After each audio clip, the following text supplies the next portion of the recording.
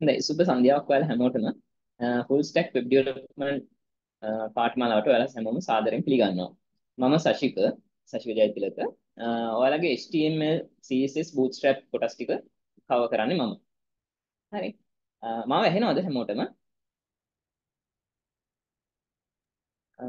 ඔව් එහෙනම්. හොඳයි. අපි පන්ති කරන දේවල් දැන් මම පොඩ්ඩක් මේ ක්ලාස් එක පටන් ගන්න කලින් මම දේවල් ටිකක් කියන්නම්. සාමාන්‍යයෙන් ක්ලාස් එක කරන් යන අතරේ ඔයාලට මොන හරි ගැටලුවක් තියෙනවා නම් මයික් ඔන් කරලා අහන්න පුළුවන්. එහෙම නැත්නම් මැසේජ් එකක් දාන්න පුළුවන්. එතකොට මේ අපි එහෙම ඉන්ටරැක්ට් වෙලා වැඩේ කරගෙන යමු. නැත්නම් මොකද මේ කියන් යන දේවල් සමහරවිට තේරුනේ නැත්නම් ඒක ඔයාලට ප්‍රශ්නයක් නේ. ඉතින් අපි මේ පුළුවන් තරම් ඉන්ටරැක්ට් වෙන්න බලමු පන්තියත් එක්ක. මේක ගොඩක්ම තීරි පැත්තට බර කෝස් එකක්. ඒ කියන්නේ ඇත්තටම දැන් අපි මෙතන ඉන්න ගොඩක් දරුවෝ මේ HTML CSS bootstrap වගේ දේවල් තීරි විදිහට මේ O level වලදී A level වලදී කැම්පස් එකේදී ඉගෙන ගන්න නැති. නමුත් මේක ප්‍රැක්ටිකලි අපි මේ ෆීල්ඩ් එකේදී කොහොමද යූස් කරන්න කියන දේවල් ටික ඒ කියන්නේ ඒ ඒ දේවල් highlight කරලා තමයි අපි මේ කෝස් එක කරන්නේ. ඉතින් ඒ කියන්නේ මෙතනදී ඇත්තටම මේ බේසික් knowledge එක ඒ කියන්නේ දැන් අපිට කතා කරා දරුවෝ කීප දෙනෙක් එයාලා බේසික් ඉඳන්ම කරන්න බලාපොරොත්තු වෙනවා. ඒ කියන්නේ කලින් මීට කලින් HTML වගේ දේවල් වලත් කළා නැහැ. නමුත් ඒ කට්ටියටත් සාධාරණයක් වෙන විදිහට පුළුවන් අයටත් තව දේවල් වැඩිපුර ඉගෙන ගන්න විදිහට අපි මේ කෝස් එක කරන්න බලමු. ඔයාලට තියෙන ගැටලු අපි අපිට අහන්න පුළුවන්. අපෙන් අහන්න පුළුවන්. මේ අපි ඒවට ඒ කියන්නේ කෝස් එක කරන අතරේදී ලොකු ප්‍රශ්න આવත් අපි ඩිස්කෂන් අවස් දාලා ඒ වගේ දේවල් කවර් කරලා දෙනවා. නැත්නම් ඕනම වෙලාවක අපි ෆෝන් නම්බර්ස් දීලා තියෙනවා. ඔයාලට ගැටලු තියෙන වෙලාව මේ තියෙන ගැටලු අපිත් එක්ක කතා කරලා විසඳ ගන්න පුළුවන්. හරි. ස්ක්‍රීන් එක ෂෙයා වෙලා නේද තියෙන්නේ? පේනව නේද ස්ක්‍රීන් එක? ඕකේ පේනවා. හරි.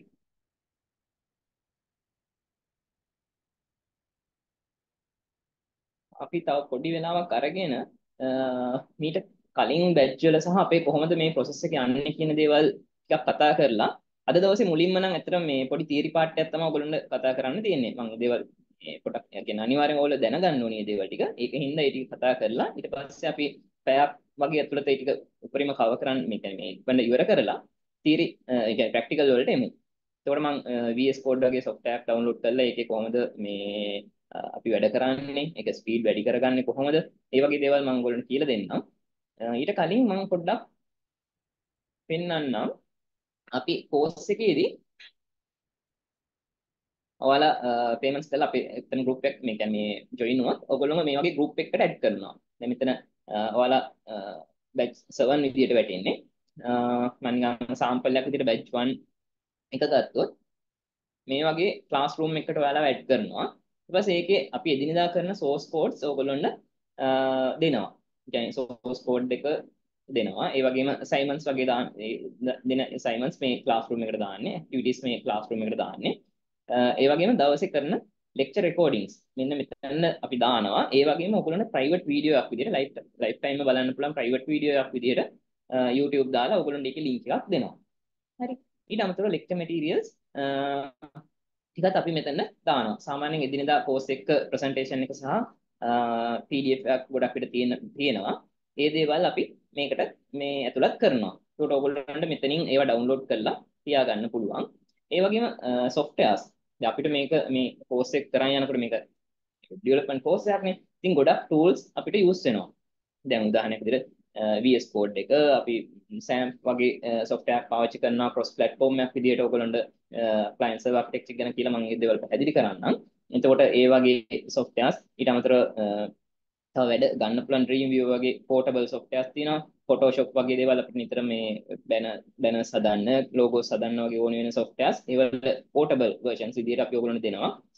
ඔය Postman, තව PHP පැත්තට ඕන වෙනකොට Code Lobster, Postman වගේ ගොඩක් softwares තියෙනවා. ඒ ටික අපි මේ ඔයාලගේ softwares pack එකට දානවා. දාලා link මෙතන මේ classroom එකට add කරලා තිබ්බම ඔයගොල්ලන්ට ඒවා download කරගන්න පුළුවන්. ඒ වගේම ඒවා install කරන විදිහේ videos අපි ඔයාලට දෙන්නම්. ඒවත් බලලා මොන හරි ගැටලු ආවොත් අනිවාර්යෙන් අපිට කතා කරන්න. මොකද මේ දැන් අද දවසේ නම් අපි ඇත්තටම plan කරන්නේ VS Code එක download කරලා ඒකේ කෝඩින් කරන්නේ කොහොමද කියන එක. නමුත් ඊළඟ දවස වෙනකොට ඊළඟ සතියේ ඔයාලා අපිත් එක්ක ජොයින් වෙලා හිටියොත් අපි ඇත්තටම වෙබ් මේ එන්වයරන්මන්ට් එකක් කියන්නේ ක්ලයන්ට් සර්වර් ආකිටෙක්චර් බේස් කරගෙන අපි ලෝකලි ඉන්ස්ටෝල් කරගන්නවා සෑම් සොෆ්ට්වෙයාර් එක ඒකේ Apache server එකත් එක්ක වැඩ කරන විදිය සහ Dreamview වගේ tools මේ ඊළඟ සතියේදී කතා කරනවා. ඒකට එහෙම එහෙම එහෙම මේක කෝස් එකේ යනකොට අවශ්‍ය වෙන දේවල් ටික මෙන්න මේ ක්ලාස්රූම් එකට ඇඩ් කරනවා. additional learning materials e-books ඔය ඔක්කොම මේ ක්ලාස්රූම් එකේ තමයි අපි හැන්ඩල් කරන්නේ. හරි. ඊට පස්සේ අද දවසේදී මම කතා කරන්න බලාපොරොත්තු වෙන්නේ දැන් බේසික්ම ලෙවල් එකකින් නම් පටන් ගන්නවා. මම HTML මේ World Wide Web කියන්නේ මොකද්ද? ඒකේ history ඊට පස්සේ client server මේ කියන්නේ World Wide Web එකේ architecture එක ඊට පස්සේ එකත් එක්ක HTML HTML5 කියන්නේ මොකද්ද? HTML5 building blocks වලට ආවට පස්සේ මෙන්න මේ වගේ ටිකක් ප්‍රැක්ටිකල් ඉස්සෙල්ලා ඔයගොල්ලන්ට කවර් කරලා දෙනවා. මෙතන මේ වෙබ්සයිට් එකක් නෙමෙයි තියෙන්නේ. අපි මේ ටැග්ස් ගැන කතා කරනවා. ඒකට ඒ ටැග්ස් මම මේ ක්ලාස් කරනකොට මම පැහැදිලි කරන්නම්. ඒ කතා කරලා මෙන්න මේ තියෙන ටිකෙන් අපි ඊළඟට එනවා. Uh, ටේබල්ස් වලට. ඊට පස්සේ ටේබල්ස් අද දවසේ කවර් කරන්න බැරිවුණත් අපි ලබන සතියේ ටේබල් කවර් කරනකොටම uh, මේ වගේ කියන්නේ අද සහ ඊළඟ දවසේ කතා කරන දේවල් වලින් අපිට මෙන්න මේ වගේ සාම්පල් පොඩි මේක වෙබ්සයිට් එකක් නෙවෙයි නමුත් වෙබ්සයිට් එකක් විදිහට මේ පාවිච්චි කරන්න පුළුවන්. පොඩි මෙන්න මේ වගේ ඉන්ටර්ෆේස් එකක් දක්වා ලබන මේ වෙද්දි ලබන සතියේදී මේ ඔයාලා ඩෙවලොප් කරනවා. මොන ලෙවල් එකේ හිටියද එතකොට මේක රෙස්පොන්සිව් නැහැ. නමුත් මේ විදිහ දේවල් ටිකක් අපිට හදා ගන්න පුළුවන්. ඉතින් මේ ඒකට ලබන සතිය වෙද්දි දැන් දවස් දෙකකින් එතකොට මෙතනදී මේ දක්වා එනකොට අපි වෙබ් ප්‍රොජෙක්ට් එකක් විදිහට සොෆ්ට්වෙයාර් එකක් අර මම කියපු සෑම් සොෆ්ට්වෙයාර් එක පාවිච්චි කරලා ඒකේ කොහොමද හරි විදිහට ප්‍රොජෙක්ට් එකක් බිල්ඩ් කරගන්නේ කියන ලෙවල් එකට ඔයගොල්ලෝ කියලා දෙනවා. එතනින් එහාට අනිත් HTML කෝඩ්ස් සහ CSS bootstrap. තර ඒ කියන්නේ මේ ඒ කියන්නේ HTML ඉවර කළාම CSS ඉවර කරලා bootstrap කරනවා කියලා එහෙම නෙවෙයි. HTML වල ඉස්සෙල්ලාම ස්ට්‍රක්චර් එක හදාගන්න ටික කතා කරගෙන ඒ ගමන්ම අපි ඒකට ස්ටයිල් කරන ලස්සන කරන දේවල් ස්ටයිලින් පැත්තට එනවා. ඊට පස්සේ මේ දෙකේ වැඩි ප්‍රමාණයක් අපි කවර් කරලා bootstrap කියන කොටසට එනවා. එතකොට bootstrap ඉගෙන ගත්තාම ඔයගොල්ලන්ට responsive website එකක් හදා ගන්න පුළුවන්. මෙන්න මේ වගේ responsive website එකක් ඔයගොල්ලන්ට දවස් 8ක් වෙනකොට අපි හදන්න කියලා දෙනවා එතකොට හැමෝම මේ වගේ එකක් දවස් 8ක් වගේ වෙනකොට ඔයගොල්ලන්ට හදන knowledge එක අරන් දෙනවා responsive website එක responsive කියන්නේ ඔයගොල්ලන්ට මේ ඕනම ඩිවයිස් එක ඒ කියන්නේ මේ මොබයිල් ෆෝන් එක වෙන්න පුළුවන් ටැබ්ලට් එක වෙන්න පුළුවන් PC එක වෙන්න පුළුවන් ඕනම ඩිවයිස් එක ඒ අපහසුකෙන් තොරව බලන්න පුළුවන් වෙබ්සයිට් එකක් හදන විදිය කියලා දෙනවා. එතකොට ඒ විදිහට හදපු කලින් ක්ලාසස් වල දරුවෝ හදපු ටිකුත් මම නිකන් පෙන්නන්නම්. මම නිකන් රැන්ඩම්ලි ගත්ත කීපයක්. මෙන්න මේ වගේ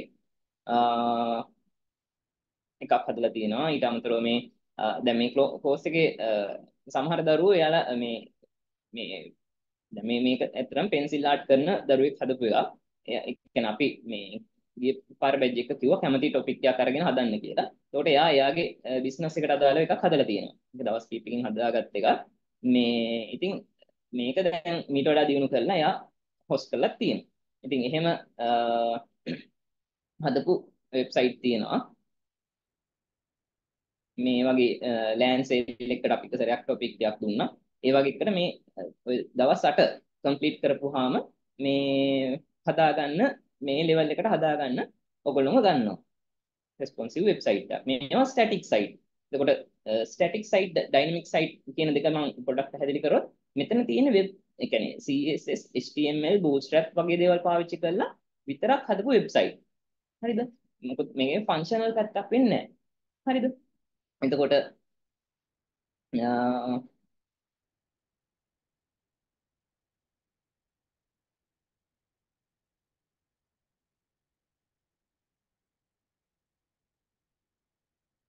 ඒකේ ෆන්ක්ෂනල් පාර්ට් එකක් වෙන්නේ නැහැ. normal වෙබ් පිටු ටික විතරයි තියෙන්නේ. මොකද මේ ඩයිනමිකලි වෙනස් වෙන දේවල් මොකුත් නැහැ. ඒකට මේ වගේ අපේ පන්ති වල හිටපු ළමයි කරපු පේජස් ටිකක් තමයි මේ පෙන්වන්නේ.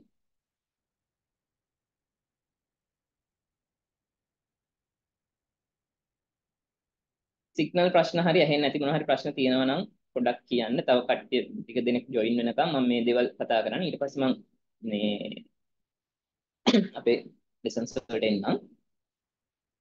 ඉතින් මේ වගේ වෙබ්සයිට් හදලා තිනවා ওই දවස් 8 අපි HTML CSS bootstrap cover කරපුවාම. ඊට පස්සේ ඔයගොල්ලොන්ට අපේ කෝස් එකේ විදිහට Canva සහ Photoshop පොඩි දවසක් මම ගොඩක් පිට cover කරන්නේ. Canva අපි තිලින සර් cover කරයි. එතකොට ඒ වගේ දෙයක් කරපුවාම මේ වගේ ලස්සන බැනර්ස් හදාගන්න, ලෝගෝස් හදාගන්න, ඒ වගේ දේවල් වලට ඔයගොල්ලන්ට free account එකක් Canva free account එකක් අරන් දෙනවා. ඒතකොට ඒක යූස් කළත් මේ වෙද්දි සල්ලි හොයන ළමයි ඉන්නවා අපේ මේ බැච් වලින් ඉගෙන ගත්ත. මොකද එයාලට ලෝගෝස් හදලා මේ කට්ටියට දෙන්න පුළුවන් ෆ්ලයර්ස් වගේ දේවල් හදලා මේ වෙද්දිත් ඒගොල්ලෝ මේ විකුණනවා. ඉතින් ඒ දේවල් පවා මේ පාර්ට් ටයිම් කරගෙන යන කට්ටිය මේ වෙද්දි හදලා තියෙනවා. මේ තියෙන තවත් වෙබ්සයිට් එකක්. මම මේවා එක එකක් ඇතුළට ගිහිල්ලා පෙන්වන්න උත්සාහ කරන්නේ මේ ඒ දරුවෝ හදපුවා මේ මේ එයාලගේ නම්බර්ස් උත් එක්ක නම්බර්ස් උත් එක්ක මේ තියෙන්නේ අසයින්මන්ට්ස් වල විදිහට දුන්නේ ඒවා. මේ වගේ ටිකක් හදලා තියෙනවා මම මේ අහම්බෙන් කීපයක් ගත්තේ. ඉතින් ඔයාලත් මේ ලෙවල් එකට දවස් 8ක් වගේ යනකොට පොඩක් මහන්සි වුණොත් එන්න පුළුවන් කියන විශ්වාසය අනිවාර්යෙන්ම තියෙනවා. හරි. අපි එහෙනම් දැන් පන්තිය පටන් ගමු.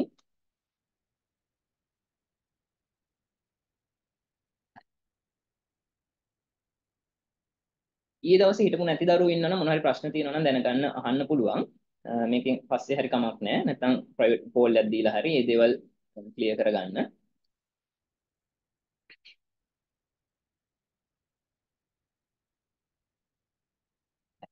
එහෙනම් අපි අද සෙෂන් එක පටන් ගමු. මම අද දවසේදී කවර් කරන්න බලාපොරොත්තු වෙනවා ඔයගොල්ලන්ට World Wide Web history එක, ඒ වගේම World Wide Web architecture එක, introducing HTML, HTML5 overview, HTML5 building blocks. හරිද? මේ දේවල් ටික කවර් කරන්න බලාපොරොත්තු වෙනවා. හරි. මම මේ අපි web development course එකක් පටන් ගත්තට මේ World Wide Web කියන වචනේ ඔයගොල්ලන්ට අනිවාර්යයෙන්ම මේකේ මොකද්ද වෙන්නේ කියන දේ සහ මේක ඉතිහාසය චුට්ටක් දැනගෙන ඉන්න එක හොඳයි.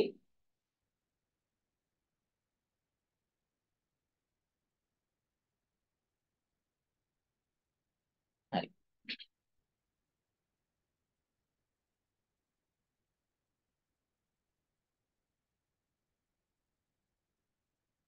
ඔයාලට මාව ඇහෙනව නේද? ඔව් සර් ඇහෙනවා. ඇහෙනවා සර්. හොඳයි.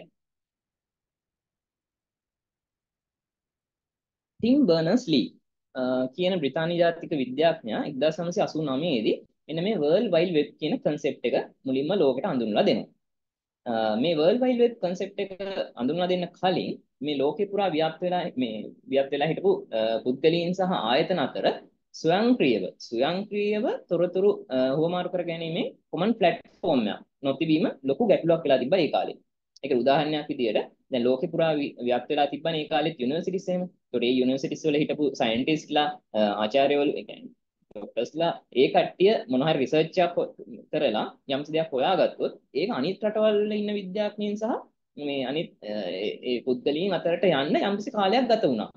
මොකද ඒගොල්ලෝ අතර කොමන් ප්ලැට්ෆෝම් එකක් තිබ්බේ නැහැ. අනික ඔටෝමේට් වෙච්ච එකක්. ඒ කියන්නේ මේ මේ මොහොතේ කළා අපි පබ්ලිෂ් කරොත් ඒ මොහොතේ වගේම අනිත් අයට බලන්න පුළුවන් විදිහ එකක් තිබ්බේ නැහැ. ඉතින් ඒක ලොකු ගැටලුවක් වෙලා තිබ්බා.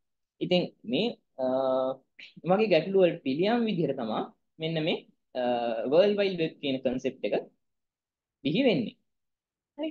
ඉතින් කොහොම හරි ඒ කාලේ තිබ්බ පරිගණක තාක්ෂණයක්, දත්ත ජාල තාක්ෂණයක්, hypertext වගේ දේවලුත් උපයෝගී කරගෙන මෙන්න මේ powerful ඒ වගේම ලේසි කියන්නේ පහසුවෙන් හසුරවන්න පුළුවන් මේ තොරතුරු පද්ධතියක් නිර්මාණය කරන්න මේ ටිම් බර්නර්ස් ලී සහ ඔහුගේ කණ්ඩායම සමත් වෙනවා. ඉතින් ඉස්සෙල්ලම වුන් ඒකට නමක් යෙදුවේ Universal Link Information System කියලා. පසු කාලිනව Universal Information System කියන එක තවත් වැඩි දියුණු වෙලා World Wide Web කියලා හඳුන්වන්න ගත්තා. හරි. ඉතින් එදා ඉඳන් අද දක්වා මේ World Wide Web කියන එක වෙබ් ඒ කියන්නේ අපි ඇත්තටම මේකට වෙබ් කියලාත් කියනවා.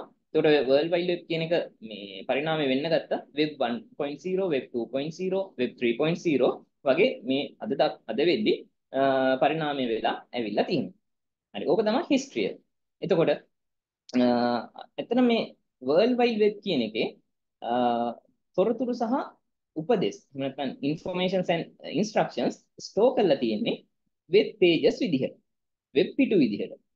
එතකොට අපි මේ කෝස් එකේදී ඔයගොල්ලන්ට කියලා දෙන්න බලාපොරොත්තු වෙන්නේ කොහොමද මේ වෙබ් පේජස් හදන්නේ. මේ වෙබ් පේජස් නිර්මාණය කරන ආකාරය තමයි මේ කෝස් එකේ ඔයගොල්ලන්ට කියලා දෙන්න බලාපොරොත්තු වෙන්නේ. හරි. ඊළඟට World Wide Web කියන ආකිටෙක්චර් ගැන මම පොඩ්ඩක් පැහැදිලි කරන්න. මම මේ තියරි කොටස් ටිකක් ටිකක් ඉක්මනට කියන්න යන්නේ. අනික මේක ඔයගොල්ලෝ අනිවාර්යෙන් දැනග ඒ කියන්නේ දැනගෙනත් ඉන්න ඕනි. මොකද මේ අපි දැන් සමහර වෙලාවට O level වලදී A level වලදී කැම්පස් එකේදී තීරයක් විදිහට HTML ඉගෙනගෙන නැති, CSS ඉගෙනගෙන නැති, Bootstrap ඉගෙනගෙන නැති. නමුත් ප්‍රැක්ටිකලි මේ දේවල් ප්‍රැක්ටිකල් ඒ කියන්නේ මේ අපි ඉන්ඩස්ට්‍රි ලෙවල් එකේදී හරිය ප්‍රැක්ටිකලි මේ දේවල් පාවිච්චි කරලා වෙබ්සයිට් එකක් හදන්න යනකොට මේ ඔක්කොම කලවමේ තමයි අපිට ඕනි වෙන්නේ. ඔය අතරේ networking ඔය AWS කියන්නේ cloud මේ computing තව ගොඩක් දේවල් තියෙනවා. ඉතින් ඒ වගේ දේවල් පිළිබඳ overall knowledge එකක් තියෙන්න ඕනේ. ඉතින් ඒවට මේ වචන ටික එහෙම කියන්නේ basic level එකකින් නම් එන දරුවෝ ඉන්නවනම් මම මේ කියන දේවල් ඔයාලට කොහොමත් වැදගත් වෙනවා.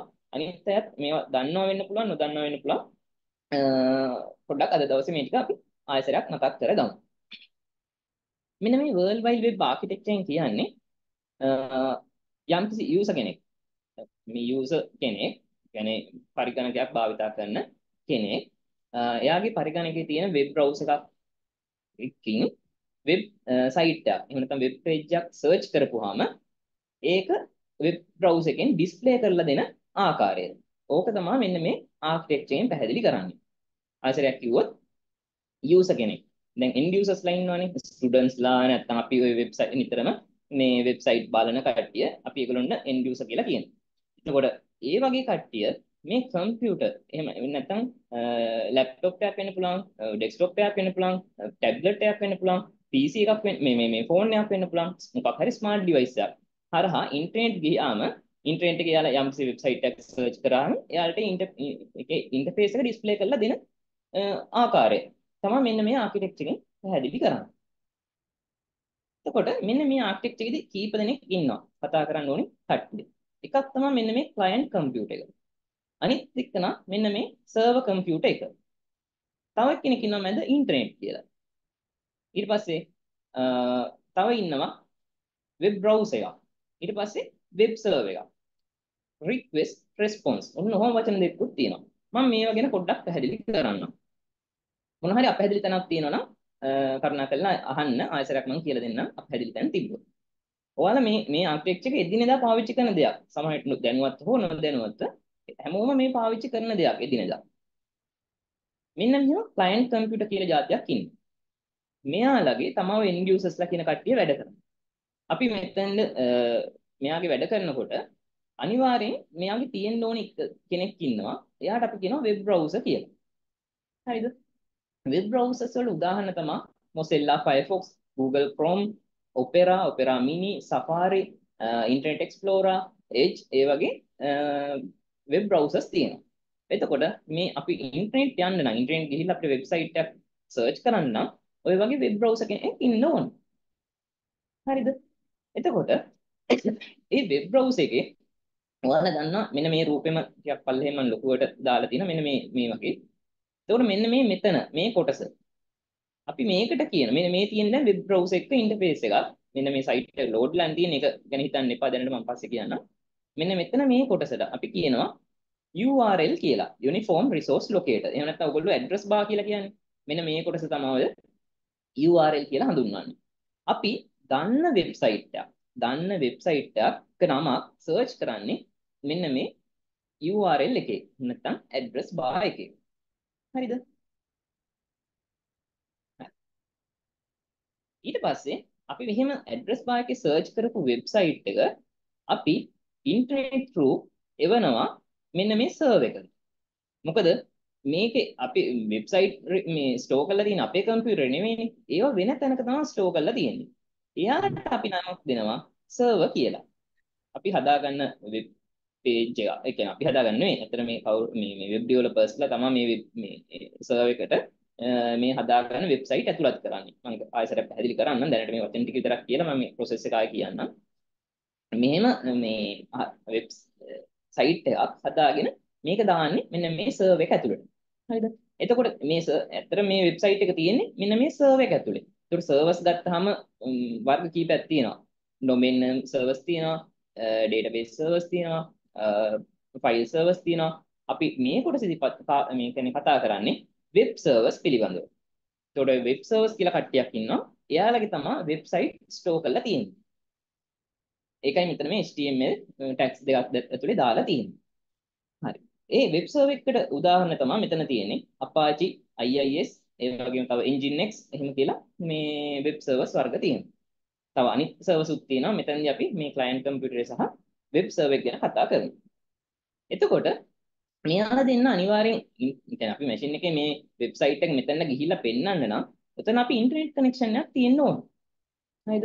එතකොට මේ TC HTTP HTTPS TCP IP වගේ ප්‍රොටෝකෝල්ස් තියෙනවා. දැන් ප්‍රොටෝකෝල් එකක් කියන්නේ මොකද්ද කියලා මම මෙතනදි කියන්න යන්නේ නැහැ. නිකන් ඔයගොල්ලෝ හිතන්නකෝ මේ ඉන්ටර්නෙට් එකේ ෆයිල් ට්‍රාන්ස්ෆර් වෙන මේ හරි රූල් එකක් කියලා. අන්න එහෙම දෙයක් තමයි ප්‍රොටෝකෝල් එකක් කියලා දැනට හිතා ගන්න. එතකොට ඔන්න ඔය මේ ප්‍රොටෝකෝල් සරහා data transfer කරන්න පුළුවන්. එතකොට මෙතන මේ මේ කම්පියුටරෙන් සර්ච් කරන වෙබ් ඇඩ්‍රස් එක. දැන් මම මෙතනදී සර්ච් කරන්නේ දන්න වෙබ් ඇඩ්‍රස් එකක් කියලා කියවනේ. එක්කෝ www.google.com. එහෙම නැත්නම් www.facebook.com. එහෙම නැත්නම් eh, www.srilansoftware.com වගේ මෙහෙම වෙබ් ඇඩ්‍රස් එකම දන්නවනම් තමයි URL එකේ ටයිප් කරන්නේ. එතකොට එයා මේ ඉන්ටර්නෙට් හරහා ඉන්ටර්නෙට් එක එනකොට ඉස්සෙල්ලාම හම් වෙන්නේ ඩොමේන් නේම් සර්වර් එක. ඒකට ඒකෙදි යා කොහෙද මේ ෆයිල් මේ මේ වෙබ් පේජ් එක තියෙන්නේ කියලා එයා දන්නවා ඩොමේන් නේම් සර්වර් එකෙන්. එතකොට එයා කෙලින්ම ඩිරෙක්ට් කරනවා ඒ අදාළ වෙබ්සයිට් එක හොස්ට් කරලා තියෙන සර්වර් එකට. අපි මේ හොස්ටිං වලදී මේ කොටස ආයෙසරයක් මේ මහින්ස පැහැදිලි කරනවා ඔයගොල්ලොන්න. මම දැනට මේ මොකද්ද වෙන්නේ මෙතනදි කියන එක පැහැදිලි කරන්න මොකද මේ ගැන අදහසක් නැතුව අපි වෙබ් ඩෙවලොප්මන්ට් වලට ආවට වැඩක් නැහැ. මෙන්න මේක රික්වෙස්ට් එකක් විදියට මේ වෙබ් ඇඩ්‍රස් එක රික්වෙස්ට් එකක් විදියට දැන් මෙයා සර්වර් එකට ගෙනත් දෙනවා. ඊට පස්සේ සර්වර් එකෙන් මෙන්න මේ වෙබ් පේජ් එක හොයලා ඒකට අදාළ පිටුව ගොඩක් වෙලාවට මේක ඉන්ඩෙක්ස් එකක් වෙන්න පුළුවන්. මම ඒ වචන ඉදිරියේදී කතා කරන්නම්. මේ වෙබ් පිටුව රෙස්පොන්ස් එකක් විදියට ආයසරයක් අර ඉන්ටර්නෙට් හරහා මෙන්න මේ ක්ලයන්ට් කම්පියුටර් එකටම ගිහින් දෙනවා. එතකොට ඔන්න ඔය process එක තමයි මෙන්න මේ World Wide Web Architecture එකෙන් පැහැදිලි කරන්නේ. හරිද? එතකොට මේක ඉන්ටර්ෆේස් එක විදිහට මෙන්න මෙහෙම මේ මෙන්න මෙහෙම මොකක් හරි විස්තරයක් එක මේ වෙබ්සයිට් එක ඩිස්ප්ලේ කරලා දෙන්න මෙන්න මේ බ්‍රවුසර් එකට හැකියාව තියෙනවා. මොකද මේ බ්‍රවුසර් එකෙන්ම තමයි බ්‍රවුසර් එකේ URL එකෙන් තමයි අපි මේ රික්වෙස්ට් එක කරන්නේ www. මොකද්ද මේ වෙබ් ඇඩ්‍රස් එක දීලා රික්වෙස්ට් එක කරනවා. ඒක සර්වර් එකට ආවහම එයා ඒ පිටුව ගෙනියලා මේ ක්ලයන්ට් කම්පියුටර් එකේ මේ බ්‍රවුසර් එකට ලබා දුන්නාම මෙයාට පුළුවන් ඒකේ තියෙන ඉන්ස්ට්‍රක්ෂන්ස් කියවලා ඒකේ තියෙන විදිහට මේ ස්ට්‍රක්චර් එක බිල්ඩ් කරලා මෙන්න මේ විදිහට ඉන්ටර්ෆේස් එකකින් ඒ වෙබ් පේජ් එක ඩිස්ප්ලේ කරලා දෙන්න. ඔක තමයි මෙතනදී වෙන්නේ. ඒකට අපි දැනට දැනගන්න ඕනි අපි මේ වෙබ් ඩෙවලොප්මන්ට් කෝස් එකක් කරනකොට අපි ඇත්තටම හදන්නේ මෙන්න මේ වෙබ් පිටුව තමයි අපි ඩෙවලොප් කරන්නේ. හරිද? ඒකෝට මේක මේ මම ඒක අප්ලෝඩ් කරලා පෙන්නුවා. මෙන්න මේ විදිහට කෝඩින්ග්ස් තියෙන්නේ. එතකොට ඔය කෝඩින්ග්ස් ලියන එක තමයි අපි කරන්නේ. එතකොට මෙහෙම කෝඩ් තිබ්බට මේක බය වෙන්න එපා. මම කොච්චර සරලද කියලා පෙන්නන්නම්. අද දවසේ උත්සාහ කරනවා මේ ඒවා අර VS Code එකත් එක්ක ඔයගොල්ලන්ට කියලා දෙන්න. එතකොට මේ වගේ කෝඩින් තමයි අපි දැන් ඉගෙන ගන්න යන්නේ. එතකොට මේ කෝඩින් වලින් අපි මෙන්න මේ විදිහේ ඉන්ටර්ෆේස් එකක් ඩෙවලොප් කරන්න ඕනේ. නිකන් ෆොටෝ එකකින් ඩිසයින් කරන්න පුළුවන්. එතකොට ඒක වෙබ්සයිට් එකක් වෙන්නේ නැහැනේ. මේක ෆන්ක්ෂනල් වෙන්න නම් මෙන්න මේ ලින්ක්ස් ක්ලික් කරනකොට ඒ අදාළ pages load වෙන්න නම් අපි ඒවට අදාළ codes ලියන්න ඕනේ. එතකොට ওই codes ලියන්න ඉගෙන ගන්න එක තමයි අපි මේ HTML part එකේදී කරන්නේ. හරි. දැන් ඔහොම රික්වෙස්ට් එකක් කරලා page එකක් response එකක් විදිහට මේ browser එකට ගෙනත් දෙනවා. ඊළඟට මොකද්ද වෙන්නේ? දැන් කොහොමද මේ browser එකෙන් මේ වගේ මෙයාගේ ඉන්ටර්ෆේස් එක හදලා ලස්සනට පෙන්වන්නේ? ඔතනදී මෙන්න මේ කියන දේවල් ටික වෙනවා. මේ වෙබ් බ්‍රවුසර් එකට රෙස්පොන්ස් එක ආවහම මේ වෙබ් බ්‍රවුසර් එකට පුළුවන් මම මේක නිකන් කියෙව්වොත් uh, how does the uh, browser display the pages? All web pages contain instructions for display. මේ uh, මොනවද මේ? වෙබ් පේජ් එකේ මේ කියන්නේ මේ කියන්නේ වෙබ් පේජ් එක browser එකේ display කරන්න මේ මිස් කරන්න කවුද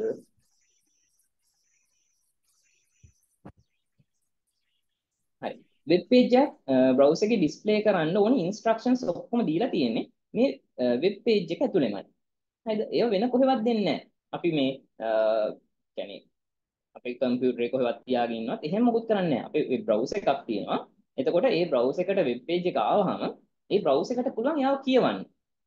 එතකොට ඒ ඒකේ ඒ කියවන්නේ මොනවද? instructions. ඒවා instructions ටික තියෙන්නේ අපි අර ගේන වෙබ් පේජ් එකේ ඇතුළේමයි. හරිද? එතකොට දෙවෙනි කියනවා the browser displays the page by reading these instructions. එතකොට මේ browser එකට හැකියාව තියෙනවා ඒ වෙබ් පේජ් එකේ ආපු instructions ටික කියවන්න. read කරන්න හැකියාව තියෙනවා. the most common කියන්නේ read කළා මේ කියන්නේ කියවලා එයාගේ ඉන්ටර්ෆේස් එක ඩිස්ප්ලේ කරන්න අර මේ browser එක හරහාම the most common display instructions are called HTML tags අපි මේ පොදුවේ කියනවා මේ instructions වලට HTML tags කියලා හරිද එතකොට අපි මේ වෙබ් pages එක හදන්න මේ පටන් ගත්තාම ඉස්සෙල්ලා මේ tags ගැන තමයි ඉගෙන ගන්න තියෙන්නේ HTML tags look like this එතෙන්දි මේ ඔයගොල්ලන්ට පේනවා දැන් මෙතන තියෙනවා paragraph tag එකක් කියන එක මම මේ දේවල් පැහැදිලි කරන්නම්. දැන් මෙතනදී ඔයගොල්ලෝ බලන්න මේක නිකන් සිම්බල් එකක් වගේ. ඒ කියන්නේ මෙතන angle brace එකකින් මේ angle bracket එකකින් මෙන්න මෙහෙම open කරලා p කියලා සිම්බල් එකක් පාවිච්චි කරලා මෙයාව ආයේ angle bracket එකකින් close කරලා තියෙනවා. ඒත් මේ සම්පූර්ණ එකට අපි කියනවා tag එකක් කියලා. මෙතන ඇත්තටම තියෙන්නේ open tag එකක්. එහෙම නැත්නම් start tag එකක්.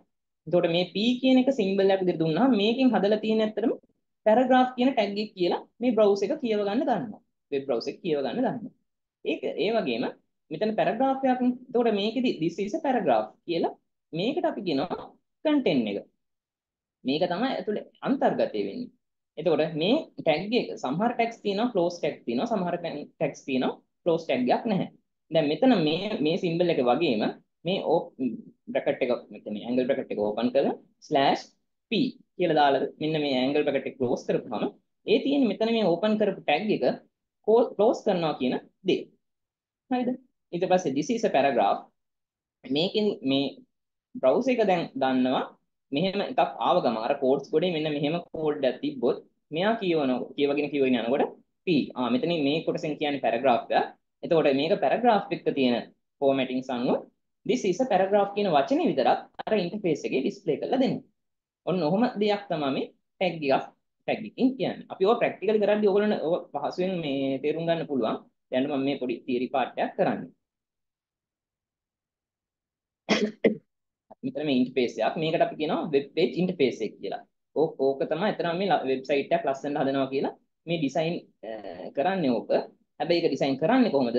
මෙන්න මේ source code එක තමයි අපි ලියන්නේ. ඒකට අපි කියනවා source code එක කියලා. ඇත්තට මේ HTML page එකක් කියන්නේ source code format එකකින් තියෙන document එකක්. මේක save කරලා තියෙන්නේ මොකක් හරි නමක් දීලා .html කියන extension එකෙන්. අපි මේ දේවල් කරනවා මේ practical කරනවා පැහැදිලි කරනවා සරල එකකින් ඉඳන්ම. ඉතින් දැනට මේක වචන හුරු වෙන්න විතරක් මේ ටික අහගෙන ඉන්නේ. හරි. දැන් අපි බලමු HTML කියන්නේ මොකක්ද කියලා. අදටත් බහුලව මේ වෙබ් පේජ් ඩෙවලොප් කරන්න භාවිතා කරන ලැන්ග්වේජ් එක තමයි HTML කියලා කියන්නේ. හරිද? තව ලැන්ග්වේජස් තියෙනවා. ඒ අද බහුලව භාවිතා වෙන ලැන්ග්වේජ් එක තමයි HTML කියන්නේ. එතකොට මේ වෙබ් පේජ් එක ස්ට්‍රක්චර් එක බිල්ඩ් කරන්නේ මෙන්න මේ HTML කියන ලැන්ග්වේජ් එකෙන්. සැකිල්ල හදන්නේ HTML වලින්. ඒක ලස්සන කරන්නේ මස් දාලා ඇඳුම් අඳලා ලස්සන කරන්නේ මෙන්න මේ මේ CSS වලින්. ඊට පස්සේ ඒක ෆන්ක්ෂනල්. ඒක විදින්න මිනිස්සෙක් හිතා ගන්නකො මිනිස්සගේ සැකිල්ල තමයි මේ HTML. ඇට සැකිල්ල. ඊට පස්සේ යාර මාස් දාලා ලස්සන කරලා ඇඳුම් අඳලා ඒ දේවල් කරන්නේ CSS වලින්. ඊට පස්සේ එයාට දුහන්න පුළුවන් කතා කරන්න පුළුවන් ඒ දේවල් ෆන්ක්ෂනල් පාර්ට් එකක් කරන්නේ JavaScript වල. හරිද? අන්න ඔය ඔය කොටස් ටික එකතුව තමයි front end development කියන්නේ. HTML, CSS, Bootstrap උත් ඒකට අයිති වෙන framework එකක් විදියට මම මේ දේවල් පස්සේ පැහැදිලි කරන්නම්. මේ ඊට අමතරව JavaScript. ඒ කට්ටිය එකතු වෙලා මේ සාමාන්‍ය වෙබ්සයිට් එක front end එක develop කරනවා. front end එක කියන්නේ end user කෙනෙක්ට සාමාන්‍යයෙන් මේ වෙබ්සයිට් එක මොනවා හරි තොරතුරු ගන්න පාවිච්චි කරන කෙනාට පේන විදිහට ඒක develop කරනවා. හරිද? front end. එතකොට ඕකට database සම්බන්ධ වෙනවා, back end කියලා එකක් සම්බන්ධ වෙනවා. back end එකෙන් තමයි අතර මේවා අර functional part එකට දැන් මොනවා හරි දැන් දරාස් එක ගත්තොත් දරාස් එකේ අපි අපි දරාස් එක යූස් කරලා බඩු ඕඩර් කරන එක නම් කරන්නේ අපිට පේන ඉන්ටර්ෆේස් එක තියෙනවා. ඊට අමතරව ඒකට ප්‍රයිසස් සෙට් කරන ප්‍රයිසස් චේන්ජ් කරන ඩිස්කවුන්ට් දෙන එහෙම කොටසකුත් ඉන්නවා. ඒකට එයාලා හැන්ඩල් කරන්නේ කෙලින්ම බෑක් එන්ඩ් පාර්ට් එක. බෑක් එන්ඩ් පාර්ට් එක කියන්නේ කෝඩින් ගැන කතා කරමු. තව ඉදිරියේදී ඔය පටල ගන්න එපා. ඒකට ඒ ඉන්ටර්ෆේසස් තියෙනවා මේ නමුත් අර කොටස් දෙකක් තියෙනවා ෆ්‍රන්ට් එන්ඩ් සහ බෑක් එන්ඩ් කියලා අපි ඇත්තට මේ කෝස් එකේදී ඔය ෆ්‍රන්ට් එන්ඩ් සහ බෑක් එන්ඩ් කියන සම්පූර්ණ ඒ දෙකම කවර් කරන හින්දා මේක full stack development course එකක් කියලා හඳුන්වනවා. ඒකට අපේ stack එක තමයි HTML, CSS, Bootstrap, JavaScript. ඊට පස්සේ database ඔයගොල්ලෝ කවර් කරන්නේ MySQL database එක. ඊට පස්සේ PHP, uh, jQuery මේ Ajax ඒ වගේ දේවල් මේ තව වැඩි additional දේවල් විදිහට මේ stack එකේ ඔයගොල්ලොන්ට කවර් කරනවා. හරි. දැන් මම HTML ගැන කතා කරේ. HTML language එක මම ඉස්සෙල්ලාම කියලා ඉන්නම් මේ HTML කියන එකේ ස්ටෑන්ඩ්ස් කරන්නේ කියන්නේ මේ මොකද්ද මේකෙන් කියන්නේ කියලා hypertext markup language කියන එක තමයි ඔය HTML කියන එකෙන් කියන්නේ. එතකොට මේක දෙකකට කඩාගත්තොත් මේ hypertext කියන්නේ මොකද්ද? hypertext කියලා එකක් තියෙනවා markup language කියලා තියෙනවා. මේ hypertext තිබ්බ හින්දා තමයි world wide web කියන වල කියන්නේ world wide web කියන එක මේ මේ සෑහෙන ප්‍රචලිත වුනේ. මොකද මේ hypertext වලින් පුළුවන් වෙබ් pages අතර links හදන්න. හරිද? දැන් පත්තරයක් ගත්තොත් ඒ කාලේ පත්තර තිබ්බා. පත්තර පොත්පත් තිබ්බා. නමුත් පත්තරයක මොකක් හරි විස්තරයක් දීලා ඒ ඒ විස්තරේ උඩ ක්ලික් කරාම තව ඒකට අදාළ විස්තර එකපාර එන එහෙම මොකක් හරි ටෙක්නොලොජියක් තිබ්බේ නැහැ.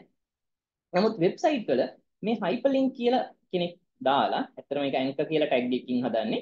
එතකොට ඒ වගේ ලින්ක්ස් හදන්න හදලා තිබ්බහම ඒ මොකක් හරි වචනයක් උඩ ක්ලික් කරපුවාම ඒ මොහොතේම ඒ වචනයට අදාළ යම්කිසි විස්තරයක් එහෙම නැත්නම් වෙන වෙබ්සයිට් එකක් වෙන ડોකියුමන්ට් එකක් මොකක් හරි එහෙම තැනකට ලින්ක් එකක් හදන්න පුළුවන්. ඒකට පහසුවෙන් අර හිටපු තැන ඉඳන් තව ඒකට ඇඩිෂනල් බලාගන්න දෙයක් වෙන්න පුළුවන් මොකක් හරි වෙන ප්‍රොසෙස් එකක් වෙන්න පුළුවන්. ඒ වෙන තැනකට ටක් ගාලා මූව් කරන්න පුළුවන්. අන්න ඒකට එහෙම කරන්න මේ මේ මේ HTML කියන ලැන්ග්වේජ් එකට මේ hypertext පාවිච්චි කරලා එහෙම links හදන්න පුළුවන්. ඒකින්ද මේක hypertext කියන අදහස එනවා. it's a markup language. මොකද markup language එකක් කියන්නේ? මේක ඒ කියන්නේ මේ plain text පාවිච්චි කරලා browser එකටත් කියවන්න පුළුවන් වෙන විදිහට developers ලට කෝඩ් කරන්න පහසු වෙන විදිහට හදපු simple language එකක්. මේක ඇත්තටම ඉගෙන ගන්න අමාරු නෑ. ඉගෙන ගන්න ලේසි. මොකද අර tags ටික සහ එයාට අදාළ attributes ටිකක් තියෙන්නේ. ඒ ටික හරියට දැනගත්තා නම් structure එක build කරලා ඒකට CSS part ටික එහෙම දාගත්තාම ලස්සන වැඩේ කරගෙන යන්න පුළුවන්. එතකොට මේ markup language එකක් කියන්නේ මේ simple text පාවිච්චි කරලා browser එකට කියව ගන්න. දැන් browser එකනේ read කරලා ඒක ලස්සන interface එක display කරලා දෙන්නේ. එයාට read කරන්නත් පහසු වෙන විදිහට developersලා දැන් අපි දැන් ඉදිරියේදී ඔයගොල්ලෝ developersලා. ඔයාලා තමයි මේ web page ලියන්න යන්නේ. ඒකට ඔයාලට කෝඩ් කරන්නත් පහසු වෙන විදිහට හදපු language එකක් තමයි මේ HTML කියන්නේ. ওই වචන දෙකෙන් තේරුම් වෙන්නේ ඕක. එතකොට තව තියෙනවා HTML is not, is not a programming language. මේක programming language එකක් නෙවෙයි. දැන් සමහර දරුවෝ CV වලට දානවා programming language එකක් විදිහට HTML. ඒක වැරදි. මොකද මේ ඒකෙන්ම දන්නවා එතකොට එයාලා ඒක අදහස يعني දන්නේ නැතුව තමයි මේක කරලා තියෙන්නේ කියලා. මොකද මේ HTML පුළුවන් වුණ පළියට ඒක programming language එකක් වෙන්නේ නැහැ. programming language එකක් කියන්නේ යම්කිසි ෆන්ක්ෂන් එකක් වෙන process මේ කියන්නේ මොකක් හරි ෆන්ක්ෂන් ෆන්ක්ෂන් එකක් ෆන්ක්ෂනල් පර්පස් එකක් වෙන language එකක්. උදාහරණයක් JavaScript වෙන්න පුළුවන්. ඒ වගේ දැන් මොකක් හරි calculation මොන හරි වෙනවා නම් එතන ෆන්ක්ෂන් එකක් වෙනවා. අන්න එහෙම දේවල් වලට පාවිච්චි කරන languages තියෙනවා. ඒවට තමයි programming languages කියන්නේ. මේ hypertext markup language එක එහෙම නැත්නම් HTML කියන්නේ structural language එකක්. ඒ කියන්නේ ඒකෙන් කරන්නේ මොකක් හරි interface එකක් හරි ඒ වගේ දෙයක් build කරන එක. හරිද? ඒකේ structural මේ purpose එකට මිසක් functional purpose එකට පාවිච්චි කරන දෙයක් නෙවෙයි.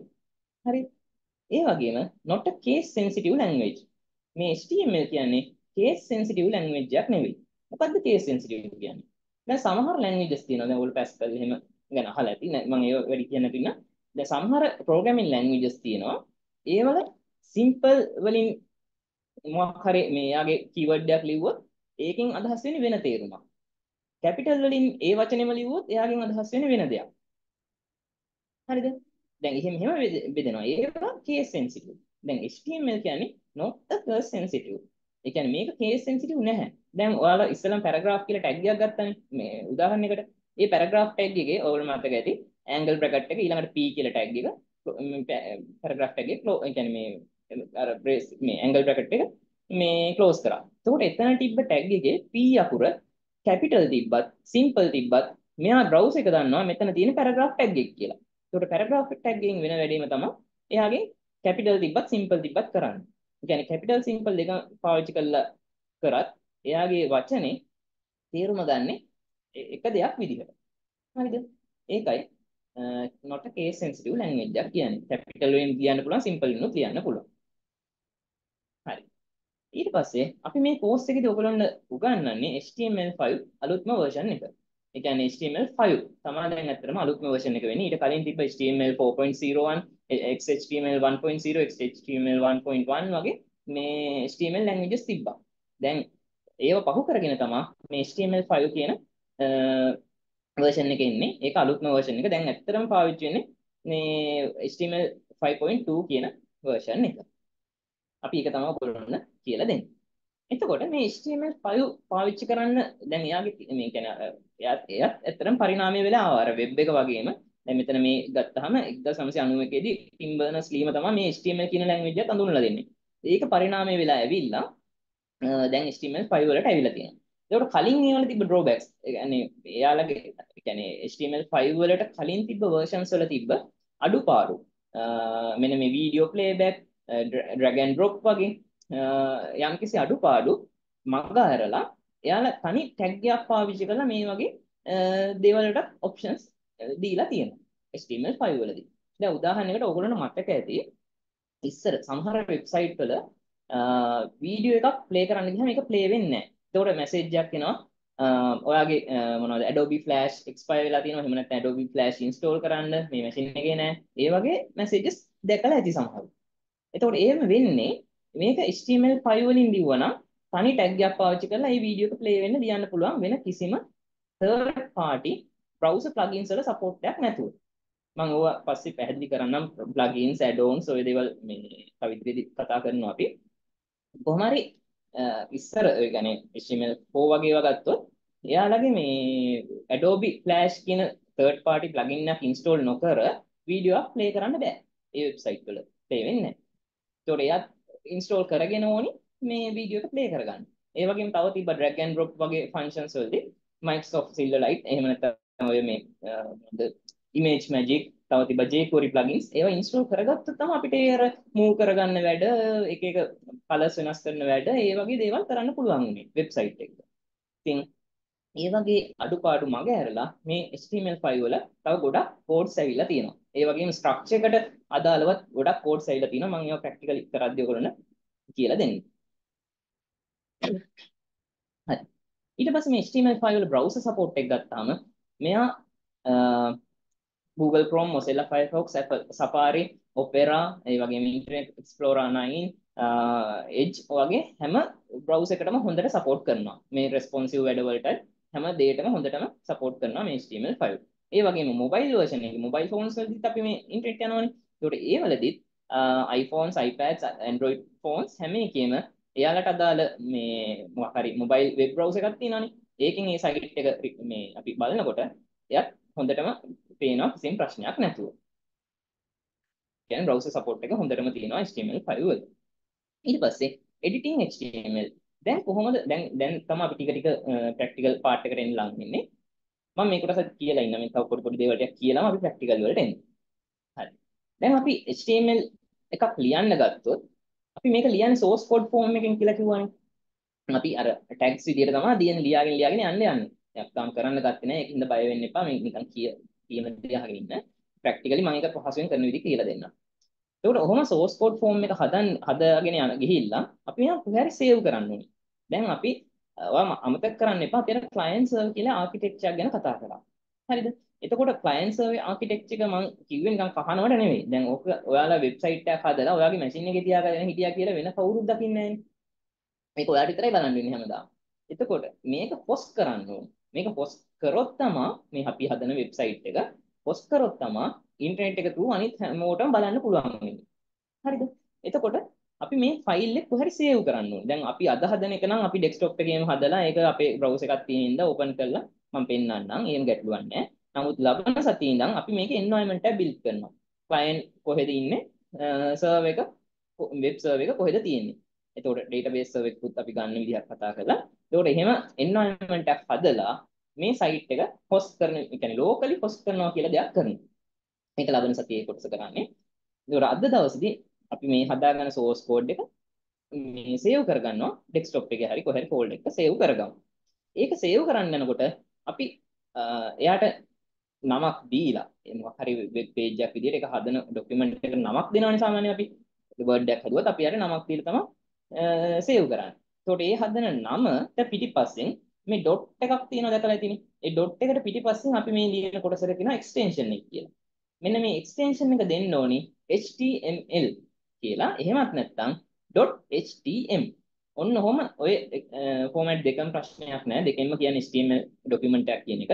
අපි සාමාන්‍යයෙන් පුරුද්දක් විදියට නමක් දීලා abc නම් abc.html කියලා ඒ page එකට නමක් දෙනවා. අපි ඉදිරියේදී එහෙම නම් පාවිච්චි කරන්නේ නැහැ. index ෆයිල් එකක් න home page එක නම් index.html index.php ඔන්න ඔය විදියට සේව් කරනවා ෆයිල්ස්. ඒකට දැන් HTML ෆයිල් එකක් සේව් කරන්නේ නම දුන්නා .html කියලා.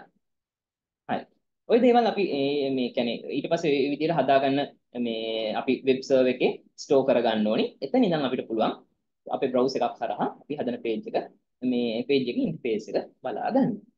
හරිද?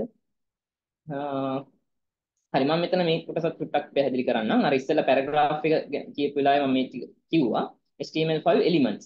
ඒතකොට මෙතන ඇත්තට මේ HTML5 element tag කියන්නේ මෙන්න මේ සම්පූර්ණ ටැග් එකක් එක්ක මේ කන්ටෙන්ට් එක පාවිච්චි වෙන අවස්ථාවට අපි කියනවා HTML5 එලිමන්ට් එකක් කියලා.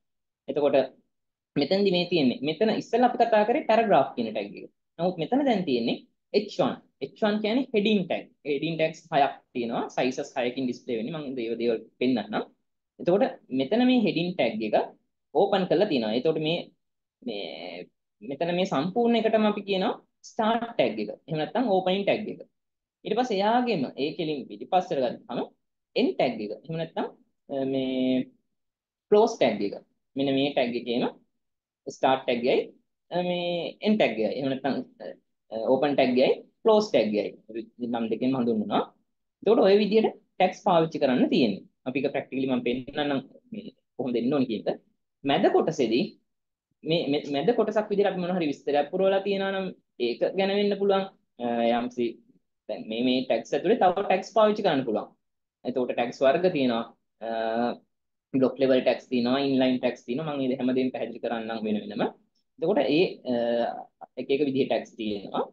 මෙන්න මෙහෙම ටැග් එක ඇතුලේ මේ ලියලා තියෙන දේකට අපි කියනවා කන්ටෙන්ට් එක කියලා. එතකොට ඕපන් ටැග් එකයි ක්ලෝස් ටැග් එකයි කන්ටෙන්ට් එකයි අපි පොදුවේ කිව්වහම ඒකට කියනවා අපි HTML එලිමන්ට් එකක් කියලා.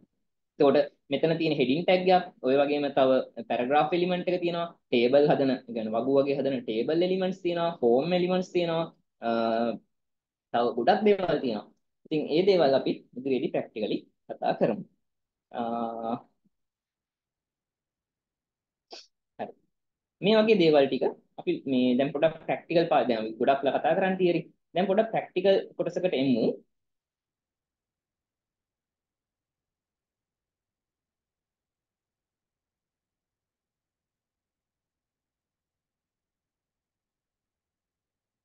හරි මට මෙතෙක් කරපු දේවල් වල මොන හරි ගැටලු තියෙනවද?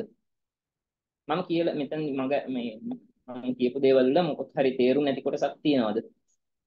ඔයාලා මැසේජ් එහෙම දානවා නම් හොඳයි. ඒ කියන්නේ එතකොට මම දන්නවනේ පොඩ්ඩක් ඉන්ටරැක්ට් වෙනවා කියලා අපෙත් එක්ක නැත්තම් මම කියවගෙන ගිහිල්ලත් ඕගොල්ලෝ අදහසක් තේරුම් ගත්තේ නැත්නම් වැඩක් නැහැ තේරුණා නම් තේරුණා කියලා කියන්න නැත්නම් නැහැ කියලා කියන්න මොන හරි ගැටලු කියන මම ආයෙ කියන්න ඕන දේවල් තියෙනවා නම් මේ ආකිටෙක්චර් එකේ හරි දැන් බ්‍රවුසර් එක කොහොමද වෙබ් පේජ් එකක් ඩිස්ප්ලේ වෙන්නේ ක්ලියර් කියලා දාලා තිනවා ධනුෂ්ක අනිත් අයටත් ඕකේද? අපි එහෙම වුණොත් ප්‍රැක්ටිකල් පාර්ට් එකට එන්න පුළුවන්. හරි.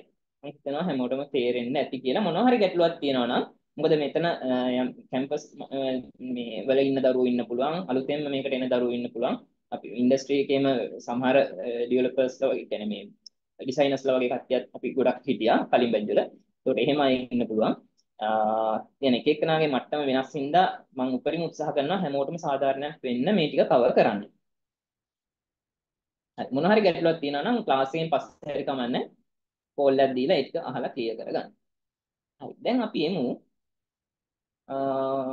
ප්‍රැක්ටිකලි මේ වගේ දෙයක් කරලා බලන්න. හරිද? දැන් අපි HTML ගැන වෙබ් ගැන පොඩ්ඩක් කතා කරානේ. මම හරි මම මෙහෙම කියලා පෙන්නන්නම්. දැන් කිසිම ටූල් එකක් නැතුව මට මේ මගේ කම්පියුටරේ ඔපරේටින් සිස්ටම් එක විතරක් ඉන්ස්ටෝල් කරලා තියෙනකොට මට වෙබ් එකක් හදලා මගේ කම්පියුටරේ ඉඳන් වෙබ්සයිට් එකක් හදලා ඒක ඕපන් කරලා බලන්න පුළුවන්ද බැරිද කියලා පොඩ්ඩක් මෙසේජ් එකක් දාන්න. yes මේ yes ද no ද කියලා. මම අහන්නේ මම මගේ ළඟ මේ Dreamweaver වත් මේ Visual Studio Code වත් මොකුත් නැහැ. හැබැයි ඔපරේටින් සිස්ටම් එක ඉන්ස්ටෝල් කරලා තියෙනවා. එතකොට ඔයාලට පුළුවන්ද අපි දැන් ඉදිරියේදී වෙබ් මේ නිකන් normal coding පොඩ්ඩක් කතා කරනවානේ. එතකොට ඒ ඒ වගේ basic text ටිකක් පාවිච්චි කරලා නිකන් පොඩි මේ වෙබ් පේජ් එකක් විදියට දෙයක් හදන්න පුළුවන්ද? මේක ඕපන් කරලා බලන්න පුළුවන්ද? දැන් සාමාන්‍ය ඔයගොල්ලෝ දන්නවා Mozilla Firefox Google Chrome වගේ දෙයක් එන්නේ නැහැ. එකපාරම මේ අපි ඒවා ඉන්ස්ටෝල් කරගන්න ඕනේ. ඒ වුණාට මේ මම කිව්වේ yes පුළුවන්. හරි. කොහමද? අපි notepad කියලා අපේ තියෙන operating system එක install කරපුවාම notepad එක තියෙනවා. එතකොට notepad එකේ අපි ඔය basic text ටිකක් තියෙනවා. මම ඒ දේවල් කියන්නම්. මේ ටික අපි enter කරලා අපිට පුළුවන් සාමාන්‍ය Microsoft Edge එහෙම නැත්නම් Internet Explorer කියන options ඒ කියන්නේ මේ මේ browser එකක් විදියට operating system එකෙන්ම කෙනෙක් ඉස්සෙල්ලා අපිට ගෙනත් දෙනවා. එයා හරහා මෙන්න මේ අපි හදාගන්න වෙබ්සයිට් එක ඕපන් කරලා බලන්න පුළුවන්. හරි. මම හිතන ඒක දැන් ඔයාලා දන්නවත් ඇති නැතත් මේ එහෙම ලෙවල් එකකට අපි කරන්නේ නැතුව අපි පොඩ්ඩක් ඉන්ට් කියන්නේ මේ මේ එන්වයරන්මන්ට් එක එහෙම නැත්නම් මේ ඉන්ඩස්ට්‍රි ලෙවල් එකේ කරන මොකක් හරි ටූල් එකක් පාවිච්චි කළාම කරන්න යමු කරමු. හරි. මම බල උත්තරේ වැරදුනොත් එහෙනම් මම පොඩ්ඩක් ඒකත් කරලා පෙන්නන්නම් කියලා. නමුත් අපි දැන් කෙලිම මේ විදිහටම හුරු වෙමු. ඔයාලගේ මේ වෙද්දි Visual Studio Code එක තියෙන දරුවෝ ඇති. ඒක නැති අයත් ඇති. ඒක හින්දා අපි ඉස්සෙල්ලා මේක ඉන්ස්ටෝල් කරලා ඉන්න. එතකොට මම මේකේ දැන් ඉස්සෙල්ලා notepad කියලා වචනයක් කිව්වනේ. දැන් මේක මේ අලුතෙන්ම මේ දේවල් ඉගෙන ගන්න අවදරුවෙක් කන්ෆියුස් කරගන්න එපා. මේක ඔයගොල්ලන්ට ටයිම් එක දෙනවා දැන් කරගන්න. ඒක ඉන්ස්ටෝල් කරගෙන මේ වැඩේ හරියට කරගන්න විදිහ මම පෙන්නනවා ටයිම් එකක් දෙනවා. ඒක අනික ඕගොල්ලෝ තව සතියක් තියෙනවා. ඔයගොල්ලෝ අපිට එක ජොයින් වෙන්න කැමති නම් හෙට වුණත් කමන්නේ මේ කෝල්ස් දීලා ඒ ටික ක්ලියර් කරගන්න අපි මේ Anydesk වගේ කියන්නේ ඔය සොෆ්ට් කියන්නේ මේ මේ රිමෝට් ලොග්ින් සොෆ්ට්වෙයාර් දාලා හරි ඔයාලගේ ප්‍රශ්න විසඳලා දෙනවා. ඒක හින්දා ඒවා දැනට අවුල් කරගන්න එපා. මම අද දවසේ නැතර කරන්න කව කරන්න බලාපොරොත්තු වෙච්ච ටික මට කරන්න බැරි වුණොත් අපරාධනේ. ඒක හින්දා අපි මේ මේක ඉගෙන ගමු. Visual Studio. ඔයාලගේ මෙන්න මේ වෙබ් බ්‍රවුසර් එකක් ඕපන් කරගන්න. Mozilla Firefox වෙන්න පුළුවන්, Chrome වෙන්න පුළුවන්. දැන් මෙතන ෆෝන් දැන් තව දෙයක් කියන්න ඕනි. ෆෝන් එකෙන් ඉන්න දරුවෝ ඉන්න පුළුවන්. හැබැයි ඔයාලා කෝඩින් කරන්න අපි දැන් ප්‍රැක්ටිකලි මේකේ යම් දේවල් කරන්න ටයිම් එකක් ගන්නවා. එතකොට ඒ ඒකෙදි ඒ කියන ස්පීඩ් එකෙන් කරන්න බලන්න. මම මම කරන කෝඩ් එකත් ඔයාලට මම දෙනවා ඒ වෙලාවෙම අඩු ගන්න රන් කරලා හරි බලා ගන්න කම්පියුටරයක් තියෙනවා නම් හොඳයි. නෑ එහෙම නැත්තම් ඔයාලා ඊළඟ දවසේ හරි එක්ක කැම්පස් වල ඉන්නවා නම් කැම්පස් එකේ ලැබ් එකක් පාවිච්චි කරලා හරි නැත්නම් ෆ්‍රී ටයිම් එකක් තියෙනවනේ යාළුවෙක්ගේ කම්පියුටර් එක හරි කමන්නේ මේ කෝඩ්ස් කරලා බලන්න. මොකද මේ මේ වෙබ් ඩෙවලොප්මන්ට් කියන්නේ ප්‍රැක්ටිකල් සබ්ජෙක්ට් එකක්. මේක නිකන් බලන් ඉඳලා විතරක් ඉගෙන ගන්න නම් බෑ. මොකද ප්‍රශ්න එනවා සෑහෙන ප්‍රමාණයක්. මේව විසඳ ගන්න වෙන්නේ එක්ක ඉන්ටර්නෙට් එක අපිට යූස් කරන්න වෙනවා. වීඩියෝස් බලන්න වෙනවා. අපිට කතා කරලා හරි අහුවොත් අපි ඒක ක්ලියර් කරලා දෙනවා. නමුත් මේක එදිනෙදා අප්ඩේට් වෙන සබ්ජෙක්ට් එකනේ කියන්නේ අද තියෙන ලැන්ග්වේජස් නෙමෙයි හෙට තියෙන්නේ. නමුත් අපි බේසික් ටික හරියට ඔලුවට ගන්න ඕනේ. දැන් ඔය HTML CSS වගේ දේවල් වල බේසික් හරියට දන්නවනම් දැන් තියෙන මේ දවස්වල තියෙන කියන්නේ JavaScript අදාළයි. HTML CSS JavaScript වගේ දන්නවනම් දැන් තියෙන React Angular Vue වගේ front end frameworks ඕන එකක් handle කරගන්න පුළුවන්. ඒවල යම්සි මේ ප්ලගින්ස් ඉන්ස්ටෝල් කරන වගේ දේවල් තියෙනවා. නමුත් ඒවා ඕන දෙයක් එඩිට් කරගන්න, එකෙන් කියලා තියෙන කෝඩ් එක තේරුම් ගන්න, ඒවා nothing මේ දේවල් concept එක හරියට ඔලුවට වැටලා තිබ්බොත්. දැන් අපි ඊළඟට PHP කතා කරනවා. PHP base නේ අපි දැන් මේ මේ back end එක කතා කරන්නේ. එතකොට Laravel, Codeigniter ඒ වගේ frameworks තියෙනවා back end කරන. එතකොට ඒවා ඕන එකක් අපිට handle කරගන්න පුළුවන් මේ basic හරියට දන්නවනම්. අපි ඒ level එකටයි ඔයගොල්ලෝ ගෙනියන්න බලන්නේ. ඒකින්ද මේ කියන වචන වගේ වචන සහ මේ කරන විදි මේ ඔයගොල්ලන් ටිප්ස් එහෙම ගොඩක් කියලා දෙන්නම්. ඒ දේවල් හරියට ඇඟට ගන්න. එතකොට ඔයගොල්ලන්ට මේ ස්පීඩ් එක හදාගෙන මේ ෆීල්ඩ් එකට එන්න පුළුවන්. ඒ නැත්නම් ඔයගොල්ලෝ මොන කම්පැනි එකක හිටියද ඔයගොල්ලෝ වෙබ්සයිට් එකක් ඔයගොල්ලෝ හදා ගන්න හරි එහෙම නැත්නම් ඔයාලා යටතේ මොකක් හරි වෙබ්සයිට් එකක් තියෙනවා නම් ඒක පාවිච්චි කරන කෙනාට උපදෙස් දෙන්න හරි ඔයගොල්ලන්ට මේකෙන් නොලෙජ් එකක් ගන්න පුළුවන්. ඒකට අපිත් ඒවා මේ එක්ස්පීරියන්ස් ඇතුව කියන්නේ අපි එහෙම ළමයි පුරුදු කරලා ඒගොල්ලෝ ඒ විදිහට වැඩ ගන්න නිසා. හරි. so Visual Studio so Visual Studio Code eh මම දානම් මේ ටයිප් කරන එක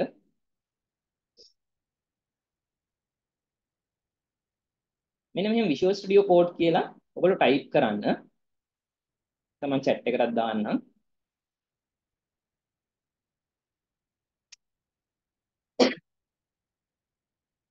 සාමාන්‍ය සර්ච් එන්ජින් එක ටයිප් කරපුවාම එයාගේ මේ Visual Studio Code එකක් ඩවුන්ලෝඩ් කරගන්න පුළුවන්. මේ Visual Studio Code කියන්නේ දරුවෝ මේ වැඩ ගොඩකට ගන්න පුළුවන්. දැන් දැනට අපි මේක පාවිච්චි කරමු text editor එකක් විදියට. තව text editors තියෙනවා. Notepad, Notepad++, Sublime Text ඔහොම ගොඩාක් තියෙනවා. Notepad මේ මේ text editors කියලා ගත්තොත් සෑහෙන ප්‍රමාණයක් තියෙනවා. අපිට ඒව ඩවුන්ලෝඩ් කරගෙන ඒවල වැඩ කරන්න පුළුවන්. දැන් stack blitz කියලා තියෙනවා. දැන් ඊට අමතරව W3 school මෙතන ඉන්න ගොඩක් දරුවෝ අහලා තියෙන පුළුවන්. අපි ඒකෙත් වැඩ කරන හැටි කියලා දෙනවා. එතකොට එයාලගේ මේ එක එක ප්ලේ ග්‍රවුන්ඩ්ස් තියෙනවා. අපිට ඒවල වැඩ කරන විදි අපි ඕගොල්ලන්ට පුරුදු කරනවා. මේ මොකද ඒවා ඉන්ඩස්ට්‍රි ලෙවල් එකේ ඕනි වෙන දේවල්. ඉතින් අපි දැනට මෙන්න මේ VS Code Visual Studio Code කියලා මේ download කියන බටන් එක ක්ලික් කරන්න. දැන් අපේ මේ අදට මෙහෙම ගන්න වෙන්නේ මේ ඔයාලා Google Classroom එකට ඇඩ් කරලා නැති නිසා නැත්නම් මම ඉස්සෙල්ලා පෙන්නුවා අපේ මෙතන මේ software list එකේ. මේ දේවල් අපි දීලා තියෙනවා ඔක්කොම. මම ඉස්සෙල්ලා මුලදීම කතා කරා. ඒකේ සමහර දරුවෝ ඉන්න නැතුව ඇති පන්තියේ. කොහොමද කමක් නැහැ. මේ වීඩියෝ එක අද දුන්නාම ආයෙසරයක් බලන්න. ඔයගොල්ලෝ ජොයින් වෙනවා නම් අපි ආයේ දේවල් සපෝට් එක දෙන්නම් මේ සතිය තුළට. මේ හරියට එන්වයරන්මන්ට් එක හදාගන්න. දැන් කොහොම හරි මෙන්න මේ ඉන්ටර්ෆේස් එක ආවද බලන්න. මම මේකත් දාන්නම් ආය chat එකට. මම මෙතන මේ මෙහෙම කියවන් යනකොට මේ මොන හරි අපහැදිලි තැන තිබ්බොත් ඔයාලා මෙසේජ් chat එකට දාන්න එහෙම නැත්නම් මයික් ඔන් කරලා අහන්න කෙලින්ම උත්තර දෙන්න පුළුවන් කිසිම ප්‍රශ්නයක් නැහැ. මොකද නොතේරි යන්න එපා. ඒ කියන්නේ දවසේ එදිනදා පන්ති හැමදාම එන්න උත්සාහ කරන්න. වීඩියෝ බලලා පස්සේ කරගන්නම් කියලා ඉන්න එපා. එහෙම වුණොත් මිස් වෙනවා.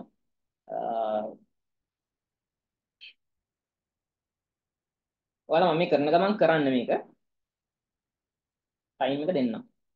අපි ඉස්සෙල්ලා ටෙක්ස්ට් එඩිටර් එකක් ඩවුන්ලෝඩ් කරගමු. මොකද මේ software developing වගේ field එකක් එහෙම නැත්නම් මේ web developing software engineering වගේ field එකක් තෝරා ගන්නකොට අනිවාර්යෙන් අපිට ඉන්ටර්නෙට් මේ කියන්නේ මේ ඉන්ටර්නෙට් එකේ මේ කියන්නේ අපි සර්ච් කරන දේවල් හරියට ඉගෙන ගන්න ඕන. ඒකට දැන් ලොකු සපෝට් එකක් දීලා තියෙනවා chat GPT එහෙම. අපි ඒකත් ඔයගොල්ලන්ට මේ මේවට පාවිච්චි කරන්න හැටි කියලා දෙන්නම්. ඉතින් chat GPT එකෙන් උත්තරාවක් වැඩන්නේ අපිට ඒව හරියට ඇප්ලයි කරගන්න බැහැ. එතකොට මේ concept ටික මොනවා කරත් මේ අපි basic concept ටික හරියට ඔලුවට දාගන්න. ඒක ඒ දේවල් තමයි මේ පොඩ්ඩක් අර ගිරව වගේ කියාගෙන කියාගෙන යන්නේ. ඒවා ආය අහලා හරි ඔලුවට දාගත්තොත් ඔයාලට ඉස්සරහට එන ප්‍රශ්න ගොඩක් විසඳ ගන්න පුළුවන්.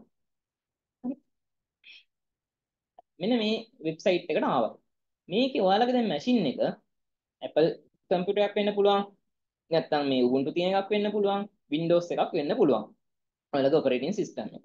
එතකොට දැන් මගේ Windows නම් තියෙන්නේ ඔයාලා මෙන්න මේ මෙතන තියෙන Windows කියන Windows 10.11 කියන මෙන්න මේ ඔප්ෂන් එක ක්ලික් කරන්න.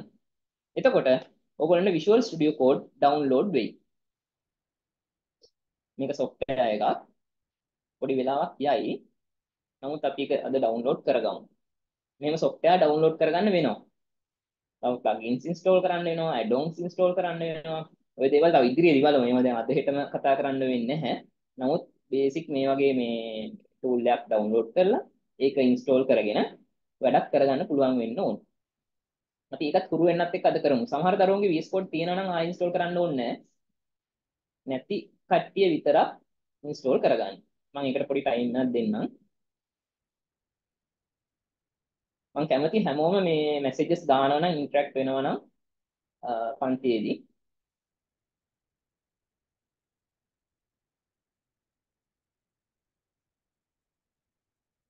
හරි. ඔල්රෙඩි තියෙන කට්ටිය ප්‍රශ්නයක් නැහැ.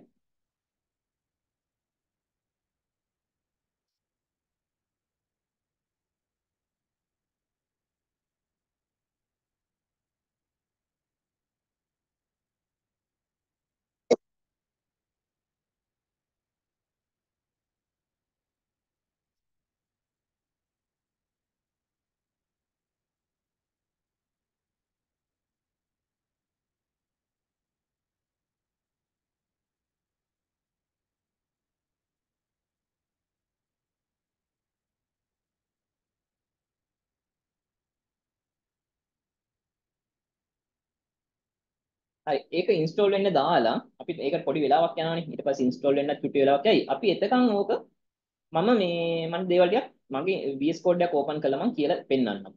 හරිද? අපි ඒ දේවලුත් එක්ක ඊට පස්සේ වැඩේ බලමු. පැයක් විතර දැන් ගිහිලා තියෙනවනේ. ඕක ඉන්ස්ටෝල් වෙන්න පොඩි වෙලාවක් යයි. හරි. දැන් අපි ඕක ඩවුන්ලෝඩ් උත් වෙලා ඉන්ස්ටෝල් උත් වුණා කියලා හිතන්නකෝ. මම දැනට මේ මේ අද දවසේ කරන ටික ඔයාලට ගැටලු තිබ්බොත් ආයෙ කරනවා. ඒක කිසිම ගැටලුවක් නැහැ. නමුත් අපි අද අපි ක්ලාස් එකේ කරන විදියක් මම ඕගොල්ලන්ට පෙන්වන්න ඕනේ මොකද මේ චූටි බබාලට වගේ හැමදාම අර දැන් අලා අලුත් යම් සිස්ටම් එකක් දැනගෙන මෙතන ආවොත් ඒකම මේ රිපීට් කරන එකක් මම මේක කරොත් වැඩක් නැහැ. ඒක හින්දා දැන් මම ඔයාලට අලුත් දේවල් මෙතන ඇත්තටම HTML පුළුවන් අය ඉන්නවා. මම ඒක හොඳටම දන්නවා. ඒකට එයාලට අලුත් දෙයක් හම්බෙන්න ඕනේ. එයාලා මේ දේවල් දැකලා තියෙනවා නම් ප්‍රශ්නයක් නැහැ.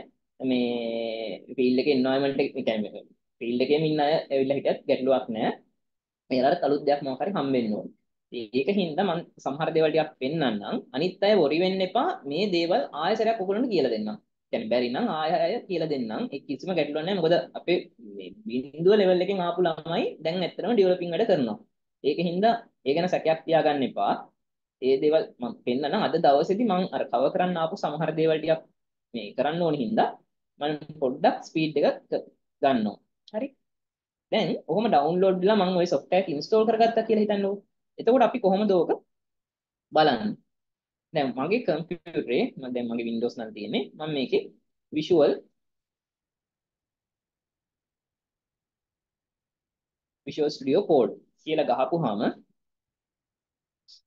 මෙතන මගේ software එක එයි.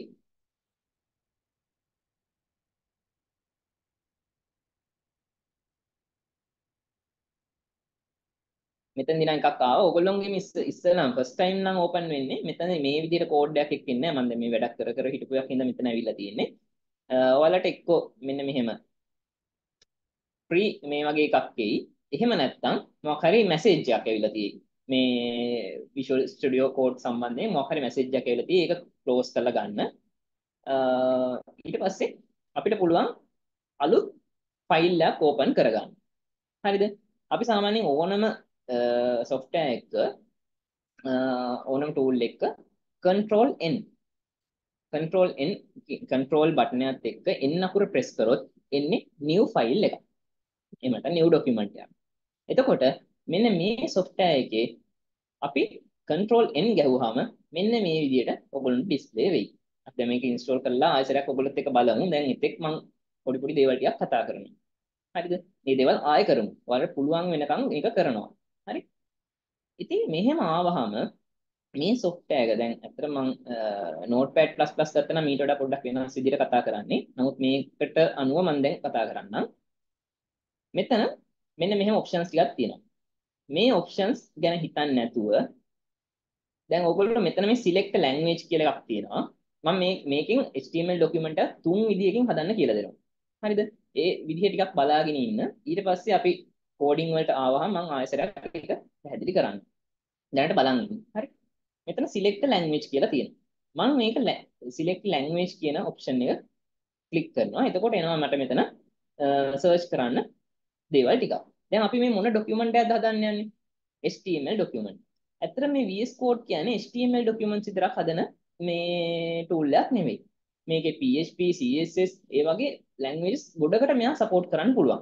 ඒකයි මෙන්න මෙහෙම select language දුන්නාම මේ විදිහට මේ scroll කරලා බලන්න පුළුවන් ඔයාලට මෙහෙම ගොඩාක් එනවා. හරිද? මේක HTML, PHP, Python, SQL ඕවා ගොඩක් ඒවා මේ ලියන්න පුළුවන්. SQL run කරන්න නම් බෑ. නමුත් මේ කෝඩින් වලට ගන්න පුළුවන් එකයි. හරිද? එතකොට මම මෙතන ටයිප් කරනවා HTML කියලා. මේක එක විදිහක් විතරයි. අන්තව විදි කීපයක් කියලා දෙනවා. එතකොට මෙයා මේ වෙද්දි HTML ෆයිල් එකක් හැදුවා. මේ VS Code කියන software එකේ support ගොඩක් තියෙනවා. හරිද? එකක් තමයි මෙන්න මේ මේ වගේ මෙතන පෙන්වන icon එකකින් නැත්නම් අපිට තව icons දාගන්න පුළුවන්. මේ වගේ icons වලින් අපිට කියන්න පුළුවන් මේක මොන ડોකියුමන්ට් එකක්ද? ඒක පොඩ්ඩක් අර දැකපු ගමන් මේක HTML ડોකියුමන්ට් එකක්ද? PHP එකක්ද? CSS එකක්ද? C sharp එකක්ද? එහෙම මොන හරි ඒක සිම්බල් එකකින් කෙලින්ම දැනගන්න පුළුවන් මෙතන තියෙන ෆයිල් එක මොකද්ද කියලා. ඊට පස්සේ දැන් කෝඩින් මෙන්න මේ සාම්පල් කෝඩ් එකක් මම තියෙනවා. මෙතන මේ තියෙන්නේ පාවිච්චි කරලා තියෙන tags. හරිද? එතකොට මෙතන tags තියෙනවා, document prologue එකක් තියෙනවා. මම ඔය එකක් නෑර ඔයගොල්ලන්ට පැහැදිලි කරනවා. නමුත් දැන් මම මේ software එක ගැන චුට්ටක් කියන්නේ. එතකොට මෙතන head eh, head කියලා මෙතන මේ තියෙන tag එකක්. හරිද? අපි ඉස්සෙල්ලා ඔයගොල්ලන් දැන් tag එක නිකන් රටාව මතක ඇතිනේ. ඒක දැනගත්ත නම් ඇති මේ head tag එකෙන් වෙන්නේ මොනවද? ඒක මොකුත් දන්නේ නැහැ කියලා දන්නේ කිසි ප්‍රශ්නයක් නැහැ. ඒතර මෙතන තියෙන tag එක. ඒ tag එකේ close tag එක තමයි මෙතන තියෙන්නේ. ඔන්න ඔහොම දේවල් දකින්න. එතකොට ඔයාලා පේන්න ඕනේ මේ VS Code එක එක එක ඒවා එක එක පාටින් තියෙනවා. මේ ඩොක් මේ මේ හෙඩ් කියන එක ටික ලොකු කරොත් හෙඩ් කියන එක පද නිල් පාටින්. ඊට පස්සේ මෙතන තියෙනවා charset කියලා. ඒක තියෙන්නේ ලා නිල් පාටකින්. මොකද්ද ඒ වගේ ඒවට අපි කියනවා properties කියලා. දැන් ওই දේවල් ඔක්කොම පැහැදිලි කරනවා ඉදිරියේදී. ඊට පස්සේ මෙතන මේ නිකන් family පාටකින් වගේ තියෙනවා. ඒවා අපි values කියලා කියනවා. ඊට පස්සේ සුදු පාටින් තියෙනවා. ඒවා contents. ඊට පස්සේ මේ කොළ පාටින් තියෙනවා. ඒවා comments. අන්න එහෙම පාට පාට දාලා මෙන්න මේ කෝඩ් එක කෝඩ් එක කියවන්න පහසු වෙන විදිහට මේ VS Code එකෙන් support එකක් දීලා තියෙනවා. ඊට අමතරව shortcut keys කියලා જાතියක් තියෙනවා. මේ shortcut keys කියන කට්ටියත් අපි ඉගෙන ගන්න ඕනි. මොකද අපි කෝඩින් කරනවා නම් ස්පීඩ් කෝඩින් ස්පීඩ් එක සෑහෙන වැදගත්. එතකොට මේ ස්පීඩ් එකක් නැතුව කෝඩ් කරලා ඒ කියන්නේ අපිට හිමීට හිමීට කරන්න පුළුවන් කෝඩ් කොපි කරන්න පුළුවන්. නමුත් ස්පීඩ් හදා ඒ කියන්නේ අපි දියුණු වෙනවා කියන්නේ පොඩක් ස්පීඩ් එකක් හදා ගන්න ඕනේ. එතකොට shortcut keys තියෙනවා. මේ මේකට emmet plugin සම්බන්ධ කරපු shortcut keys ගොඩක් තියෙනවා. ඒ වලින් අපිට ලොකු වැඩක් ගන්න පුළුවන්. මේ දේවල් ඔයගොල්ලෝ ඉදිරියේදී කතා කියලා දෙන්න. හරි. තව ගොඩාක් දේවල් මෙතන තියෙනවා. මම මේ දේවල් ඉදිරියේදී කතා කරන්නම්. දැනට මෙතනදී මේක පොඩ්ඩක් බලන්න. දැන් ඕම මම HTML කියලා මෙහෙම ડોකියුමන්ට් එකක් ගත්තා. මම තව එකක් ගන්න. තව අලුත් එකක් ගන්න ඕන මම control n තමයි ඔබන්නේ. හරිද? Control n press කරපුවම දැන් ඔයාලට කරන්න ටයිම් එක දෙන්නම් ඊළඟට දැනට බලන්න. select language කියන එකනේ අපි ගත්තේ. දැන් මෙතන ගත්තාම මේ බලන්න මේ එන list එක. ඒකට මේ එක එක icons මේ පෙන්වන්නේ. එතකොට C sharp වලට තියෙන විදිහ, CSS වලට තියෙන විදිහ දැන් අපි ඊළඟට CSS කරන්නේ. එතකොට ඒකේ symbol එක. ඊට පස්සේ දැන් HTML මේ තියෙන PHP වලට න්යාලියෙක්ගේ වගේ මාක්‍යයක්. ඊට පස්සේ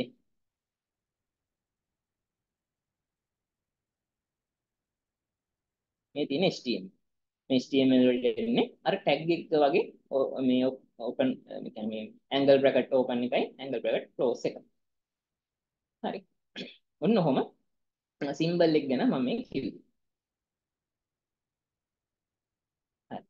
දැන් මෙන්න මෙහෙම එන එක අපිට පුළුවන් කෝඩින් කරන්න ක්‍රම කීපයකට. හරිද? මේ ටික බලන් ඉන්න මම ඔයාලට පහසුම ක්‍රමය කියලා දෙන්න අන්තිමේට. ඉස්සෙල්ලම මෙන්න මේ චුට්ට දැනගන්න. හරිද? මේ HTML uh, කියන දේ ටැග්ස් වලින් අපි වැඩ කරන්නේ. එතකොට ටැග්ස් වලින් අපි uh, කෝඩින් කරලා අපි ඒක යම්සි තැනක සේව් කරන්න ඕනේ. හරි විදිහට කරනවා නම් අපි uh, සර්වර් එකේ තමයි අපි හදාගෙන ලෝකල් සර්වර් එක තමයි සේව් කරන්නේ. හරිද? දැනට එහෙම ඔළුවට ගන්න. ඊට පස්සේ අපි මේක කරනකොට කරනකොට ඔයගොල්ලන්ට පුළුවන් වෙනවා. අපි මේකේ තියෙනවා බේසික් කෝඩ් සෙට් එකක්. හරිද? වෙබ් පේජ් එක සාමාන්‍යයෙන් බේසික් කෝඩ්ස් ටිකක් තියෙනවා. මම මේ කෝඩ්ස් ඔයගොල්ලන්ට ටයිප් කරන විදි ටිකක් පෙන්වන්නම්. හරිද? අන්තිමේට එකක් කරලා පෙන්වන්න ඒක කොච්චර පහසුද කියලා ඔයගොල්ලන්ට තේරෙයි. නමුත් දැන් අපි බැරි මේ කියන්නේ මුල ඉඳන්ම කරන ළමෙක් ඉන්නවා කියලා හිතන්නකෝ. අපි යානම් කරන්න ඕනි කොහොමද? ඉස්සෙල්ලාම දැන් අපි මේ කරන්නේ ડોකියුමන්ට් මේ HTML5 වල ඉන්නේ. ඒතකොට HTML5 ડોකියුමන්ට් එකක් කියලා මෙන්න මේ ෆයිල් එක browser එකට ගියොත් එයා අඳුනගන්නේ කොහොමද? හරිද? ඒකට තියෙනවා එක කෝඩ් එකක්. මෙන්න මේක.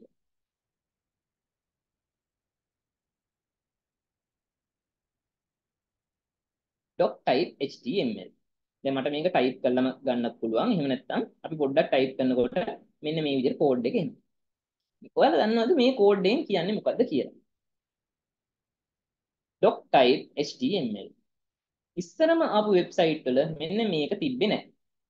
මේක ඉන්නේ HTML5 ડોකියුමන්ට් එකක් කියලා අඳුරගන්න තමයි මේ එන්නේ. ඒ කියන්නේ දැන් ඇත්තට මේ අපි නෙවෙයි අඳුරගන්නේ. අපි කෝඩින් කරනකොට අපි දැන් දැනගෙන මේක කෝඩ් කරන්නේ. නමුත් අපි මේක වෙන මොකක් හරි බ්‍රවුසර් එකකට යවුවාම බ්‍රවුසර් එක මේ කෝඩ් එකනේ කියවන්නේ. මෙහෙම උඩ ඉඳන් පල්ලයට කියවන් කියවන් යනවා. ඒකට කියවනකොට මෙන්න මේ .type html කියන එක දැකපු ගමන් මෙයා දන්නවා ආ මේ තියෙන්නේ HTML5 ડોකියුමන්ට් එකක් කියලා. ඔකට අපි කියනවා document prologue එක කියලා. සාමාන්‍ය HTML අපි මේ කෝඩ් කරනකොට document prologue එක කියලා අපි ඔකට හඳුන්වනවා. ඊට පස්සේ අපි ප්‍රධාන ටැග් එකක් කතා කරනවා. එයා තමයි මේ කෙනා. දැන් මම මේ කෝඩ් කරන විදිය බලන්න. දැන් මම ඉස්සෙල්ලා කරන්නේ angle bracket එක ගැහුවා. ඊට පස්සේ html කියලා එන්ටර් කරනකොට මේ VS Code එකේ support එකෙන් එයාගේ close tag එක එයා automatically හදා ගන්නවා. දැන් මම මේක එන්ටර් කරේ නෑ. මේ මම ආයෙසරයක් මෙතන එන්ටර් කරේ නෑනේ. දැන් notepad එකේ නම් html කියලා open කරලා මෙයා ගහලා මේ html close කරන එකත් අපි enter කරන්න ඕනේ. එහෙම තමයි. මේ මේ tags පාවිච්චි කරනවා කියන්නේ හරියට දරුවෝ ඔයාලා ඉස්සරහට ගණන් වලදී වරහන් පාවිච්චි කරනවා වගේ දෙයක්. හරිද? මම ඒක තව එකක් පැහැදිලි මේ කියලාම ඉන්නම්. හරි. මෙන්න මේ html කියන tag එකෙන් කියන්නේ html tag එකට අපි කියනවා root tag එක කියලා. සාමාන්‍ය HTML document එක root tag එක වෙන්නේ මේ HTML කියන නමෙන් වෙන tag එක. ඒතකොට මේ document එකේ මේ HTML කියන tag එක capital තිබ්බත් simple තිබ්බත් මෙන්න මේ browser එක දන්නවා මේකෙන් කියන්නේ මේ root tag එකකින් මේක HTML document එකක් කියන එක කියලා. හරිද? මේ පළවෙනිම කෙනාගෙන් කියන්නේ HTML5 document එකක්. මේක HTML5 වලින් ලියපු document එකක් කියන එක තමයි මේ document prologue එකෙන් කියන්නේ. මේ පළවෙනිම code එකෙන් කියන්නේ. හරි. ඊට පස්සේ අපිට තව ප්‍රධාන ටැක්ස් දෙන්නේ දෙකක් ඉන්නවා. එක්කෙනෙක් තමයි head. දැන් මෙතන බලන්න මේ HE කියලා ගහනකොටම එයා සජෙස්ට් කරලා දෙනවා head header කියලා දෙකක්. අපි දැන් දැනගන්න ඕනේ සාමාන්‍ය first time ඒ කියන්නේ මේ පළවෙනියටම අපි පාවිච්චි කරන tag එක head කියන එක. ඒකට head එක මෙන්න මෙහෙම ගහලා එයාගේ close bracket එක ගහපු ගමන් මෙයාගේ මේ close tag එක ඉබේම හැදෙනවා. හරිද? එතකොට මේ head කියන්නේ මොකද්ද? මම අනිත් tag එක ටයිප් කරලා ඉන්නම්. තව එක්කෙනෙක් ඉන්නවා body කියලා. මේක හොඳට බලන් ඉන්න. මොකද මේ මේවා සිම්පල් මේ අන්තිම සිම්පල් ලෙවල් එකෙන් පටන් ගන්න. ඊට පස්සේ මේ කෝඩ් එක ඔටෝමැටික් ජෙනරේට් වෙන විදිහ මම කියලා දෙන්නම්. අපිට ඒම මේ මේ සපෝට් එක ගන්න කොහොමද කියන එක මම කියලා දෙනවා. දැන් තව විනාඩි කිහිපකින් ඉන්න දැනට මේක බලාගෙන ඉන්න. head head කියලා ටැග් එකක් තියෙනවා. දැන් මම ආයතරයක් මෙන්න මේ මේකට ගිහාම ප්‍රසන්ටේෂන් එකට. දැන් ඔයාලට මේ පේනවද පොඩි මනුස්ස රූප මේ ඇට සැකිල්ලක් වගේක් තියෙනවා. මෙන්න මේ ඇට සැකිල්ලේ මෙන්න මේ සම්පූර්ණ සැකිල්ලම හදලා තියෙන්නේ HTML වලින්. එයාගේ head එක මෙන්න මේක කියලා හිතන්නකෝ. ඔළුව කැල තමයි head. මේ සම්පූර්ණ ඇඟ තමයි body කියන්නේ. හරිද? ඔන්න ඔය කොටසෙන් මම ඔයගොල්ලෝ ඉන්ස්ටෝල් කරලා ඉවරලා පෙන්නන්නම්. මේ head එකට අදාළ කොටස් ටික අපිට direct display වෙන්නේ නැහැ web interface එක. ඒ කියන්නේ මේ head කියන tag එක ගත්තාම මේක ඇතුලේ අපි ගොඩක් වෙලාවට ස්ටෝර් කරන්නේ informations. ඒ කියන්නේ meta tags. එහෙම නැත්නම් title කියන එක තියෙනවා. ඒක මම පෙන්නන්නම්. දැන් මේ වගේ වෙබ්සයිට් එකක් ගත්තාම මෙන්න මේ ප්‍රීමියම් මෙන්න මේ මෙහෙම නමක් ඇවිල්ලා තියෙන්නේ ඔයගොල්ලෝනේ. මෙන්න මේක ඇවිල්ලා අපි head එකේ පාවිච්චි කරන title කියලා tag එකක් පාවිච්චි කරනවා. ඒකෙන් අපි හදාගන්න එක තමයි මෙතන තියෙන්නේ. ඊට පස්සේ මෙතන මේ icon එකක් තියෙනවා. ඕකට අපි කියනවා favy icon එක කියලා. ඒකට ඒ වගේ දේවල් අපි ඇතුළත් කරන්නේ මෙන්න මේ head කියන එක ඇතුලේ. හරිද? ඊළඟට තියෙනවා අපිට body කියන ඒ කියන්නේ මේ මේකේ තව ගොඩක් දේවල් තියෙනවා. meta tags තියෙනවා. මම මේ දේවල් ආයෙත් කියනවා. මේක මේ අද මේ කම්ප්ලීට් කරලා මේ ටග් ගාලා ඉවර කරන එකක් නෙවෙයි. මේක ආය ආය මම කියනවා. ඒකින්ද අහගෙන විතරක් ඉන්න. මේකේ තියෙනවා එතකොට මම කිව්වා title tag එක තියෙනවා favy icon කරන්න පුළුවන්. එතකොට link කියලා tag එකක් තියෙනවා. ඊට පස්සේ meta tags මොනවද meta tags කියන්නේ? දැන් එකක් තියෙනවා Unicode characters වගේ දේවල් මේ අපිට අපේ වෙබ්සයිට් එකට ගන්න ඕන අපි පාවිච්චි කරන්න ඕනි meta tags. හරිද? එහෙම ಜಾති තියෙනවා. ඒක දන්නේ නැත්නම් කිසිම දෙයකට බය වෙන්න එපා. මේ දේවල් ආය ඔයගොල්ලන්ට ප්‍රැක්ටිකලි කරලා පෙන්නනවා. අහගෙන විතරක් ඉන්න.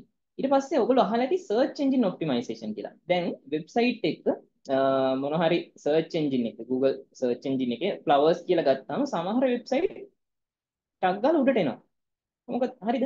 ඒකෝට එහෙම ඒවා එන්නේ උඩට එයාලගේ search engine optimization එකක් තියෙනවා. meta tags වලින් keywords කියලා දීලා අපි ටයිප් කරන වචන එයාලගේ වෙබ්සයිට් එකේ තියලා තිබ්බහම අපිට ඒ වෙබ්සයිට් එකට හැකියාව තියෙනවා අපි සර්ච් කරපුවාම ටග් ගාලා මේ ලිස්ට් එකේ උඩට ඇවිල්ලා පෙන්නන්නේ. ඒකට අපි කියනවා search engine optimization. අපි ওই දේවල් දැනගන්න ඕනේ වෙබ්සයිට් එකක් හදනකොට මේ අපි කම්ම පල්ලෙහාට ගිහිල්ලා තියෙන වෙබ්සයිට් එකක් හදලා වැඩක් නැහැ වචන කීපයක් ගහලා සර්ච් කරනකොට අපේ වෙබ්සයිට් එක ටිකක් උඩට එන්න අපිට හැකියාව තියෙන්න ඕනේ. ඒකට තමයි ඒක හොඳ වෙබ්සයිට් එකක් වෙන්නේ. අර ඒ වගේ දේවල් වලට අපි පාවිච්චි කරනවා meta tags. හරිද? එතකොට ඒ වගේ දේවල් ස්ටෝර් කරන්නේ මේ head එක ඇතුලේ. ඊට අමතරව styles අපි CSS දැන් ඉදිරියේදී කතා කරනවා. එතකොට මේ CSS වල links හදාගන්න, ඒ කියන්නේ external links හදාගන්න දේවල් මෙන්න මේ head tag එක ඇතුලේ කරන්නේ. ඉස්සර නම් මේ head tag එක ඇතුලේමයි JavaScript link හදන ඒවත් කරේ. නමුත් දැන් HTML5 වල body කියන කොටසේ යටම තමා JavaScript links හදාගන්න දේවල් කරන්නේ. හරි දැන් මේ කියන දේවල් තේරුම් නැහැ කියලා එහෙම ප්‍රශ්නයක් කරගන්න එපා. මම මේ දේවල් ආයෙ ක්ලියර් කරනවා එකක් නෑ හරි. හරි. ඊට පස්සේ ඒ කියන්නේ ඇත්තටම දැන් හෙඩ් ටැග් එක ඇතුලේ තියෙන දේවල් මෙහෙම ඉන්ටර්ෆේස් එකක් ගත්තොත් මෙන්න මේ කොටසේ ඒ ටික පෙන්වන්නේ නැහැ. මෙන්න මේ මේ මේ මේ URL එකෙන් පල්ලෙහා තියෙන කොටසේ ඕවා පෙන්වන්නේ නැහැ. හෙඩ් ටැග් එක ඇතුලේ යූස් කරන දේවල් මේ මෙන්න මේ ටයිටල් එකයි මෙන්න මේ favy icon එකයි හැර මෙන්න මෙතන කිසිම දෙයක් පෙන්වන්නේ නැහැ. එතකොට මේ කොටසේ පෙන්වන මෙන්න මේ URL එකෙන් පල්ලෙහා පෙන්වන දේවල් ඔක්කොම අපි ඩිවලොප් කරන්නේ මෙන්න මේ body tag එක ඇතුලේ ඉඳන්. එතකොට මේ body කියන tag එක ඇතුලේ ඉඳන් තමයි ඒ ඉන්ටර්ෆේස් එකේ අනිත් දේවල් ටික ඔක්කොම ඩිවලොප් කරන්නේ. එතකොට body tag එක ඇතුලේ පාවිච්චි කරන tags අපි ප්‍රධාන කොටස් දෙකකට බෙදෙනවා. එකක් තමයි block level tags අනිත් එක inline tags. හරිද? අපි මේ දේවල් තව ඉදිරියේදී කතා කරලා බලමු. ඉතින් කොහොම හරි මෙන්න මේ ස්ට්‍රක්චර් එක තමයි මට දැන් ප්‍රධානම කතා කරන්න ඕනේ උනේ. හරිද? ඒතකොට මෙතනදි මේ කෝල්ස් මම මේ මේ ටැග්ස් ටික ගැන ආයෙ පොඩ්ඩක් පැහැදිලි කරන්නම්. අපිට තියෙනවා docu doc type html කියලා එකක්. මේක ඇත්තටම ටැග් එකක් විදිහට හඳුන්වන්නේ නැහැ. මේක document prologue කියලා තමයි හඳුන්වන්නේ. එකෙන් කරන කාර්යය තමයි browser එකට තේරුම් ගන්න පුළුවන් මෙයා HTML5 document එකක් කියලා. එතකොට HTML කියන තව ටැග් එකක් තියෙනවා. එයාගේ close ටැග් එක තියෙනවා. එතකොට මෙන්න මේ ටැග් එක ඕපන් කරපු එක කෙලින්ම එයාගේ ක්ලෝස් එක පල්ලෙහාට එන්න ඕන. ඊට පස්සේ හෙඩ් කියලා එකක් තියෙනවා. හෙඩ් එකේ ක්ලෝස් එක තියෙනවා. බොඩි තියෙනවා. බොඩි ක්ලෝස් එක තියෙනවා. මෙන්න මේ ෆෝමැට් එකට ඔයාලා ඉස්සෙල්ලම පිටුව හදා ගන්න ඕන. හරිද? ඕක තමයි බේසික් ස්ට්‍රක්චර් එක. ඔය ස්ට්‍රක්චරෙන් පිට මේ හෙඩ් එක ඇතුළට බොඩි එක ටැග් එකේ ඒව එහෙම ගිහිල්ලා දාන්නේ නැහැ. එතන එහෙම දැම්මොත් වැරදි. මේ HTML කියන ටැග් එක ඇතුලේ තමයි මේ හෙඩ් ටැග් එක ඕපන් කරලා එයාව ක්ලෝස් කරගන්න දේ කරන්නේ. බොඩි ටැග් එක ඇතුලේ තමයි මේ බොඩි ටැග් එක ඕපන් කරලා බොඩි එක ක්ලෝස් කරගන්න ඕන. ඔන්න ඔය ස්ට්‍රක්චර් එක ඉස්සල්ලාම හදාගන්න. මේක ටයිප් කරලා හරි ලියලා හරි මොකක් හරි ක්‍රමයකින් මේක නම් මතක තියාගන්න ඕන. මේක මතක තියාගත්තේ නැත්නම් ගන්න ක්‍රම තව මම කියලා දෙන්නම්. ඔකම හදාගන්න ඩොකියුමන්ට් එකක් අපිට පුළුවන් සේව් කරගන්න. දැන් මෙතනදි කිසි ප්‍රශ්නයක් නැහැ. මේක අපි ඉස්සෙල්ලාම තේරුවානේ HTML කියලා ડોකියුමන්ට් එක. එතකොට ඒක හින්දා මෙයා ෆයිල් ගිහිල්ලා save as දුන්නාම මෙයා අපිට දෙනවා untitled uh, 1 කියලා මේ untitled 1 කියලා මෙතන පිටිපස්සෙන් තියෙන extension එක html කියලා. හරිද? එතකොට මෙතනදී අපි කරන්න ඕනේ මොකද්ද? දැන් මෙතන මේ පිටිපස්සේ කොටසක් නැකුණත් කමක් නැහැ. අපිට මෙතනදී නමක් දෙන්න පුළුවන්. Sample හරි test හරි මොකක් හරි ටෙස්ට් කියලා මෙතනින් මම තෝරනවා දැනට මම ඩෙස්ක්ටොප් එක දෙනවා. මේ ඩෙස්ක්ටොප් එකේ සේව් කරන එක හොඳ ක්‍රමයක් නෙවෙයි. නමුත් මම අදට මේ ෆයිල් එක test.html කියලා ෆයිල් එකක් සේව් වෙයි. මම ඒක පෙන්නන්නම්. මේ මේ දේවල් කරන්න ටයිම් දෙනවා. පොඩ්ඩක් බලාගෙන විතරක් ඉන්න.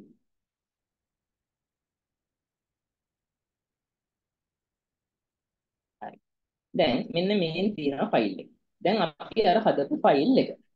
ඒකට බලන්න මෙයා ඩිෆෝල්ට්ම අපේ බ්‍රවුසර් එක මොකක් හරි අයිකන් එකක් අරන් තමයි මෙයා මේ test.html කියලා සේව් උනේ. හරිද?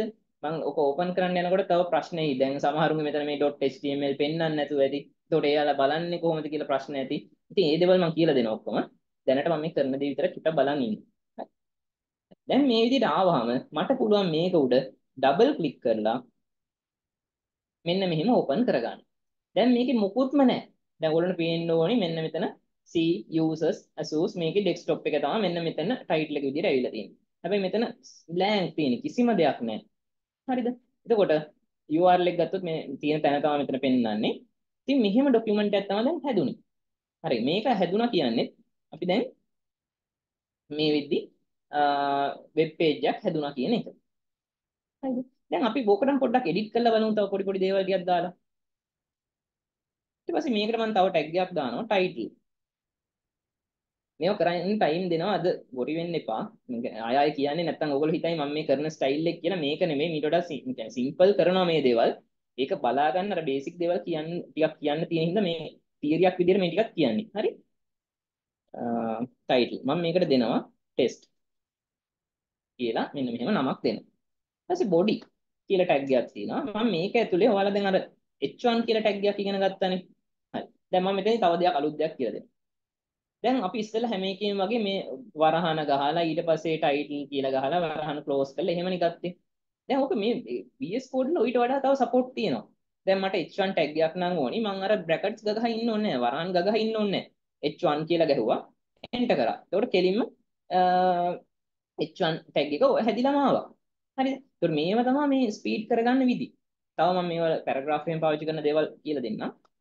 හරි දැන් මම දැනට මෙතන දෙන්නම්කෝ මේ sample කියලා මොකක් හරි වචනයක් නිකන් ටයිප් කරනවා. දැන් පැරග්‍රාෆ් එකක් ඕනි කියලා හිතන්න. මම ගහනවා p. p අකුරෙන් දන්නවා අපි දැන් පැරග්‍රාෆ් එකක් කියන ටැග් එක හැදෙන්නේ p කියන අකුරෙන්. ඒකට අපිට ඒක ලියන්න පුළුවන්. මෙන්න මේ විදිහට මම කරලා පෙන්නන්නම්. p කියලා දාලා වරහන් මෙහෙම දාපුවම මෙයා එතෙන්දී මේ ක්ලෝස් එක හැදෙනවා. දැන් අපිට මෙතනදී ලොකු ඡේදයක් එහෙම ගහන්න ඕන නම් මෙහෙම ගහලා මෙහෙම ගහලා මෙහෙම ගගහ යන්නත් පුළුවන්. හරිද? දැන් ඔහොමනේ සාමාන්‍යයෙන් ගොඩක් වෙලාවට කරන්නේ. නමුත් ඊට වඩා tools මේ support තියෙනවා මේවා පහසුවෙන් කරගන්න.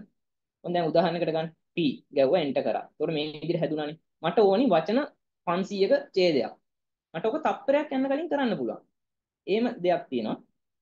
මේකට ගන්න පුළුවන් මට තව මේ මේ VS Code එකේ තියෙන support එක lorem මට ඕනේ වචන 500ක කියලා හිතන්න. lorem 500 කියලා ගැහුවා enter කරා. එතකොට මෙහෙම දිගට හැදුනා දැන් මේක මගේ දැන් මේ මේ කැලේ ටික ඔක්කොම පිටිපස් මේ යටට වෙලා තියෙන හින්දා මේක ස්ක්‍රෝල් කරගන්න අපහසුයි. මේ දැන් ඔහොම 500ක් වෙන එකක් මෙහෙට හැදුනා. හරිද? දැන් ඔහොම වුණාම මට පුළුවන් මේවා ඒ කෝඩ් එක ටිකක් අර ලස්සන කරලා ගන්න.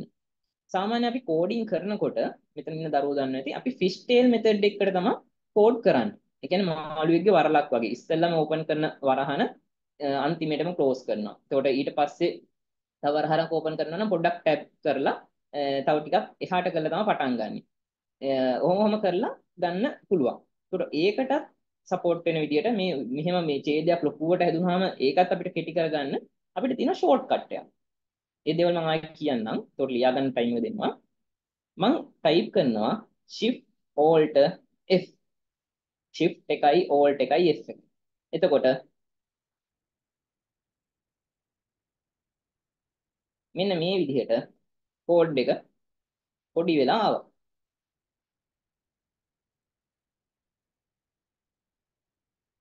හරි. දැන් ඔයගලන්ට පේනද මේ වචන 500ක එකක් නේ. ඒකට මම doc type එක තියෙනවා HTML tag එක head tag එක ඇතුලේ මේ title එක විතරක් පාවිච්චි කරා. body එක ඇතුලේ මෙන්න මෙහෙම heading එකක් දුන්නා, paragraph එකක් දුන්නා.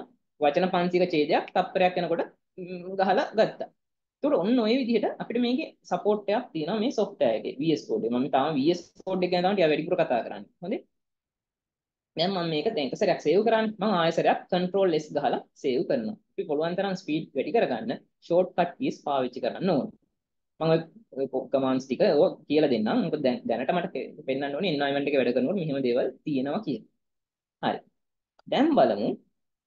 දැන් ඉස්සෙල්ලා මම හදාගත්ත ડોකියුමන්ට් එක මෙන්න මේක මෙහෙමනේ තියෙන්නේ.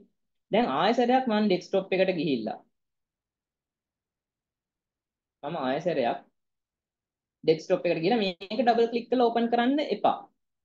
හරිද? එතකොට දැන් මෙතනත් එයක් ඕපන් වෙලා තියෙනවා මෙතනත් එයක් ඕපන් වෙලා තියෙනවා. එහෙම කරන්න එපා. අපි එක සැරයක් ඕපන් කරලා ඒ ડોකියුමන්ට් එක නම් එඩිට් කරන්නේ එයා අපිට පුළුවන් මේ රිෆ්‍රෙෂ් කර කර ගන්න. අපි රිෆ්‍රෙෂ් කරනවා. ඒකට කියන වචනේ රිෆ්‍රෙෂ් කරනවා. ඒකට මෙන්න මෙතනින් ඔබ මෙන්න මේක එක සැරයක් කරන්න පුළුවන්. හරිද? සමහර අවස්ථා එනවා අපි කම්පියුටරේ වැඩ කරනකොට අපි මේ මේ කියන්නේ රිෆ්‍රෙෂ් කරන එක හරියට වෙන්නේ මොකද එයා කැෂ් කරගෙන ඉන්නවා කියලා කියනවා. කැෂ් මෙමරි එකේ එයා අපි කලින් කරපු ටික මතක තියාගෙන ඉන්නවා. ඒකට මොකක් හරි මොඩිෆිකේෂන් එකක් කරපුවාම ඒක වෙන්නේ නැහැ. නිකන් අර කලින් තිබ්බ එකම තමයි හැම වෙලෙම පෙන්වන්නේ වගේ තත්ත්වයක් එනවා. එතකොට අපි කන්ට්‍රෝල් මේ ෂෝට් කට් එක ඒ කියන්නේ මේ ෂෝට් කට් කී එකක් තියෙනවා. ෂෝට් කට් කියන්නේ නේ අතන කමාන්ඩ් කී එකක් තියෙනවා. කන්ට්‍රෝල් එකත් එක්ක F5 ක්ලික් කරන්න ඕන. මේ දේවල් මම ආයෙ කියන්නම් ඔයගොල්ලන්ට. Control F5. එතකොට එයා කෑෂ් එක ක්ලියර් කරගෙන ආයෙ රිෆ්‍රෙෂ් කරලා මේ මේ අපි අන්තිමට කරපු මොඩිෆිකේෂන්ස් ටික පෙන්නන ගානකට එනවා. ඉතින් ඔන්න ඔය වගේ දේවල් අපි හුරු වෙන්න ඕනේ. දැන් එතකොට මෙන්න මේකකින් අර සාම්පල් කියලා නම ඇවිල්ලා ඒ කියන්නේ HTML heading 1 එකක් නේ පාවිච්චි කරේ. එයා මෙතන ඉස්සෙල්ලා අපි නිකන් normal paragraph එකක් ගත්තේ. මෙතන තියෙනවා වචන 500ක paragraph එකක්. හරිද? ඒකට ඔන්න ඔය වගේ දේවල් අපි ඉගෙන ගන්න ඕනේ.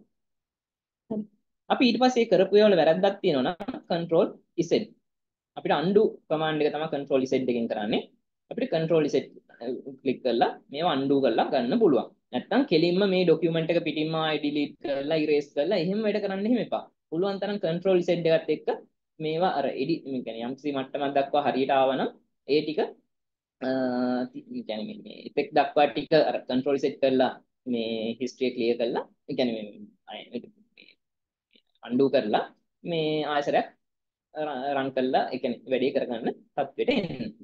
හරි. ඊට පස්සේ තව වැදගත් දේවල් තියෙනවා. බෑකප්. ඔන්න ඔය ඔහොම වචන තියෙනවානේ. දැන් මේ ඔක්කොම එකවර කියන්නේ ගියොත් බර වැඩි වෙයිද දන්නේ නැහැ. මොකද අපි බෑකප් කියන දේ මේ වැඩ කරනකොට හරි වැදගත් දෙයක්. දැන් ඔයා අද කරන දේ බෑකප් එකක් විදිහට අද සේව් කරලා හෙටත් ඒ ડોකියුමන්ට් එක ඕපන් කරනකොට ඒක ඒ කියන්නේ අද දිනෙන් සේව් කරලා තියාගෙන ඒක අලුත් ડોකියුමන්ට් එකක් විදිහට හෙට දවසේ ඕපන් කරලා ඒක වැඩේ කරනවා නම් ඔයාට පුළුවන් ඔයාගේ ෆයිල් එකේ අර මොන හරි ප්‍රශ්නයක් වෙන එක අඩු කරගන්න. මම මේ දේවල් තව ටිකකින් පැහැදිලි කරන්නම් නැත්නම් වැඩි වෙයි ඔයගොල්ලන්ට. ඉතින් මේ විදිහට වැඩි කරගෙන යන්න පුළුවන්. ඔය තියෙන එක සාම්පල් කෝඩ් එකනේ මම අර fishtail method එක කිව්වේ. දැන් HTML මෙතනින් ඕපන් කරා HTML මෙතනින් close කරා. head මෙතනින් ඕපන් කරා head මෙතනින් close කරා. body ඒ ගමන් මම close කරපු හින්දා ඒකෙලින් body පටන් ගත්තා. body close කරා. දැන් title tag එක එනකොට එයා ආයසරයක් එයා මෙතනින් මෙහෙම tag tab ඉන්ඩෙක්ට් වෙලා තියෙන්නේ. කියන්නේ මේ මේ පැත්තට මෙහෙම ගිහිල්ලා තියෙනවා. දැන් බලන්න මේක මේ අර මාළුවෙක්ගේ වරලක් වගේ ලස්සන මෙහෙම ඒ මේ මේ එක කෙලින් ලස්සනට හැදිලා එනවා. ඒකට අර පොඩි කාලේ ගණන් හදනකොට මේ වරහන් පාවිච්චි කරා වගේ තමයි මේ කලින් ඉස්සලම අරින වරහන අන්තිමයට තමයි වහන්නේ. අන්තිමේටම මේ අරින වරහන අන්තිමේටම අරින වරහන තමයි ඉස්සලා වහන්නේ. අන්න ඒ concept එක ටිකක් ඔළුවේ තියාගන්න. මොකද නැත්තම් මේ ටැක්ස් වල ටැක්ස් ඇරලා තියෙයි ඒවා ක්ලෝස් කරලා නැති වෙන්න පුළුවන් වෙන එකක් ඇතුලේ ක්ලෝස් කරලා තියෙන්න පුළුවන් එහෙම වෙනකොට සමහරවිට ප්‍රශ්න එනවා පොඩි පොඩි ඉතින් මේ දේවල් විසඳ ගන්නත් මේ කෝඩ් එකක් කියව ගන්න හැකියාව තියෙන්න ඕන හරි දැන් ඕකම එක ක්‍රමයක් නේ දැන් ඔය ටිකම මම තප්පරෙන් දෙකෙන් ගහලා පෙන්නන්නම් තව ක්‍රම කීපයකට දැන් මේක මම ටයිප් කරන එක කරේ මේ VS Code පාවිච්චි කරලා දැන් මේ VS Code එකේ මේ ස්ට්‍රක්චර් එක ඔළුවේ තියෙනවා නම් ඒක ආය ආය අපි ඒක ටයිප් කර කර ඉන්න ඕනේ නෑනේ. ඒක විහිළුවක් වෙනවනේ. දැන් මෙතන මේ තව ඔප්ෂන්ස් තියෙනවා. fill with template. මම නිකන් මේකත් ගන්නම්. මේ fill with template කියලා ගත්තාම මෙතන එන ඔප්ෂන් එකක් HTML doc කියලා. එතකොට මම මේක ක්ලික් කරොත් අර කෝඩ් එකම දැන් මට මේ කොටසක් හැදිලා පෙන්නනවා. මම මෙතන ටයිප් කරපු එක පන දාමාගෙන ටයිප් කරපු එක මෙතන හැදිලා පෙන්නනවා. මේක ඊට අමතරව තව එක දෙයක් ඇවිල්ලා තිනවා. meta charset utf8 කියලා. මම ඒක ගැන චුට්ටක් කියලා ඉන්නම්. ආ ඊට පස්සේ ඔයගොල්ලන්ට ටයිම් එක දෙනවා සම්පූර්ණයෙන් වැඩ කරන්න. meta charset UTF-8 කියන්නේ character support කරන එක සහ මේක ගොඩක් වෙලාවට වෙබ්සයිට් එකේ security පැත්තටත් මේ මේ meta tag එක පාවිච්චි වෙනවා. දැන් උදාහරණයකට ඔයාලා මේ වෙබ්සයිට් එකේ සිංහල අකුරු ටිකක් පාවිච්චි කරන යුනිකෝඩ්ස් පාවිච්චි කරනවා කියලා දන්නකො. මොකක් හරි මේ යුනිවර්සිටි එක නමක් සිංහලෙන් ටයිප් කරන්න ඕනේ. හරිද? අන්න එහෙම වෙලාවට මෙන්න මේ meta charset UTF-8 කියන එක වැදගත් වෙනවා. දැන් අපි ඩෙස්ක්ටොප් එකේ සර්ච් කරන එක මේ සේව් කරලා රන් කරන එක නම් ඒක මේක තිබ්බත් නැතත් ඒක වැඩේ වෙනවා. මම ඒක කරලා පෙන්නන්නම් අද දවසේ. නමුත් අපි මේක සර්වර් එකකට දැම්මම අපි කිව්ව ලෝකලි සර්වර් එකක් අපි හදාගන්නවා. ඒ සර්වර් එකට දැම්මම මේක වැඩ කරන්නේ මේ මේ වගේ මෙටා ටැග්ස් තිබ්බොත්. අපි මේ දේවල් ඉදිරියට පැහැදිලි කරන්න. ඊපස්සේ මේක තව ක්‍රම. මේක දෙවෙනි ක්‍රමයේ කියලා හිතන්නකෝ. මම තව එකක් ගන්නවා. තව new document එකක් ගන්නවා control n click කරලා. හරි. select language කියලා ගත්තාම මේක මම HTML කියලා ගන්නම් මෙතනදී. එහෙම ගත්තාම එහෙම කිසිම දෙයක් නැහැ. හරිද? මට උතන ඔය ඔය කෝඩ් සෙට් එකම එක අකුරක් එන්ටර් කරලා ගන්න පුළුවන්. මේකට අපි කියන්නේ exclamation mark එක, බුදුවම්මු mark එක. මේ මේක ටයිප් කරලා එන්ටර් කරපුවාම අර කෝඩ් එකට අමතරව තව කෝඩ් එකක් ඇදිලා අපිට මේ විදිහට කෝඩ් එක ජෙනරේට් කරලා දෙනවා. ඉතින් ඔහොම සපෝට් තියෙනවා. හරිද? අපි මේ දේවල් හුරු වෙන්න ඕනේ. මේ දේවල් එක තමයි අපිට මේ එන්වයරන්මන්ට් එකේ වැඩ කරන්න පුළුවන් වෙන්නේ. හරි. ඒකට මේ මේ මේ කෝඩ් එක මම නිකන් කියෙව්වොත් exclamation mark එකත් එක්ක doc type html කියනවා කියන්නේ මේ document එක html5 document එකක්. ඊට පස්සේ html tag එක තියෙනවා root tag එක. මෙයාට අපි කියන root tag එක. මේ මම කියන theory ටික ඔක්කොම ඔයාලට දෙන්න document එකේ තියෙනවා. අපි මේ lecture materials දෙනවා. මම උදාහරණයකට පෙන්නන ඔය මතක් වෙච්ච වෙලාවේ ඒක කියන්න අමතක වෙනවා. දැන් මේ තියෙන්නේ එහෙම හදපු එකක්. හරිද? මේ ෆස්ට් ડોකියුමන්ට් එක. මේකේ ඔය කියපු කතන්දර ටික ඔක්කොම තියෙනවා. ඔයගොල්ලෝ වීඩියෝ එකත් එක්ක එක සැරයක් මේක බලපුවාම මම මේ කියන ඔක්කොම ඔය මේ ඉන්ලයින් ටැග්ස් මේ මේ බ්ලොක් ලෙවල් ටැග්ස් දැන් ඔය ඊට කලින් කියපු දේවල් මේ ડોකියුමන්ට් ප්‍රෝලොග් එක ගැන මෙන්න මෙහෙම තියෙනවා. ඊට පස්සේ මේ අනිත් ටැග්ස් ගැන තියෙනවා. මේ HTML ටැග් එක root ටැග් එක මෙයාගෙන් මොකද්ද වෙන්නේ? head ටැග් එක. ඉතින් මේ ඔක්කොම තියෙනවා. ඒ ටික ඔක්කොම ඔයාලට දෙනවා. සෝස් මේ කියන්නේ මේ ලෙක්චර් මැටීරියල්ස් එක මැටීරියල්ස් විදිහට. නමුත් අපි මේවා පාඩම් කර කර ඉන්නේ නැහනේ මේ ප්‍රැක්ටිකල් එන්වයරන්මන්ට් එකේ වැඩ කරද්දි. එතකොට දැනගන්න ඕනේ ඒකට අවශ්‍ය දේවල්. හරි. ඉතින් ඒක ඒ මතක් වෙච්ච වෙලාවයි කිව්වේ. හරි. HTML root tag එක මේකේ lang equal in කියලා තියෙනවා. ඒ කියන්නේ මේක English default language එක විදිහට English English කියන එක තමයි set කරලා තියෙන්නේ. දැන් ඔයගොල්ලෝ මේ වගේ දේවල් ඕනි වෙන්නේ ඔයාලා දැකලා ඇති වෙබ්සයිට් multilingual ඒවා.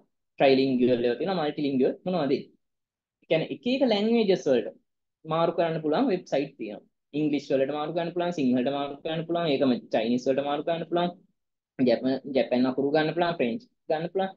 එහෙම එකම වෙබ්සයිට් එක මාරු කරන්න පුළුවන්.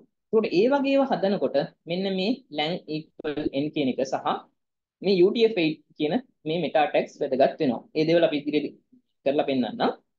එතකොට මේ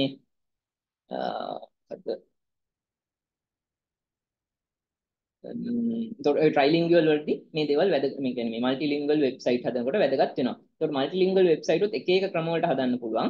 ඒ කියන්නේ මේ කෙලින්ම අර Google support එක අරගෙන translate කරලා හදන්න පුළුවන්. එහෙම නැත්නම් මොකක් හරි හදන සයිට් එකේ කොපියක් විදිහට හදලා ගන්න පුළුවන්. එහෙම නැත්නම් ඒකේ variables විදිහට ඒ වෙනස් වෙන්න ඕනි වචන විතරක් වෙනස් විදිහට හදලා ගන්න පුළුවන්. මොකද ඒ අවස්ථාව අනුව ඒවා එක එක විදිහට ගන්න පුළුවන්. languages වෙනස් කරන වෙබ්සයිට්. ඊට පස්සේ මෙතන තියෙනවා තව එකක් මේ මේ ගම මම කියන්න. ඔක ඔයගොල්ලෝ bootstrap එහෙම කරද්දිත් මේක මම ආයෙ පැහැදිලි කරනවා. Meta tag එකක් තියෙනවා viewport with equal device with uh, initial scale 0 1 කියලා. ඒකට මෙහෙම ඒ කෝඩ් ආවට මේව බය වෙන්න එපා. මේව ඩිලීට් කරන්න යන්නත් ඕනේ නැහැ. ඔහොම තියලා අපි දන්න කෝඩ්ස් වලින් විතරක් ඊළඟට වැඩේ කරගෙන යමු. මේ මෙතනදි කියන්නේ මේක අර responsive කරනකොට bootstrap මේ වගේ එකක් පාවිච්චි කරලා හරි මේ වෙබ්සයිට් එක අපිට පුළුවන් responsive එකක් කරන්න. ඒ කියන්නේ මේ බලන device එකේ කොයි විදිහට බැලුවත් අපහසුවකින් තොරව responsive වෙලා හැදෙන්න මේ ඕනි නම් මේ වෙබ්සයිට් එක මෙන්න මේ meta tag එකත් අපි පාවිච්චි කරන්න ඕනේ. තව meta tags තියෙනවා search engine optimizations වලට. මේ දේවල් අපි ඉදිරියේදී කතා කරමු. හරි. ඉතින් දැනට මම මෙහෙම tags type කරලා වෙබ්සයිට් එකක් මේ කියන්නේ මේ කෝඩ් එකක් හැදුවා. ඊට පස්සේ මෙහෙම ටෙම්ප්ලේට් එකක් විදිහට අරගෙන හැදුවා. ඊට පස්සේ මෙහෙම exclamation mark එක ගාලා කෙලින්ම මේ කෝඩ්ස් ටික build කරා. හරි. දැන් ওই ටික ඔයාලට කරන්න දෙනවා මමත් කරන අතරේ මේ software එක අපි දැන් download වෙලාද කියලා බලමු.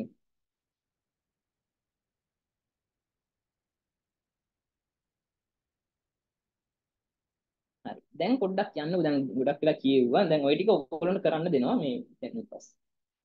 දැන් ඔයාගේ downloads වලට මෙන්න මේ VS Code setup එක ඇවිල්ලාද කියලා බලන්න.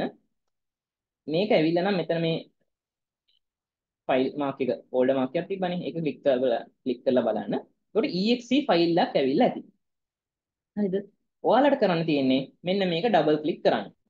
ඩබල් ක්ලික් කරගෙන යනකොට next next කරන් යන්න ඔය මේ ඇග්‍රී වෙන්න තියෙන තැන් වල ඇග්‍රී වෙන්න. මේ කරලා මේක ඉන්ස්ටෝල් කරගන්න. පොඩි වෙලාවක් අරගෙන ඒක කරලා බලන්න. බැරි වෙච්ච කවුරු හරි ඉන්නවනම් කියන්න. ඔයගොල්ලෝ ඉන්ස්ටෝල් කරගත්ත කට්ටිය ඉන්නවනම් ඕකේ කියලා මැසේජ් එකක් දාලා තියන්න. ඒකට මට නිකන් ගෙස් කරගන්න පුළුවන්. ඒක එච්චර අමාරු නෑ මේක ඉන්ස්ටෝල් කරගන්න එක. මේක ඩබල් ක්ලික් කරන්න. මේ exe එකක් නෙන්නේ. මම ඊට පස්සේ අර extensions view කරගන්න එක එහෙම පෙන්වන්නම්. සංජිත් හරි මලිත්ති හරි අනිත් අයත් මේක කරගන්න ටයිම් දෙන්න. ඔයාලට මේ අද මේ පොඩ්ඩක් අර මම කව කරන්න ඕනි ටික මේ පෙන්වන්න ඕන. ඒ කියන්නේ කව කරන්න ඕනිනේ ඒක හින්දා කරන්නේ. දැන් ඊළඟ සතියේ ආයෙ ඔයාලට තේරෙන්නේ නැති කොට සතියවල මම ආයෙ හරි කියලා දෙනවා.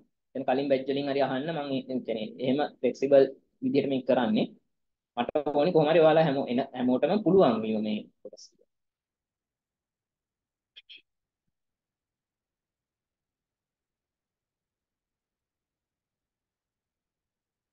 සංදීව් හරි අනිත් අයත් බලන්න මේ ටයිම් එකක් අරගෙන මේ මේ දේවල් කරන්න. මේ ගමන්ම කරන්න ආය පස්සේ මේක කරන්න තියාගන්න ඕනෙත් නෑ. දැන් ෆෝන් එකකින් වගේ විතරක් ලොග් වෙලා ඉන්නවා නම් කරන්න දෙයක් නැහැ.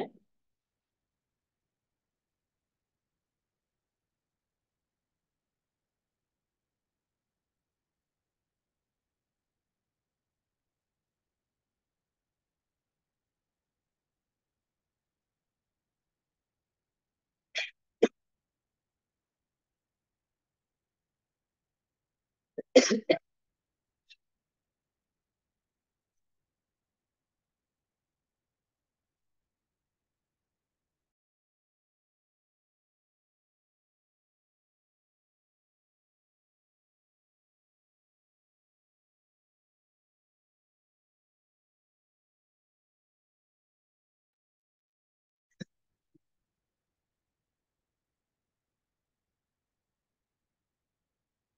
Software එක install වෙනකන් ඔයාලට මෙතෙක් කරපු දේවල් වල ගැටලු තියෙනවද දරුවෝ?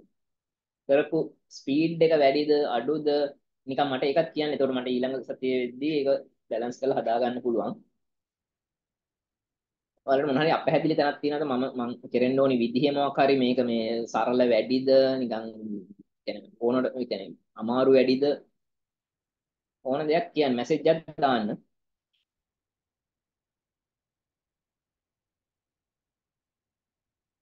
ෂේප්ද නැත්නම් තේරෙනවද? තේරෙන්නේ නැද්ද?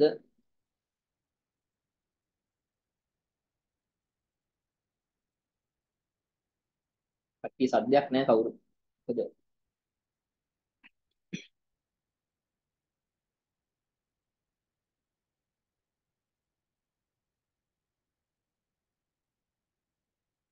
මොකද අද දවසේ දැන් ඔයාලා දන්න ලෙවල් එකට වඩා පොඩ්ඩක් හරි ඉගෙන ගත්තත් ඒත් හොඳයි.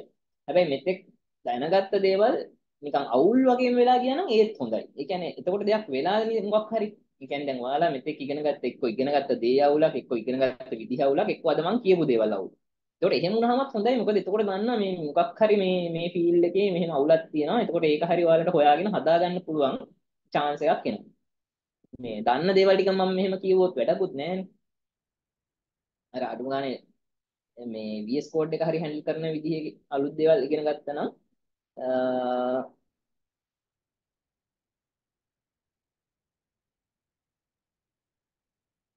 තව දේවල් කතා කරමු. මොකද මේ ප්‍රැක්ටිකල් කියන්නේ අපි තියරි විදියට මේ වෙද්දි ඉගෙන ගත්ත දරුවෝ ඉන්න මේ කොටස් ටිකම ඒක ප්‍රැක්ටිකලි ඇප්ලයි කරන්න ගියාම ප්‍රශ්න අම්බාන එක එනවා.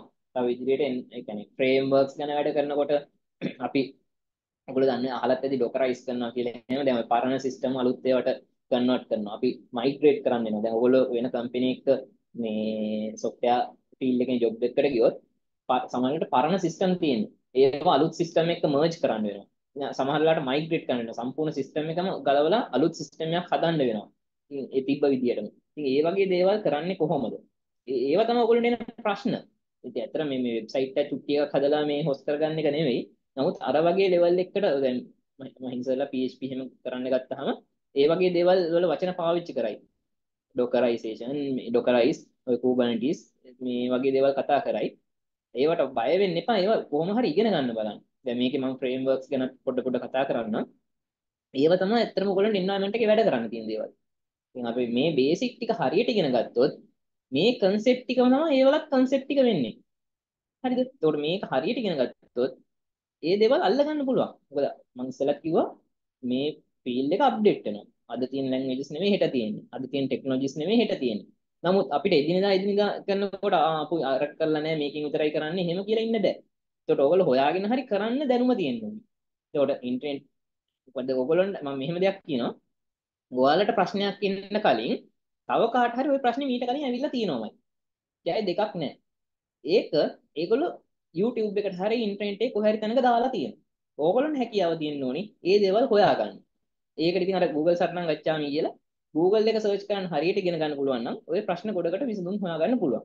අපිත් ඒවට සපෝට් එක දෙන්නම් මේ තියෙන තැන් හොයාගන්න මේක කොහොමද විසඳගන්නේ. දැන් මේ කොටසට අදාළ විතරක් කියන නෙමෙයි. නමුත් මේ ෆීල්ඩ් එකේ වැඩ කරනකොට අපිට තියෙනනේ ප්‍රැක්ටිකල් ඒ කියන්නේ එක්ස්පීරියන්ස් එකක්. එතකොට ඒ දේවල් එක්ක අපි ඔයගොල්ලන්ට මේ සමහර දේවල් කතා කරන්නේ.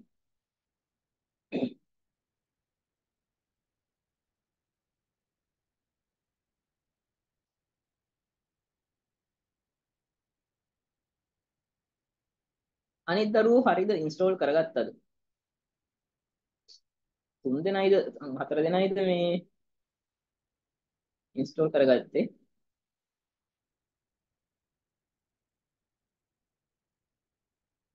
මම අද දවසේ කරන ඒවා ටිකක් වැඩි වගේ හිතෙන දරුවෝ අවංකව කියන්නේ. ඒ කියන්නේ නිකන් අලුත් මේ මම දන්නවා මේ මම අද කරපු ටික ටිකක් ඕ ලෙවල් ඒ ලෙවල් මට්ටමකින් ආව ගමන් ටිකක් සමහර විට වැඩි වගේ වෙන්න පුළුවන් මේ HTML ජීවිතේට කරලා නැත්තම්. එහෙම අයත් ඉන්නවා නම් අවංකව මේ අර ප්‍රෙස් හෑන්ඩ් කළා මම මේකක් දාලායි නැත්නම් chat එකට නිකන් දාන්න. මොකද එතකොට මට මේ එයාලව ફોකස් කරලා ගන්න පුළුවන්.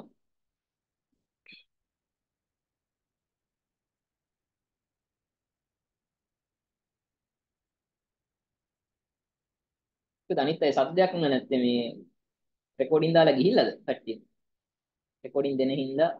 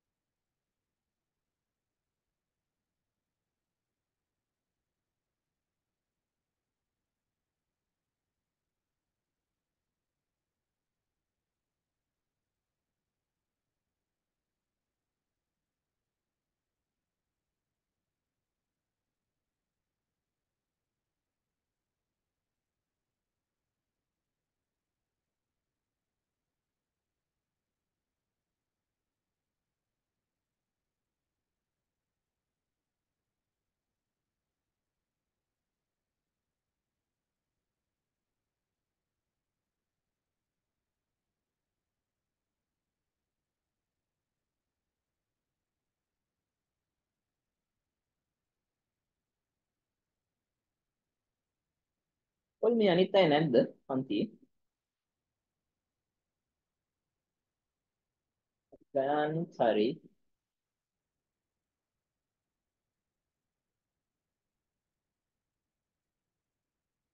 ඔයාලා මොනවා හරි කියන්න දේවල් තියෙනවා නම් මේ මේක අවස්ථාවක් කරගන්න. ඒ කියන්නේ කතා කරලා මොනවා හරි ක්ලියර් නැති කොටසක් තියෙනවා නම් ඕන දෙයක් අහන්න. සමහරවිට නිකන් ගොම් ප්‍රශ්න වගේ කියලා නිකන් හිතෙයි කියලා එහෙම අහන්න නැතුව ඉන්න එපා. මොකද ඒ වගේ මේ ප්‍රශ්න අහපුවාම තමයි සමහරවිට අනිත් අයත් ඒක මොකක් හරි ප්‍රශ්නයක් තියෙනවා කියලා සමහර දේවල් හිතෙන්නේ. ඒකින්ද මේ මේක අර ෆ්‍රෙන්ඩ්ලි මේ වැඩේ යන් කරගෙන.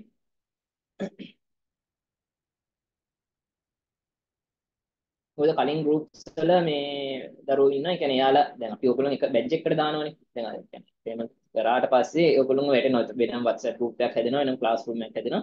ඒකට ඒකේ කාට හරි ප්‍රශ්නයක් ආවොත් අනිත් ළමයිකට සපෝට් එක දෙනවා. ඒකට අපි අපි සපෝට් කරන්න කලින් ඒගොල්ලෝ ඒගොල්ලෝම කතා කරලා මේ වැඩේ يعني කොට දාගත්ත තැන තියෙනවා. ඉතින් එහෙම ටීම් වර්ක්ස් විදියට මේවා කරගන්න. මොකද කම්පැනි එකට ආවහම ටීම් එකක් විදියට තමයි ගොඩක් වෙලාවට වැඩ කරන්න වෙන්නේ.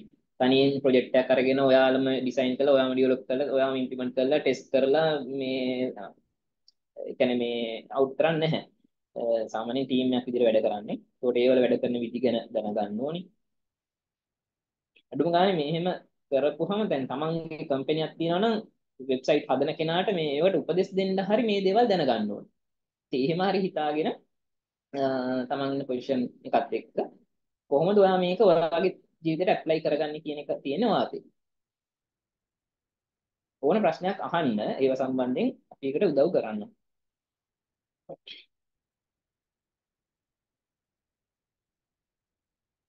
හරි. බලමුද එහෙනම් මේකේ ආයසරයක් කෝඩ් කරන්න ඕගොල්ලෝ. මම මෙතෙක් කරපු ටික දැන් මම ආයසරයක් මුලින් ඉඳන් කරනවා.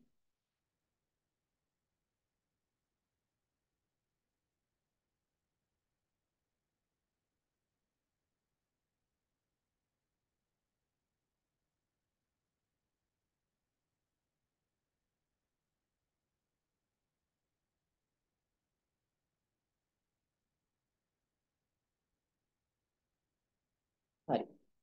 මේකේ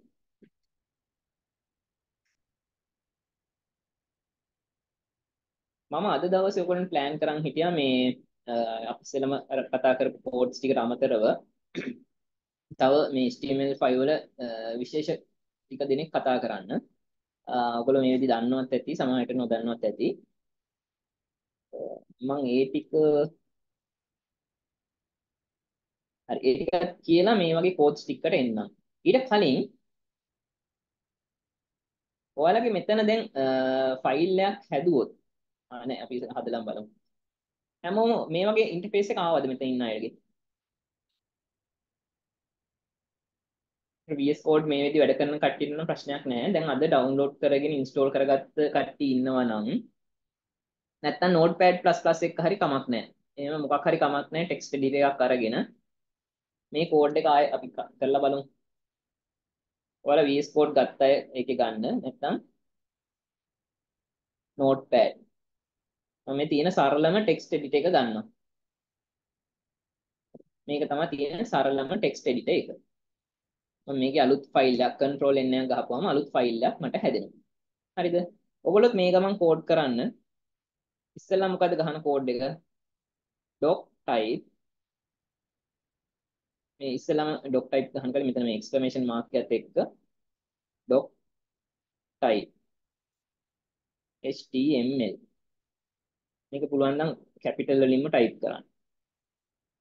doc type doc type html හරිද? ඔන්න ඕක පළවෙනි කෝඩ් එක document prolog. මේකෙන් කියන්නේ HTML5 document එකක් කියලා. ඊට පස්සේ මම කිව්වා තව tag එකක් root tag එක. එයාව html html. එතකොට අපි ඊළඟට ගහන්නේ මෙයාගේ close දැන් අපි මේක open tag එකක් විදිහට ගත්තේ. ඒ ගමන්ම පුරුදු වෙන්න ඕනි එයාගේ close tag එක. enter කරන්න. හරිද? ඊට පස්සේ තමයි එයාගේ ඇතුලේ අනිත් tags අපි පාවිච්චි කරන්නේ. ඊළඟට ඉන්නේ කවුද? head. header නෙවෙයි, heading නෙවෙයි. Head. කෙලින්ම head කියන tag එක. H E A D. head. ඊළඟට කරන්නේ මෙයාගේ close tag එක. close tag එකක් කියන්නේ මේ slash එකත් එක්ක අර වචනේම තමයි. head. හරිද? ඊළඟට body. B O D Y. ඊළඟට මෙයාගේ close. close tag එක. මෙන්න මේ ටික තමයි අපේ basic structure එක වෙන්නේ. හරිද? මීට අමතරව අපි තව ගමු මේ head tag එක ඇතුලේ පාවිච්චි කරන tag එකක් තමයි අර මම කියපු title කියන tag එක. අර වෙබ් page එකේ උඩම මේ පෙන්නුවානේ නම මාතෘකාවක් title. ඒකට ඒ title එකට අපි නමක් දෙන්න පුළුවන් my first web page.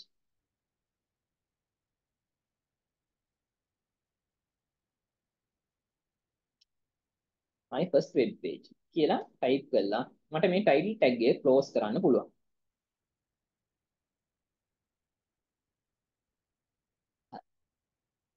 ඊට පස්සේ අපි ඒකේ body එක ගමු.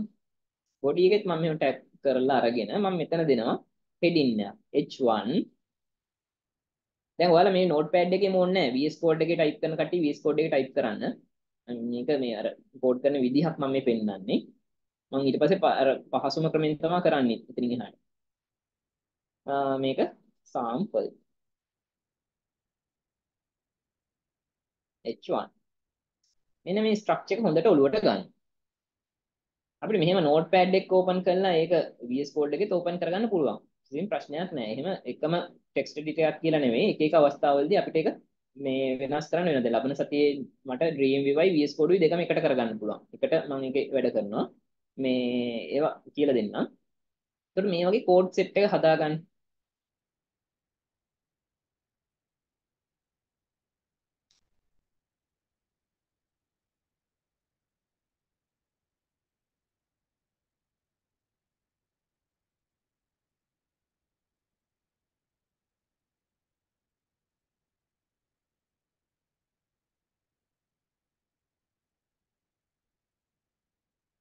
ඊට පස්සේ ඔය කියපු දේවල් ටික ආය ආය කියන්න.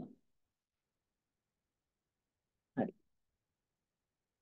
මේ විදිහට ටයිප් කරගන්න. මේක ටයිප් කරලා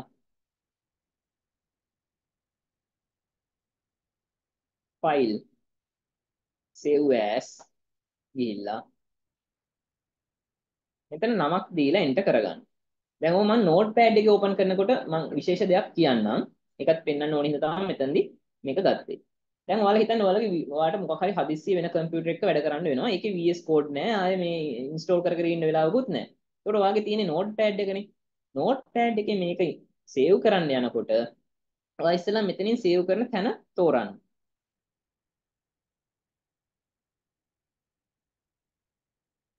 ඔයාලා ඩෙස්ක්ටොප් එකේද දැන් ඩෙස්ක්ටොප් එකේ නම් ඩෙස්ක්ටොප් එක තෝරනවා. හරිද? මම ඊට පස්සේ මෙතන නමක් දෙනවා. දෙන්නේ මොකද්ද? my first. ස්පෙලි මේ ස්පේස් තියන්න එපා.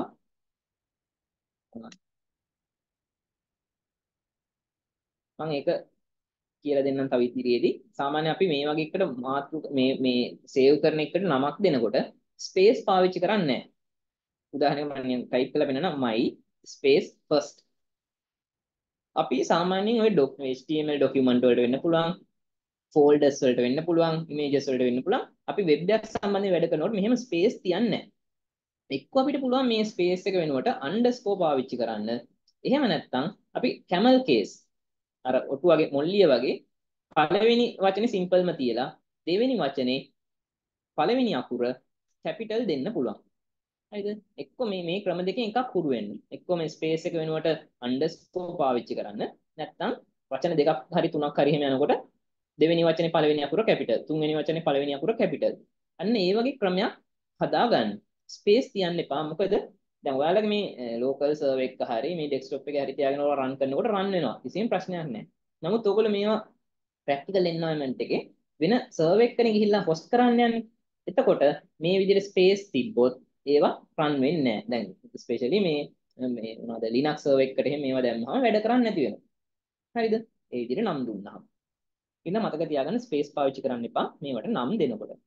ඊට පස්සේ මෙතැන්දිම දැන් ටෙක්ස්ට් විදිහට නෙන්නේ මේ නෝට්පෑඩ් එකේ මොන හරි දෙයක් ටයිප් කරපුවම ටෙක්ස්ට් විදිහට එන්නේ. ඔයා මෙතෙන්දි .html කියලා මෙන්න මේ එක්ස්ටෙන්ෂන් එක ටයිප් කරලා සේව් කරන්න. දැන් ඩෙස්ක්ටොප් එකේ සේව් කරන්නේ myfirst.html කියලා. මෙන්න මෙහෙම සේව් කරන්න. හරිද? ඒකට දැන් මේ ඉස්සෙල්ලා එකක් තියෙනවා test.html කියලා. මම දැන් මේ හදපු එක myfirst.html. දැන් ඔයාලා බැරි වෙලාවත් කාගේ හරි මෙන්න මේ HTML කියන කොටස පේන්නේ නැත්නම් HTML කියන මේ එක්ස්ටෙන්ෂන් එක පෙන්වන්නේ නැත්නම් ඔයාලට control panel එකට යන්න වෙනවා. ගිහිල්ලා ඒක හදාගන්න වෙනවා. ඒකත් කරගන්න විදිහ බලන්න. මට ෂුවර් මෙතන එක්කෙනෙක්ගේ හරි ඒක පෙන්වන්න නැතුව ඇති. සමහර විට ඒ කට්ටිය දැන් ඕෆ් වෙලා ගිහිල්ලාම දන්නෙත් නැතුව ඇති. මෙතන යන්න control panel එකට. control panel එකේ ඔයාලගේ operating system එකේ control panel එකේ මෙන්න මේ file explorer options වලට ගිහිල්ලා ඒකේ තියෙනවා tab එකක් view කියලා. මෙන්න මේ view කියන tab එක click කරන්න. හරි ඔයාලා කාගේ හරි ප්‍රශ්නයක් තියෙනවා නම් ඒක extension එක පෙන්වන්න නැති එකක් තියෙනවා නම් මෙන්න මේ කොටසට එන්න. control panel එකට යන්න. ඒකේ file explorer options යන්න. ඒකේ බලන්න view කියලා tab එකක් මෙන්න මේ මෙතන තියෙනවා. ඒ view tab එක ගත්තාම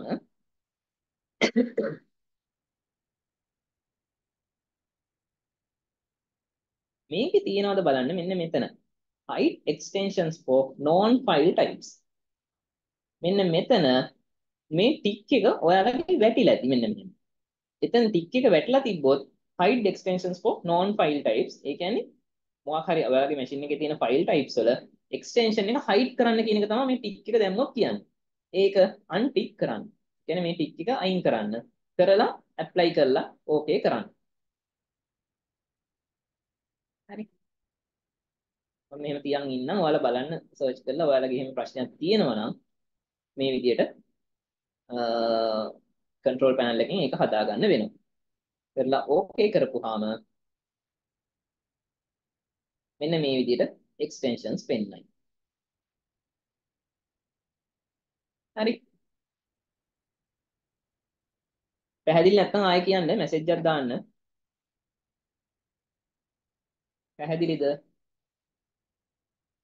දැන් මට පුළුවන් මෙන්න මෙහෙම ආපු ෆයිල් එක ඩබල් ක්ලික් කරලා browser එකේ open කරලා බලන්න. දැන් බලන්න my first web page මෙන්න මෙතන පෙන්නනවා my first web page කියලා. ඒක මේ notepad එකෙන් හදපු එක. මේ කන්ටෙන්ට් එක දැන් මම කිව්වේ අර ෆයිල් එකට නම දෙනකොට තමයි ස්පේස් පාවිච්චි කරන්න එපා කිව්වේ. දැන් අපි සාමාන්‍ය මේ ටයිටල් වගේ ටැග් එකක් ඇතුලේ මෙන්න මේක කියන්නේ කන්ටෙන්ට් එක කියලානේ. එතකොට ඕක අපිට කැපිටල් සිම්පල් ස්පේස් තියලා ඕ ස්පෙෂල් කැරක්ටර්ස් දාලා ඕන එකක් කරලා කියන්න පුළුවන්. කිසි ගැටලුවක් නැහැ. හරි. එතකොට මේ වගේ දේවල් පොඩ්ඩක් වැඩ කරන්න හැටි බලන්න. ඊට පස්සේ මට මේක මෙතනින් දැන් ඉස්සරහ සේව් කරානේ. දැන් මට මේක ක්ලෝස් කරලා මට ඕන නම් මෙන්න මේක VS Code එකේ ඕපන් කරලා ගන්න පුළුවන්. my first HTML. දැන් ඔයගොල්ලෝ VS Code එකේම නම් ඕපන් කරේ ප්‍රශ්නයක් මේ මේ මේ වැඩ කරේ ඒක ප්‍රශ්නයක් නෑ මොකද ඒගොල්ලෝ අර දන්න මෙතෙක් දන්න අයනේ. නමුත් නොදන්නව කෙනෙක් අරකේ මොකද්ද වෙන්නේ කියලා ගැටලුවක් එන්න පුළුවන් නේ. notepad එකයි මම ඒ ටික පෙන්නුවේ. සාමාන්‍යයෙන් මෙතන මෙහෙම ආවොත් මෙයා මේ myfirst.html එක උඩ right click කරනකොට කෙලින්ම මෙතන browser එකක් එයි. ඔයගොල්ලෝ Chrome එක මේ support එක වෙන්නේ default එක විදියට Chrome මේ එක පෙන්නයි.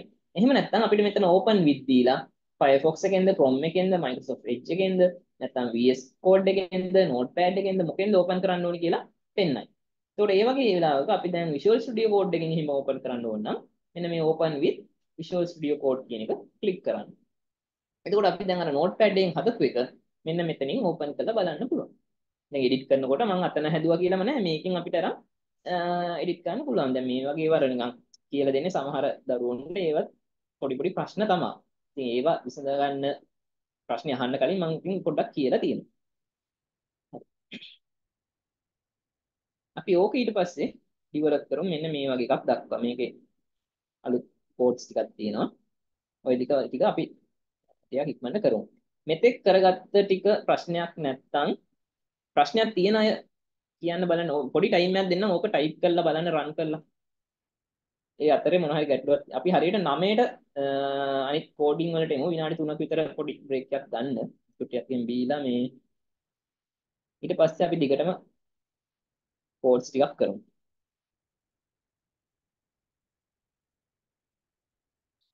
මෙතෙක් මොන හරි ගැටලු තියෙනවා නම් අහන්න මේ ටයිම් එකේ. ඉතින් මේ අද බිල්ඩින් බ්ලොක්ස් මේ මේවට තමයි අතරම බිල්ඩින් බ්ලොක්ස් කියන්නේ. පොඩි පොඩි දේවල් ටිකක් කතා කරනවා.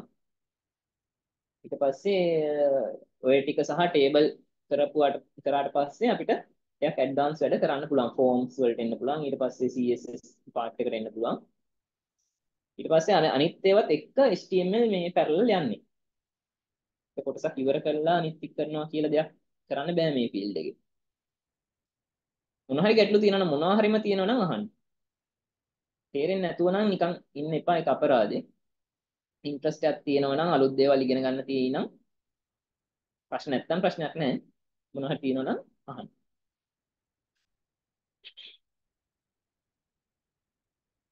කෝඩ් කරන්න ටයිම් ඕනි නම් ටයිම් එක ඕනි කියලා මේ කියන්නේ මදි නම් ටයිම් එක ඕනි කියලා කියන්න.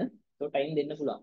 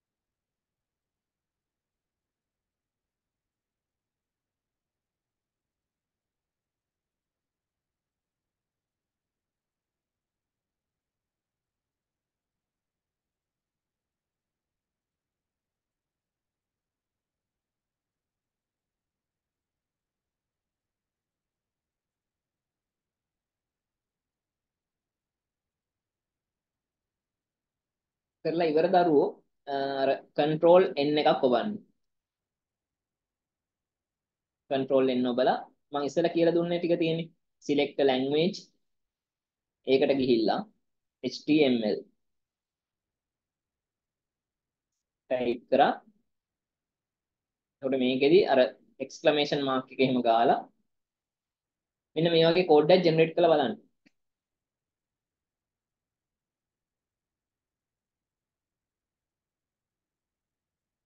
ඊට පස්සේ ඔයාලට පුළුවන් මෙතන මේ ටයිටල් කියන එක ડોකියුමන්ට් කියලා තියෙන්නේ. එතකොට ඒකට වෙන නමක් දීලා හරි මේ බොඩි එකෙත් ඔයගොල්ලෝ දන්න මොන හරි ටැග්ස් තියෙනවා නම් පාවිච්චි කරලා දැන් අපි අද දවසට කතා කරේ තාම කතා කරේ නැහැ කියලා හිතන්න මේ මූලික ටැග්ස් විතරයි කතා කරේ කියලා හිතන්න. මම ඊළඟට හෙඩින් ටැග් එකේ ඉන්නම් මේ ටැග්ස් බෙදෙන විදි මම කියලා දෙන්නම්. ඉන්ලයින් ටැග්ස් කියලා જાතියක් තියෙනවා, බ්ලොක් ලෙවල් ටැග්ස් කියලා තියෙනවා. ඒවටම ඉන්ලයින් එලිමන්ට් තියෙනවා, බ්ලොක් ලෙවල් එලිමන්ට් තියෙනවා. මම ඒවා පැහැදිලි කරන්නම් මොනවද කියලා.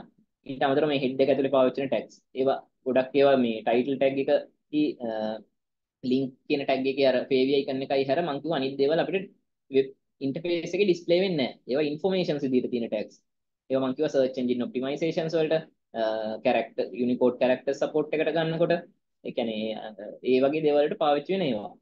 ඒකට මම ඒව ගැන පොඩ්ඩක් නිකන් කියන්න යනවා ඊළඟ මේ ඒවලදී ඒවා පොඩ්ඩක් වැඩිපුර කතා කරනවා. අද දවසේදී මට මම බලාපොරොත්තු වෙන්නේ මේ අර බේසික් ලෙවල් එකේ ඉඳන් යන හින්දා බොඩි පාර්ට් එකට අදාළ බ්ලොක් ලෙවල් එලිමන්ට්ස් සහ ඉන්ලයින් එලිමන්ට්ස් ටිකක් කතා කරන්න.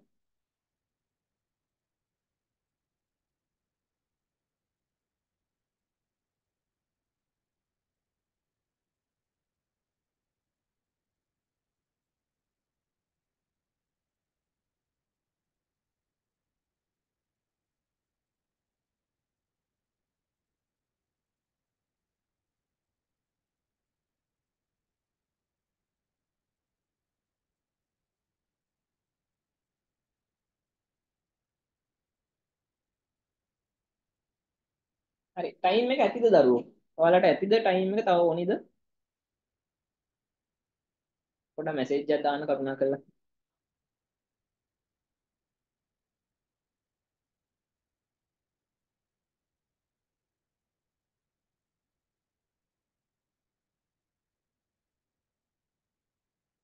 අනිත් නම් ප්‍රශ්නයක් නැහැ කියලා දාලා තිනවා. අනිත් අය කොහොමද ටයිම් ඕනි නම් ටයිම් එක දෙන්න පුළුවන්. ඒ කියන්නේ මේ මට දැන් මෙතනින් එහාට හදිස්සියක් නැහැ. දැන් ඔයාලට මේක පුළුවන් වීම තමයි දැන් කරගන්න තියෙන්නේ. සංජිත්තත් ප්‍රශ්නයක් නැහැ.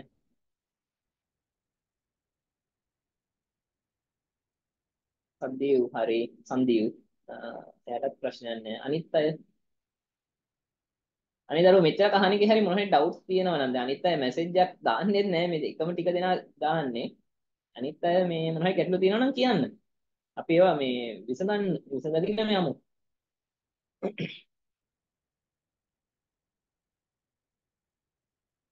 ටයිම් එක ඕනේ නම් ටයිම් එක පොඩ්ඩක් දෙන්න කියලා හරි මැසේජ් එකක් දාන්න. එතකොට මේ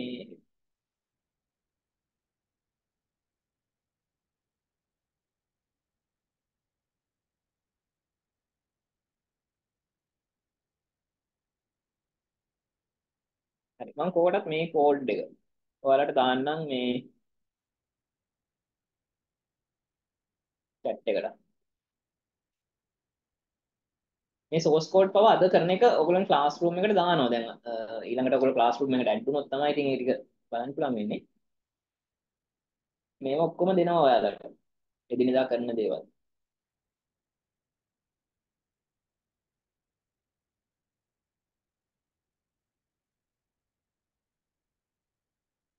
මම new document එකක් ගත්තේ ctrl capital ඒ කියන්නේ new n මේ n අකුර ඒකෙන් new document එකක් මම ඒ control මේ මේ shortcut keys ටිකකුත් දාන්නම් ඊට අමතරව මම shift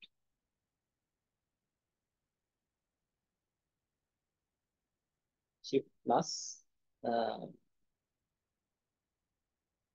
alt plus f මේ shift alt f කියන එකෙන් තමයි අර fish tail එක වගේ මෙන්න මේව හැඩයකට හදාගත්තේ. ඒකත් එක shortcut key එකක්. මම chat එකට දැම්මා. ඒ දේවල් ඔයගොල්ලෝ පොඩ්ඩක් ලියා ගන්න. තව shift alt a කියලා තියෙනවා comments send කරන්න ගියාම මම ඒ shortcut කියලා දෙන්නම්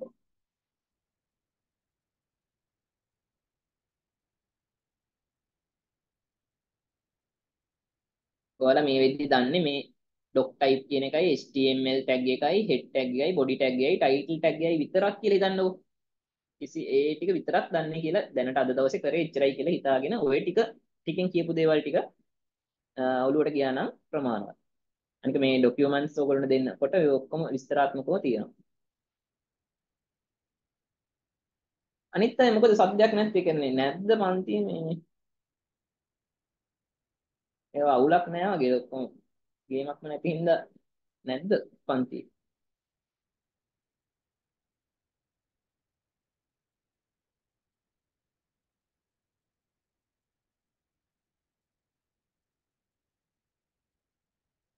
හරි.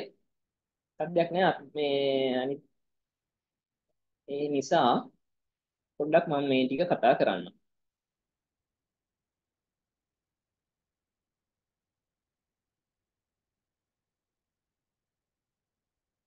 හරි මම මේ කෝඩ් එකේ ඉඳන්ම කතා කරන්නම්. දැන් මෙතන මේ හෙඩ් එක ඇතුලේ අපි පාවිච්චි කරන්නේ මම කිව්වා ඉන්ෆෝමේෂන්ස් ගොඩක් වෙලාට ඉන්ෆෝමේෂන්ස් දෙන ටැග්ස් ටිකක් තමයි මේ හෙඩ් ටැග් එක ඇතුලේ පාවිච්චි කරන්නේ. අපි ඉන්ටර්ෆේස් එක මේ හෙඩ් ටැග් එකේ තියෙන දේවල් මේ ඉන්ටර්ෆේස් එකේ ගොඩක් වෙලාට ඩිස්ප්ලේ වෙන්නේ නැහැ. ටයිටල් එකයි ෆේවි අයිකන් එකක් විතරයි ඩිස්ප්ලේ වෙනවා කිව්වේ. ඒතකොට ඒ වගේ ෆේවි අයිකන් එකක් ගන්නකොට link කියලා ටැග් එකක් තියෙනවා. හරිද? ඊට අමතරව තව තියෙනවා meta. meta කියන ටැග් එක තියෙනවා. මම මේ ටැග්ස් ගැන පස්සේ විස්තර කරන්නේ. අද දවසේ විස්තර කරන්නේ නැහැ. මම බොඩි ටැග් එක ඇතුලේ ඒවා විතරයි විස්තර කරන්නේ. මේ දැනට මේ කිව්ව දේවල් මම මේක පොඩි පොඩි දේවල් ටිකක් කිව්වා. ඒක හින්දා මම මේ ටික දාන්නම් මෙතන. ඊට අමතරව meta style. ඔයගොල්ලෝ CSS කරන්න යනවා. එතකොට CSS files මේවට link කරන ආකාර තුනක් ගැන අපි කතා කරනවා. ඒකේ එක ආකාරයක් external විදිහට මේ CSS එකක් link කරන විදිය. එතකොට අපිට ඕනි වෙනවා external sorry මේ මේ internal විදිහට internal විදිහට CSS එකක් අපිට build කරන්න පුළුවන් මේ head එක ඇතුලේ. ඒවා මම CSS කරද්දි කරන්නේ. දැනට මේ වගේ tags තියෙනවා කියලා විතරක් මේ නිකන් ඔයගොල්ලන්ට rough idea එකක් දෙන්නයි මේ හදන්නේ. ඊට පස්සේ JavaScript වගේ link පාවිච්චි කරනකොට එහෙම නැත්නම් JavaScript internal විදිහට function හදනකොට අපිට පාවිච්චි වෙන tag එකක් එයාලගේ ඇතුළේ ඉඳන් තමයි මේ දේවල් කරන්නේ. script script tag එක. හරි. ඒතර මේ මේ වගේ කට්ටිය තමයි මේ head එක ඇතුලේ පාවිච්චි කරන්නේ. හැබැයි මේ HTML5 වලදී නම් මේ script කියන tag එකත් මේ body tag එකේ යටින්ම තමයි පාවිච්චි වෙන්නේ. ඔයගොල්ලෝ වෙබ්සයිට් මේ වෙද්දි කරලා තියෙනවා නම් මේ දන්නවා ඇති. මම එක එක මෙතනදි මෙහෙම මතක් කරේ. නැත්නම් ඒක මෙතන මේ හෙඩ් එකේ තිබ්බත් ලොකු ප්‍රශ්නයක් නැහැ. හරිද? මම ඒකින්ද දැනට ඒක එතනින් තියන්න. මම මේවා ගැන පස්සේ කතා කරනවා. හරි. කොහොම කට්ටිය ටික දෙනෙක් ඉන්නේ. මම මේ කෝඩ් එක දෙන්නම් දැනට මේක බලන් ඉන්න. ඊට පස්සේ අද දවසේ මම කතා කරන්න යන්නේ තව ප්‍රධාන කෙනෙක් ඉන්නවා කමෙන්ට්. මොකද කමෙන්ට් එකක්. අපි සාමාන්‍යයෙන් මෙහෙම කෝඩ් කරනකොට අපිට මේ කමෙන්ට්ස් කියන જાතිය සෑහෙන වැදගත්. ඔයගොල්ලෝ දැන් ඉදිරියේදී GitHub GitHub එකක් මේ GitHub එහෙම වැඩ කරනකොට මේ කමෙන්ට්ස් කියන දේ තවත් වැදගත් වෙයි. කමෙන්ට් එකකින් කියන්නේ ඔයා දැන් මේ මේ මේක ඔයා අද අද තමයි මේක හදන්න පටන් ගත්තේ. create by මෙන්න මේ පුද්ගලයා කවද්ද මෙන්න මේ දිනේ කියලා දාලා මේ ෆයිල් එක හදන්න පුළුවන්. එතකොට මේ එකම ෆයිල් එක ඔයා විතරක්ම නෙවෙයිනේ එඩිට් කරන්නේ. මේක තව කට්ටිය එඩිට් කරනවා. මේ දවසේදී මේ තව තව කෙනෙක් එඩිට් කරනවා. තව දවසකදී තව කෙනෙක් එඩිට් කරනවා. එහෙම එඩිට් කරන අවස්ථාවල් එන්න පුළුවන්. එතකොට ඒ යම්කිසි කොටසක් කවුද කරේ කවද්ද කරේ වගේ දෙයක් දෙන්න ඔය කමෙන්ට් එක පාවිච්චි කරනවා. මොකද දැන් මේ හෙඩ් එක ඇතුලේ පාවිච්චි වෙන ඒවා අරක එළිය මේ ඉන්ටර්ෆේස් එකේ ඩිස්ප්ලේ වෙන්නේ නැහැ වගේම තමයි බොඩි ටැග් එක ඇතුලේදී කමෙන්ට්ස් පාවිච්චි කරොත් ඒවත් එළියට ඩිස්ප්ලේ වෙන්නේ නැහැ. එතනදි කියන්නේ අපි නිකන් අර කමෙන්ට් එකක්. ඒ කියන්නේ මේ මේකට මෙන්න මේක කරේ කවුද කවද්ද කරේ වගේ මොකක් හරි පොඩි අර කෝඩ් කරන කෙනාට විස්තරයක් දැනගන්න දෙන දෙයක් තමයි කමෙන්ට් එකක් කියන්නේ. හරිද? ඒතකොට ඒ වගේම යම්කිසි කෝඩ් එකකින් මොකද්ද වෙන්නේ කියලා වගේ දෙයක් උනත් අපිට දෙන්න පුළුවන්. දැන් උදාහරණයකට මම අද දවසේදී කතා කරන්න යන්නේ බ්ලොක් ලෙවල් එලිමන්ට්ස් ගැන ඉස්සෙල්ලා. මම ඒක ටයිප් කරනවා block level elements කියලා මම මෙහෙම වචනයක් ටයිප් කරගත්තා. මට මේක කමෙන්ට් එකක් කරන්න පුළුවන් shift alt a shift alt a කියලා ටයිප් කරන්නත් පුළුවන්. එහෙම නැත්නම් මට මේක මේ විදිහට angle bracket දාලා exclamation mark එක ගහලා hyphen දෙකක් දාලා ආයි මේ හයිපන් දාලා මෙන්න මේ විදිහට කමෙන්ට් එකක් ලියන්න පුළුවන්. මේක තමයි කමෙන්ට් එකක් ලියන ක්‍රමය. හරිද? මෙන්න මේක ඔයගොල්ලෝ දැන් ලියාගන්න බොඩි එක ඇතුලේ මෙන්න මෙහෙම මම කමෙන්ට් එකක් දානවා. මගේ chat එකකට දාන්නම්. අර ෂෝට් කට් කීයක් කියලා දුන්නානේ. ඒකත් මම chat එකට දානවා. මේ විදිහට ඔයගොල්ලෝ කරන්න. ඔකට අපි කමෙන්ට් එකක් කියලා කියනවා. ඒකේ ෂෝට් කට් එක තමයි ලොක් ලෙවල් කමෙන්ට් එකක්. shift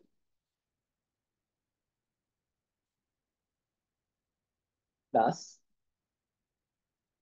alt plus a ඔයගොල්ලෝ ලියා ගන්න. එතකොට මේ වචනේ උඩ සිලෙක්ට් කරලා තමයි මම අර shift alt a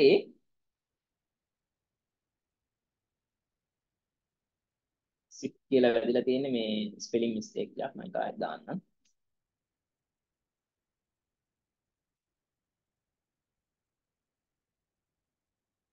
shift alt a. හරි. එතකොට මොනවද මේ block level elements? තව જાතියක් තියෙනවා inline elements කියලා. හරිද ඕගොල්ලෝ දැකලා ඇති වෙබ්සයිට් වල. දැකලා නැහැ කියලා හිතන්නකෝ. හරි. මේ ටැග්ස් જાතියක් තියෙනවා. ඒවා පාවිච්චි කරපුවාම එයාලා හැම වෙලෙම අලුත් ටැග් එකක් ඕපන් වෙන්නේ new line එකකින්. දැන් උදාහරණයකට h1 tag එක h2 tag එක h3 වගේ tag paragraph tag. මේගොල්ලෝ හැම වෙලේම ඕපන් වෙන්නේ new line එකකින්. සහ එයාලගේ ටිකක් අර content එක ටිකක් ලොකුයි. එයාලගේ අර ලොකු paragraph එකක් දාන්න පුළුවන් tables දානකොට ඔයගොල්ලෝ හිතා ගන්න form එකක් කියන්නේ block level element එකක් ඒ වගේ කට්ටිය තමයි අපි block level element එකක් කියලා කියන්නේ දැන් එකම paragraph එකේ එකම line එකේ තියෙන මොනවා හරි දේවල් දැන් උදාහරණයකට ඡේදයක් තියෙනවා ඒ ඡේදය ඇතුලේ එක වචනයක් රතු පාට. අනිත් වචනේ අර ඔක්සිජන් ලියනවා වගේ O2 ලියනකොට 2 යටට ගිහිල්ලා පෙන්වන්නේ. අන්න එහෙම මේ සබ් මේ මේ කියන්නේ සබ්ස්ක්‍රිප්ට් වෙලා. තව එකක් තියෙනවා සෙකන්ඩ්. සෙකන්ඩ් කියලා දෙක ND ලියනකොට එහෙම ND අර උඩට පොඩ්ඩක් පොඩි කරලා උඩට දාන්නේ. ඒ කියන්නේ සුපර්ස්ක්‍රිප්ට් කරලා. අපු ඇල කරලා, බෝල්ඩ් කරලා, අන්ඩර්ලයින් කරලා මේ අන්න ඒ වගේ දේවල් වලට පාවිච්චි කරන තව ටැග්ස් ටිකක් තියෙනවා.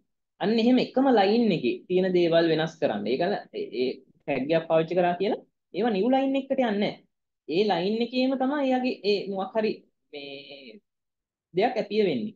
ඒකට ඒ වගේ කට්ටියට අපි කියනවා ඉන්ලයින් ටැග්ස් කියලා. හරිද? ඔන්න ඔය જાති ඔය දෙගොල්ල කලවමේ තමයි අපි මේ වෙබ්සයිට් වල පාවිච්චි කරන්නේ. මම මේ දේවල් ඒ අවස්ථාවලදී තායි කියන්නම්. දැනට ඒක එහෙම එකක් තියෙනවා කියලා ඔලුවට ගන්න. block level elements කියලයි inline elements කියලයි. හරි. එහෙම කීප දෙනෙක් ඉන්නවා. දැන් මම මෙතන මෙතනින් ඉඳන් මම ටිකක් අර කෙටි ක්‍රම පාවිච්චි කරනවා ටයිප් කරන්න. ඔන්න දැන් අපි ඉස්සෙල්ලාම h1 කියලා ටයිප් කරානේ. හරි. h2 වලට ගන්න. H2 දැම්මා. Enter කරා. ඒකට මම මේකට sample 2 හරිද? ඊට පස්සේ තව ක්‍රම තියෙනවා. මේ මේ වැඩි ක්‍රීම් ගහලා හැමත් ගන්න ක්‍රම තියෙනවා. මම ඒවත් කියලා දෙන්නම්. h3 enter කරන්න. Sample 3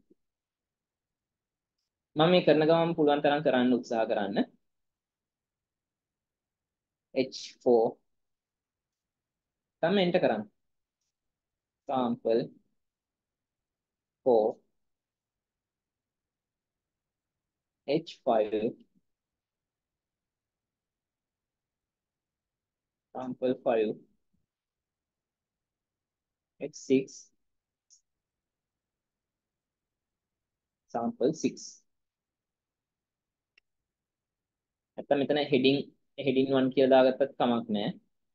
හරි. මම ඒක තව දෙයක් ඔයගොල්ලන්ට පැහැදිලි කරන්නම් මෙතන මෙහෙම. දැන් මේක මම ඉස්සලම දැන් මේ ගත්තේ block level elements ගැන කතා කරන්නේ. මේ h1 h2 h3 h4 h5 h6 කියලා තියෙනවා. මෙන්න මේ tags ටිකෙන් අපි කරන්නේ heading tags. මොකක් හරි මේ sample 1 කියන එක heading 1 වලට දාලා දෙනවා. එතකොට මේ browse එක දන්නවා මෙතන තියෙන්නේ ටිකක් ලොකු heading heading එකක් ටිකක් ලොකුම size එකේ heading එක. ඊට වඩා ටිකක් size එක පොඩි එකක් තමයි මේ h1 තියෙන්නේ. h2 තියෙන්නේ. sorry h2 වලින් කියන්නේ. ඊටත් වඩා ටිකක් පොඩි එකක් තමයි h3 වලින් තියෙන්නේ. දැන් බලන්න මේක මම save කරලා my first කියන එකනේ ගත්තේ. මම දැන් මේක refresh කරනවා. දැන් බලන්න මේක මේ h1 heading 1 එක ආව එක්කනාගේ මේව සාමාන්‍ය මාතෘකාවලට පාවිච්චි කරන්නේ headings වලට. එතකොට h1, h2, h3, h4, h5, h6. එතකොට මේ කට්ටිය ටිකක් එන්න එන්න එන්න පොඩි වෙලා ගිය විදිහක් පෙන්නනවා. නමුත් ඔයාලා පාවිච්චි කරපු ටැග් එක මෙතන පෙන්වන්නේ නැහැ h1 ටැග් එකවත් h ටැග් h1 ටැග් එකේ close එකවත් මේව පෙන්වන්නේ නැහැ. ඒ ටැග් එක ඇතුලේ තියෙන content එක විතරයි මෙන්න මේ URL එකෙන් පල්ලෙහා මේ area එකේ display වෙන්නේ. එතකොට අපි මේ විදිහට මේ විදිහට තමයි එක එක tags පාවිච්චි කරලා එහෙම නැත්නම් ඒවටම දැන් instructions කියලා කියවනේ. tags එහෙම නැත්නම් ඒ elements පාවිච්චි කරලා තමයි අපි මේ පස්සේ ලස්සන වෙබ්සයිට් එකක් ඩෙවලොප් කරන්නේ. පැහැදිලිද? හරි. අපි ඔය වගේ දැන් තව දෙයක් බලන්න. මම මේ මෙතන තියෙන දේවල් ටික අපිට නිතරම ඕනි වෙන දෙයක් control F. හරිද? මේ VS Code එකේම control F ඔබපුවාම find එක තියෙනවා. එතනින් මේ පල්ලෙහාට ගත්තාම replace එක තියෙනවා. හරිද? මම මෙතන sample කියන වචනේ මෙතන ගත්තානේ. මම මෙයාව select කරලා මෙතන enter කරලා sample මට ওই sample කියලා තියෙන වචන ඔක්කොම මට වෙනස් කරන්න ඕනි heading. heading කියලා වෙනස් කරන්න ඕන. එතකොට මේ ඔප්ෂන් එකක් චුට්ටක් බලන්න. මේ මේ වගේ තමයි අපි ඇත්තටම ට්‍රික්ස් විදිහට පාවිච්චි කරන්නේ. මේ දේවල් එක්ක අපිට ස්පීඩ් එක පවා වැඩි කරගන්න පුළුවන්. දැන් sample 1 කියන එක මෙන්න මෙතන ඔප්ෂන් එකක් තියෙනවා මෙතන ඔප්ෂන් එකක් තියෙනවා. මේ තියෙන්නේ එක එකක් අපිට change කරන් යන එක. මෙන්න මෙතන ඔප්ෂන් එක දුන්නොත් මේ sample කියලා තියෙන අකුරු ඔක්කොම heading කියලා replace වෙනවා. හරිද? එහෙමත් ඒක කරලා බලන්න. ඒකට ෂෝට්කට් එක තමයි control F කියන එක. එහෙම නැත්නම් control H ඔව්වහම කෙලින්ම find and replace option එක එනවා. control H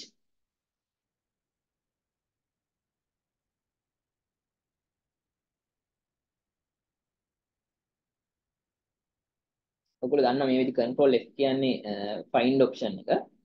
control H කියන්නේ find and replace. ඒකට මම දැන් ඉස්සෙල්ලා sample කියලා නේ තිබ්බේ.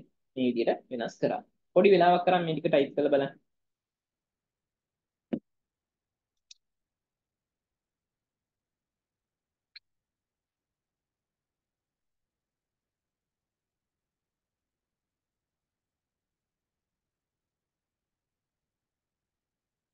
මම ඊළඟට පැරග්‍රාෆ් එකයි අර ලොරෙන් කරන එකයි කියලා දෙන්නම්. දැන් ඇත්තටම අද ටැක්ස් ගැන නෙමෙයි කතා කරේ මේ VS Code එකේ මේවා වැඩ කරන්න හැටි කොහොමද කියන්නේ. ඔයාලා මේ ටික හරියට දැනගත්තා නම් මේ බේසික් ටැක්ස් දන්න අය නම් මේ විදිහ ඔය ටික ඔක්කොම දන්නවමනේ. නමුත් අමතරව ඉගෙන ගන්න හම්බුනේ VS Code එක ගැන. ඒකත් එක්ක කොච්චර ස්පීඩ් වැඩ කරන්න පුළුවන්ද කියලා තේරුම් ගන්න පුළුවන්. අපි ඇත්තටම ප්‍රැක්ටිකලි වැඩ කරද්දී.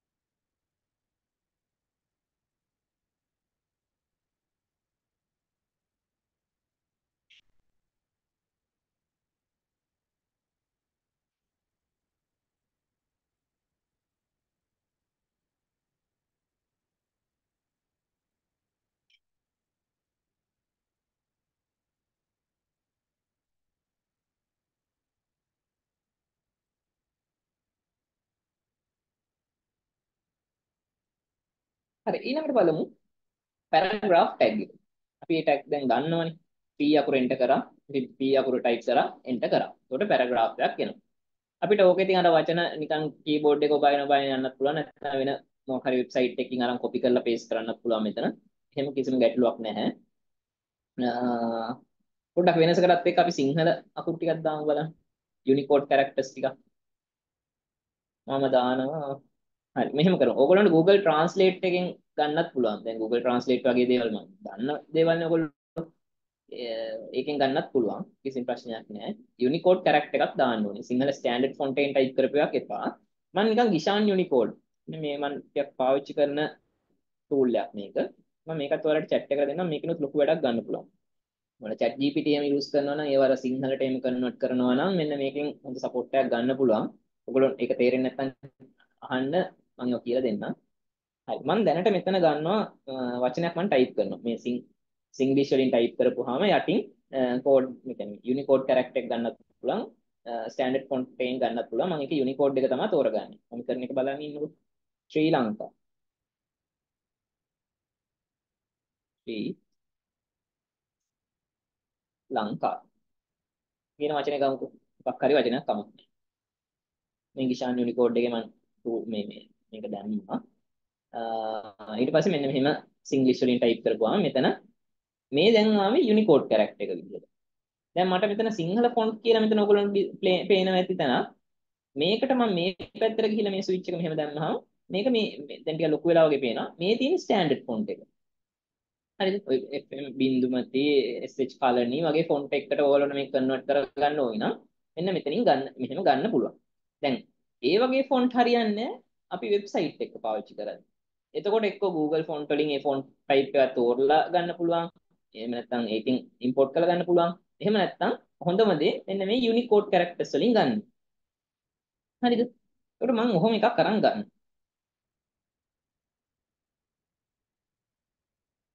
මේක මම මෙතන paste කරලා save කරලා මම මේ කෙනාව run කරලා බලනවා. දැන් මෙතන කිසිම ප්‍රශ්නයක් නැතුව ආවා ශ්‍රී ලංකාව. හරිද? දැන් මෙතන ගිහිල්ලා බලන්න මම මම ඉස්සෙල්ලා ඔයගොල්ලන්ට කිව්වා මතක ඇති මේක ක්ලෝස් කරගන්න හරි මම ඉස්සෙල්ලා කිව්වා Unicode characters display වෙන්න නම් මෙන්න මෙහෙම meta charset utf8 කියලා meta tag එකක් තියෙන්න ඕනි කියලා. එහෙම නම් කිව්වා. දැන් මේ දේවල් තව ඉදිරියේදී තමයි ඔයගොල්ලෝ ටිකක් අර ඇඟට එන්නේ. නමුත් දැන් අදට කියපු දේවල් හින්දා මේක මතක තියාගන්න. එතකොට මේ ටැග් එක මෙතන පාවිච්චි කරලා තියෙනවද? නැහැ.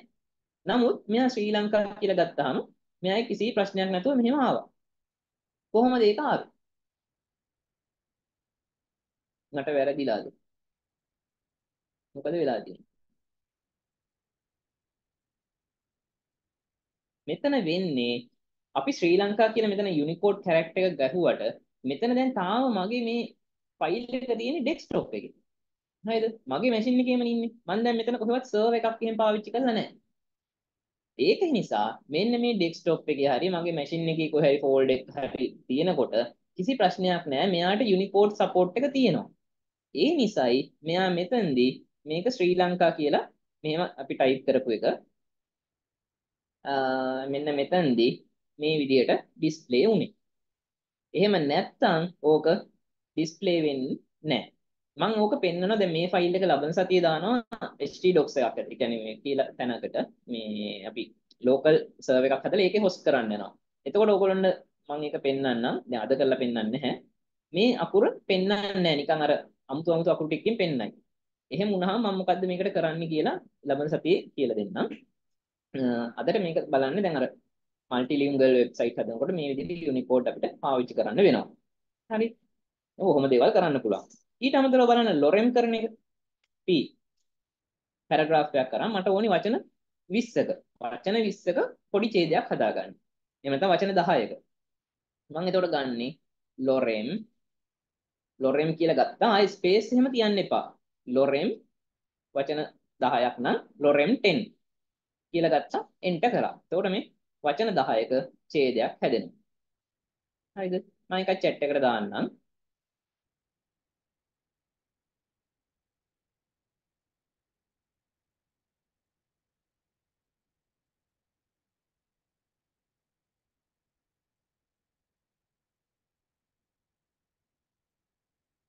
පැරග්‍රාෆ් එක ඇතුලේ පැරග්‍රාෆ් ටැග් එක ගහලා එන්ටර් කරලා ඒක ඇතුලේ තමයි මේ lorem 10 හරි මොකක් හරි එහෙම lorem 10 වෙන්න පුළුවන් 15 වෙන්න පුළුවන් 500 වුණත් වෙන්න පුළුවන් ඔය කෑල්ල එක දිගටම ගහන්න. ඒකට මේව ගන්න පුළුවන්ද කියලා බලන්න.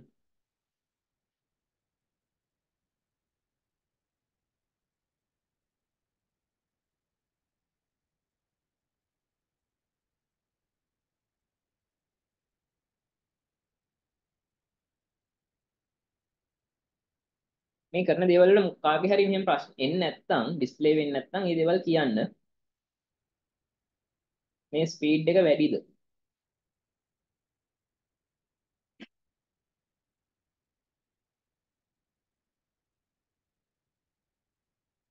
අනිත් අයට ෂේප්ද තව අඩු කරන්න ඕනේද?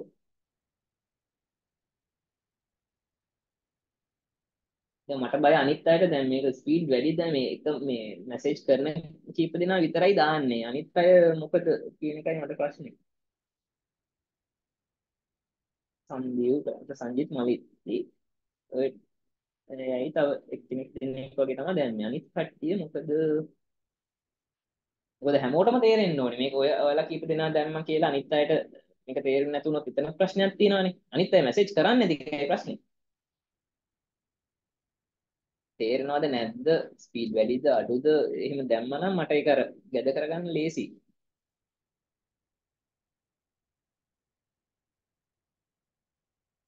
හරි මෙතෙක් කරපු ටිකත් වැඩ කරනවද ඕගොල්ලෝගේ කරන නැති කියලා හිතනවා. තවත් එකක්. T වැඩි කිරීම.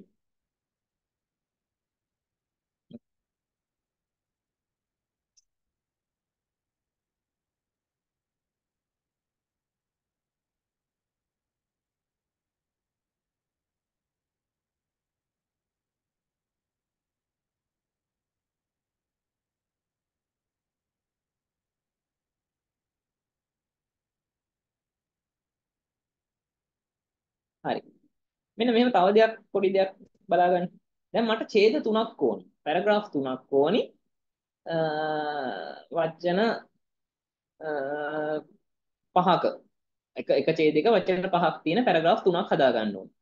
ඕකට මේ පහසුවෙන්ම ගන්න පුළුවන්. P වැඩි කිරීම වැඩි කිරීම ස්ටාර් මාක් එක 3 පැරග්‍රාෆ් තුනක්නේ. පැරග්‍රාෆ් තුනක්. ලොරෙන් කරන්න ඕනි මට. වචන පහක් එන්නනේ. ලොරෙන් වචන පහේ පැරග්‍රාෆ් තුනක්. මම මේ කෝඩ් එකක් දාන්නම්. ඔයගොල්ලෝ පොඩ්ඩක් ඒක ටයිප් කරලා බලන්න. ටයිප් කරනකොට තමයි එන්නේ. කොපි කරලා දැම්මොත් එහෙම සමහරට එන්නේ නැති වෙයි. මෙන්න මේ විදිහට කෝඩ් එක හදලා එන්ටර් කරන්න. සෝරි. ගහලා මේක මේ ටයිප් කරන ගාම ගන්න. p වැඩි කිරීම 3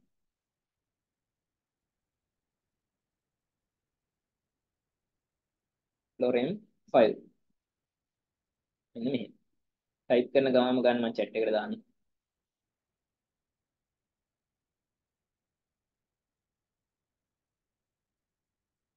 මෙන්න මේ වගේ දේවල් තියෙනවා. අපිට ඒවර ඩෙවලොපින් වලදී ගොඩක් වැදගත් වෙනවා.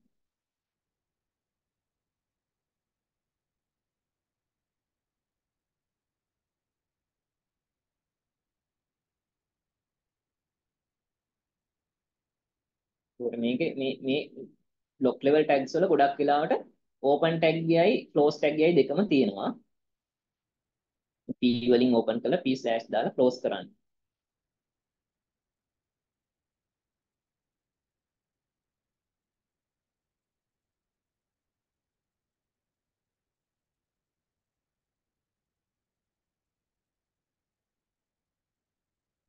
මේ දේවල් තියෙනවා. ඊට අමතරව තව මොනවද තියෙන්නේ? Break tag tag එකක් තියෙනවා. br. අපිට පුළුවන් line break කරන්න. හරිද? ඒ කියන්නේ අපි මේ ඡේදයක් මම මේ මේක පාවිච්චි කරනම් මේ ඡේදයක් ඇතුළට.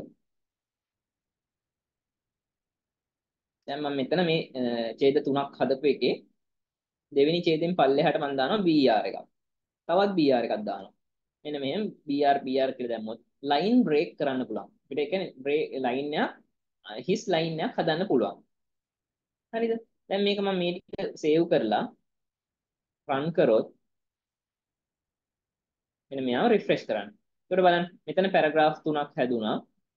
පැරග්‍රාෆ් තුන කියන්නේ කලින් තිබු පැරග්‍රාෆ් එකනේ. මේ දෙවෙනිට හදපු පැරග්‍රාෆ් එකට පස්සේ මෙන්න මේ විදිහට ස්පේස් එකක් තියෙනවා. කියන්නේ ස්පේස් එක හැදුනේ මෙතන ලයින් දෙකක් බ්‍රේක් වෙලා. හරි. ඒකත් කරලා බලන්න. ඊළඟට මම ගොඩක් වැදගත් දෙයක් කියලා දෙනවා. තව ටැක්ස් දෙක තුනක් කියලා දීලා. ඒ කියන්නේ HR එකයි BR එකයි මේ මේ HR කියන ටැග් එකක් තියෙනවා. ඊට පස්සේ division break එක. div කියන ටැග් එක. ඔය div ටැග් එකත් එක්ක තමයි booster එකත් එහෙම සම්පූර්ණයෙන් වැඩ කරන්නේ. එතකොට මම ඒ ඒ මේ block level එකක් විදිහට div කියන ටැග් එක එනවා. inline ටැග් එකක් විදිහට span කියන ටැග් එක එනවා. ඔය දෙක ගැන මම කතා කරන්නම්. මේ තව HR ටැග් එකයි div ටැග් එකයි කියලා ඉවර වුණාම ගොඩක් වැදගත් දෙයක් කියලා දෙනවා. developer tool එක. මේකේ වැඩ කරන්නේ කොහොමද කියන දේ මොකද ඒක අහගෙනම ඔයගොල්ලෝ පන්තියෙන් අයින් වෙනවා නම් ඒ කියන්නේ මේ මේ මේ වෙන්න ඒක අහගෙන ඉන්න. ඔයගොල්ලෝ ක්ලාස් එකට ආවත් නැත්නම් ඒක අර ඔයගොල්ලෝ දැනගත යුතුම දෙයක්. සමහර කැම්පස් වල ඉන්න දරුවෝ ඒක වැඩි පාවිච්චි කරන්න දන්නේ නැහැ. මොකද ඒ දේ දැනගන්න ඕනේ අනිවාර්යයෙන් ඔයගොල්ලෝ එන්වයරන්මන්ට් එකේ කියන්නේ ෆීල්ඩ් එකේ වැඩ කරනවා නම්. ඒත් ඒක කරනකම් පොඩ්ඩක් ඉන්න. හරි. මේ BR කියන ටැග් එක පාවිච්චි කරන්නේ මේ විදිහට. ඔය වගේම ටැග් එකක් තමයි block level element එකක් තියෙනවා HR. HR කියන්නේ horizontal ruler කියන එක. ඔය ඉන්ටර්ෆේස් එක පුරාවටම horizontally ruler ගහ ගන්න පුළුවන්, ඉරක් ගහ ගන්න පුළුවන් මේ HR කියන ටැග් එක පාවිච්චි කරොත්.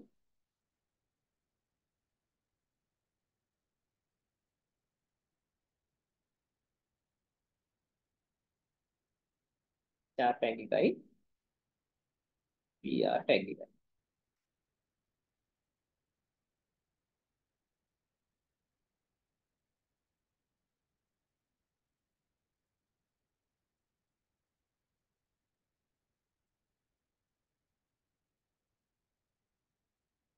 ඔයත් එක්ක මේ ටික කරන්න ඒක එච්චර අමාරු ටැක්ස් නෙවෙයිනේ. දැන් මෙහෙම රූලක් ගහ ගන්න පුළුවන්.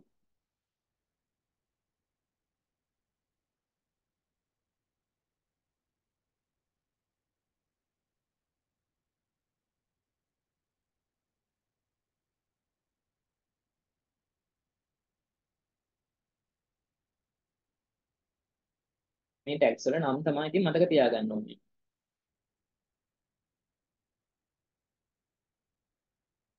heading වලට පාවිච්චි කරන H1 H2 H3 කියලා heading 6 දක්වා ඒ sizes වලට අදාළ tags ටිකක් තියෙනවා. P කියලා paragraph tag එකක් තියෙනවා. BR එක break කරන්න ගන්න පුළුවන්.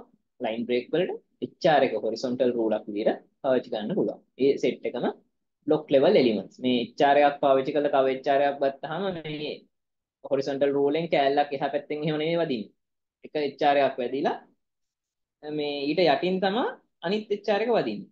මේ horizontal rule වදින්නේ. දැන් ඔහොම මම HR දෙකක් පාවිච්චි කරොත් වෙන්නේ මොකද බලන්න. නේ?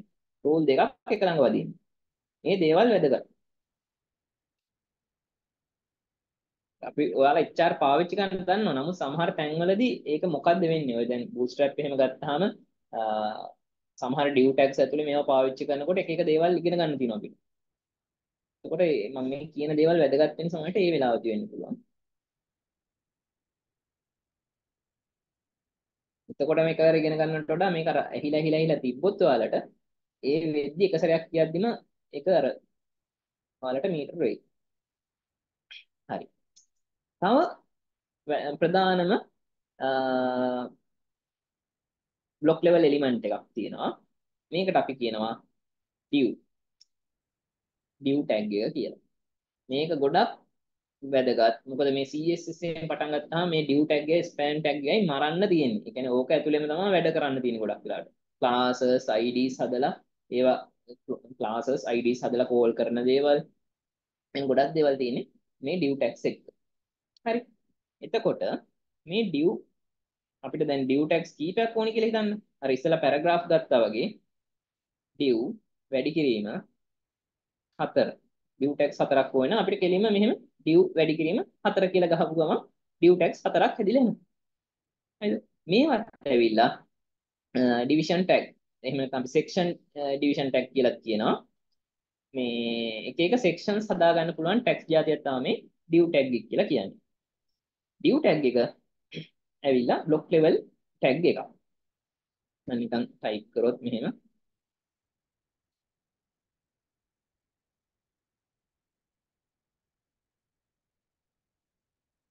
මේක සේව් කරලා මෙන්න මේ විදිහට එකක් යට එකක් යට එකක් තමයි එන්නේ. මම මේකම inline tags විදිහට පාවිච්චි කරලා span tag එක පාවිච්චි කරලා කරොත් කොහොමද වෙන්නේ කියලා බලමු අද දවසේ කතා කරන්න. හරි.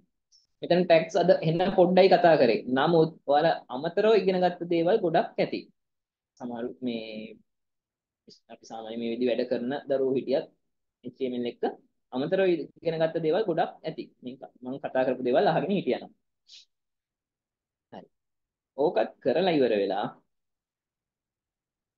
මම පෙන්නන්නම් අර වැදගත් කීපු එක.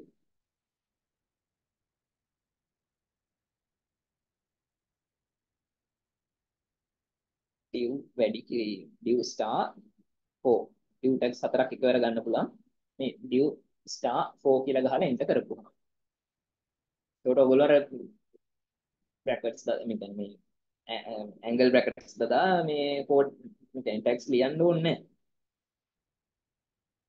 එහෙම ලියන්න ඕනි කියන්නේ මේ ස්ට්‍රක්චර් එකට ඕනි. නමුත් අර මේ VS Code එකේ තියෙන support එකත් එක්ක මේ code එක auto generate කරලා දෙනවා අපිට. දැන් ඕක ඔහම මේ notepad එකේ ගිහිල්ලා div වැඩි කිරීම div star 4 කියලා ගැහුවොත් එහෙම එන්නේ නැහැ.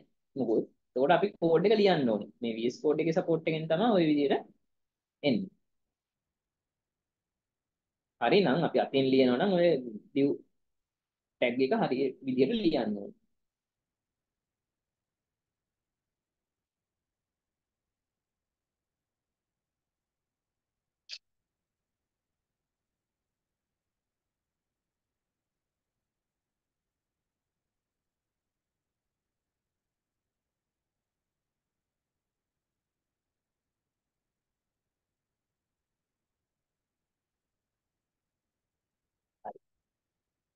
මේ කොටසත් බලා ගන්න. දැන් ඔයාලගේ කම්පියුටරේ දැන් අපි මේ ඉන්ටර්ෆේස් එකට ආවනේ. මේ ඉන්ටර්ෆේස් එකේ ඉඳන් ඔයාලා බලන්න ඔයාලගේ තියෙනවා මේ කී එකක් F12 කියලා. F12 කී එක ඔබන්න.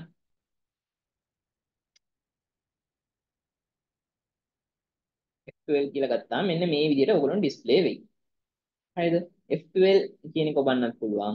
එහෙම නැත්නම් right click කරලා inspect මෙන්න මෙතන තියෙන අන්තිමේට ඔප්ෂන් එක Q inspect Q කියලා inspect කියන ඔප්ෂන් එක ගත්තත් ඕකම තමයි එන්නේ. එතකොට මේකේ තියෙන වැදගත්කම මොකද්ද? කොහොමද වෙබ් ඩෙවලොපර් කෙනෙක්ට මේක වැදගත් වෙන්නේ? මෙතනදි වෙන්නේ මේ අපිට මේකේ තියෙනවා මෙතන ඉන්ස්පෙක්ටර් ටූල් එක තියෙනවා මෙතන ඉන්ස්පෙක්ටර් තියෙනවා කන්සෝල් තියෙනවා ඩිබග් තියෙනවා නෙට්වර්ක් තියෙනවා ස්ටයිල් එඩිට් තියෙනවා මෙන්න මෙහෙම ගොඩාක් දේවල් තියෙනවා. මෙතන මේ රෙස්පොන්සිව් විදියට බලා ගන්න මේක එක ඩිවයිසස් වලට බලන ඔප්ෂන් එකක් තියෙනවා. අපි මේ ගැන කතා කරනවා ඉදිරියේදී. මේකේ මේ ඉන්ස්පෙක්ට් ටූල් එක වගේ යූස් කරලා අපිට මේ මෙතන තියෙන අපි මෙයා ඉන්න පොසිෂන්ස් ඒ කියන්නේ කොතනද ඉන්නේ මෙයාගේ ලියලා තියෙන ස්ටයිල්ස් මොනවද දැන් අපි තාම CSS එහෙම කරේ නෑනේ ඒ වුණා නම් මේ මෙතන CSS ටික ඔක්කොම පෙන්නනවා එතකොට ඉන්න තැන දැන් මෙයා මෙතන ක්ලික් කරොත් මේ ටූල් එකේ එයාට අදාළ තැන පෙන්නනවා ඊට පස්සේ දැන් අපි මෙතනට ගිහිල්ලා මේ මෙන්න මේ ඉන්ස්පෙක්ට් ටූල් එකෙන් මෙන්න මෙහෙම ක්ලික් කරොත් එයා. ඊපස්සේ ආයි ඉන්ස්පෙක්ට් ටූල් එක මෙහෙම ක්ලික් කරලා එන මෙතන මෙතන හිස් මේ මේ තැනට ගියොත් මෙන්න මෙතන ලයින් එක highlight වෙලා එනවා. සිලෙක්ට් වෙලා එනවා. එතකොට ඒ වගේ අර ඉන්න තැන හොයාගන්න පුළුවන්. ඉතින් ඕක අද නෙමෙයි වැදගත් වෙන්නේ. මේ ඩිවෙලොපර් ටූල් එකෙන් ඉඳන් තමයි සෑහෙන කෝඩ් ප්‍රමාණික මේ කියන්නේ කෝඩ් එකේ මොනවද වෙන්නේ ඒක වෙනස් කරන්නේ කොහොමද? දැන් ස්ටයිල්ස් එහෙම ගත්තාම මෙතන ඉඳන්ම අපිට කරලා බලන්න පුළුවන්. දැන් මම මෙතන හෙඩින් කියන එක මම මෙතනදි වෙනස් කරනවා. හෙඩින් 5 නැතුව sample. දැන් මෙතන මම sample කියලා වෙනස් කරානේ. දැන් බලන්න මෙතන මේ H5 කියන තැනනේ මම මේ sample කියලා වෙනස් කරේ. දැන් මතන මං කෝඩ් එක වෙනස් කරේ නෑ. මෙතන මේ ඩෙවලොපර් ටූල් එකේ තමයි වෙනස් කරේ. හැබැයි ඒක මෙතනද ඇප්ලයි වෙලා තියෙනවා. ඒ වුණාට ඒ කෝඩ් කියන්නේ අපි දැන් අපි ටයිප් කරපු කෝඩ් එකට ඒක ඇප්ලයි වෙන්නේ නැහැ. නමුත් මෙතන ඉඳන් අපිට ඔය චේන්ජස් කරලා බලන්න පුළුවන්. මේක හරි විදියට එනවද? මේක තව මැච් කියන්නේ මොනවද කරන්න ඕනේ? දැන් ස්ටයිල් ෂීට්ස් එකෙන් කතා කරපුවම මම මේ දේවල් ගැන වැඩිපුර කතා කරන්නම්. දැනට දැනගන්න මෙන්න මෙහෙම ඩෙවලොපර් ටූල් කියලා එකක් තියෙනවා කියලා. හරිද? ඒකේ වැඩ ගොඩක් ගන්න පුළුවන් මේ ලේඅවුට්ස් ගැන. ඒ දේවල් මම කියලා දෙන්නම් ඉදිරියේදී. මේ කලර්ස් පික් කරගන්න, කලර්ස් තෝරගන්න විදි, ඒ වගේ දේවල් තියෙනවා. මෙතන ගොඩක් දේවල් තියෙනවා. ඒතකොට ඔය කොන්සෝල් එකෙන් කරන්නේ errors. අපි ඉස්සරහදී කතා කරනවා ඒ වගේ කොන්සෝල් logs ගැන එහෙම. ඒකට ඒ වගේ දේවල් ඒව ඩිබග් කරගන්නේ කොහොමද? වැරදි හදාගන්නේ කොහොමද? JavaScript එහෙම පාවිච්චි කරනකොට ඒකේ කොහොමද ෆයිල් පාස් වෙන්නේ? ඒව network කියන කොටසෙන් බලා ගන්න හැටි. මේක පාවිච්චි කරන විදිහ තව ඉදිරියේදී කතා කරනවා. ඉතින් එහෙම tool එකක් තියෙනවා. ඔයගොල්ලෝ දැනගත යුතුයි. හරි. ඊට පස්සේ මම තව පොඩි වෙලාවක් කරලා පන්තිය නවත්තන්නම්. පොඩි වෙලාවක් කියන්නේ මහලු වෙලාවක් නෑ කොහොමද ඉතුරු වෙලා. මේ ඒක අද දවසේදී මම ප්ලෑන් කරපු තරම් නම් කොහොමද කරන්න හම්බුන්නේ නැහැ. ඒක ගැටලුවක් නෑ. මොකද මම කියන්න ඕනේ ඔක්කොම ටික කතා. ඒ කියන්නේ අද අර අමතරව කියන්න ඕනේ දේවල් ගොඩක් කතා කරාද. එතකොට ඔයාලට ඊළඟ දවසේ වෙනකොට ඔය ටික හරියට මේ වීඩියෝ එක තව එක සැරයක් ඇහුවනම් ඕගොල්ලන්ගේ ඔළුවට එනවා මේ ෆුල් ක්ලියර් අයිඩියා එකක්. මේ මෙහෙම මෙහෙම දේවල් කරන්න පුළුවන් කියලා. එතකොට ඔයා අර HTML ඉගෙනගෙන කරන HTML ඔක්කොම ටික ඉගෙනගෙන CSS ඔක්කොම ඉගෙනගෙන වෙබ්සයිට් හදන්න යනවට වඩා මේකේ මේ එන්වයරන්මන්ට් එක හදාගන්න දේවල් ටික හරියට කරගෙන ඒ ටූල් එකක්, ඒ කියන්නේ ටෙක්ස්ට් එඩිට් ටූල් එකක් හරියට ඉගෙනගෙන HTML කරන්න આવොත් ඔයගොල්ලෝ අර HTML ඉගෙනගෙන යන ළමයින්ට වඩා සෑහෙන ස්පීඩ් එකපාර ලොකු ගමනක් යන්න පුළුවන්. ලොකු පිම්මක් පයින්න පුළුවන්. ඉතින් මේ මම අනිත් දවසේ කෝඩින් කරන දේවල් ටික පෙන්නන්නම්. තව ඉන්ලයින් ටැග්ස් මෙන්න මේ විදිහට තියෙන ඉන්ලයින් එලිමන්ට්ස් ටිකක් තියෙනවා. එතකොට මේ මේකේ මොන මොන දේවල්ද පාවිච්චි කරන්නේ? bold, italic, මේ strong, emphasize ඒ වගේ දේවල්. ඊට අමතරව අර div tag එක වගේම වැදගත් එක්කෙනෙක් ඉන්නවා මේ inline tags වල span span කියන tag එක. එතකොට span tag එක පාවිච්චි කරපුවාම මම ඒක run කරලා පෙන්නන්නම් ඔයාලට. එතන මේ මම හදන් අපිට මේ අද ඉස්සෙල්ලා ටයිප් කරපු වගේ දේවල් ටිකක් මේ තියෙන්නේ. ඉතින් මේ මෙතන තියෙන්නේ ඔය අකුරු ටිකක් බෝල්ඩ් කරලා ඊට පස්සේ අන්ඩර්ලයින් කරලා. මෙතන මම මොකක් හරි පැරග්‍රාෆ් එකක් වගේ පාවිච්චි කරලා ඇති. ඒකයි මේ එකින් යටට ගිහිලා තියෙන්නේ. දැන් මේ තියෙන A B එහෙම එහෙම කියලා. එතකොට අර ඉන්ලයින් එකේම කරගන්න පුළුවන්. මේ පැරග්‍රාෆ් එකට මේ එක එක තැන්වල එම්ෆසයිස් කරලා තියෙනවා. දැන් බලමු අපි ඒ ටික අර ඩෙවලොපර් ටූල් එක අරගෙන. මම මේ පැරග්‍රාෆ් එක නිකන් පෙන්නන්නම්. එතකොට මෙන්න මෙතන මොකද්ද වෙලා තියෙන්නේ? මේ මේ බලන්න ඩොලර් කරපු තැනක මේ ඩොලර් කියලා තියෙන තැන එයාව i ඉටලික් කරලා තියෙනවා. ඊට පස්සේ මෙන්න මෙතන මොකද්ද වෙලා තියෙන්නේ? කන්ස්ට්‍රක්ටර් කන්ස්ට්‍රක්ටර් කියන එක දෙපැත්තෙන් මේ b කියන ටැග්ස් දෙකක් වෙදලා තියෙනවා. ඒ කියන්නේ මෙයා බෝල්ඩ් වෙලා තියෙනවා මෙතන.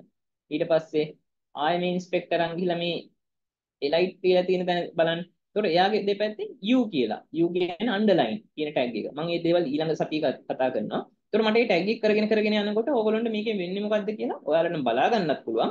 ඒ අයිඩියා එක ගන්නත් පුළුවන්. ඊට පස්සේ මෙන්න මේ මම කිය අර third මේ තුන නෙමෙයි ඇත්තට වෙන්න ඕනේ මෙතන fourth වගේ වෙන්න ඕනේ නේ. අනිකම් මෙතනදි එඩිට් කරලා පෙන්නන්න ඒක. මෙහෙම මෙතනදී එඩිට් කරාට ඒක ඔය කෝඩ් එකේ source code එකේ වෙනස් වෙන්නේ නැහැ.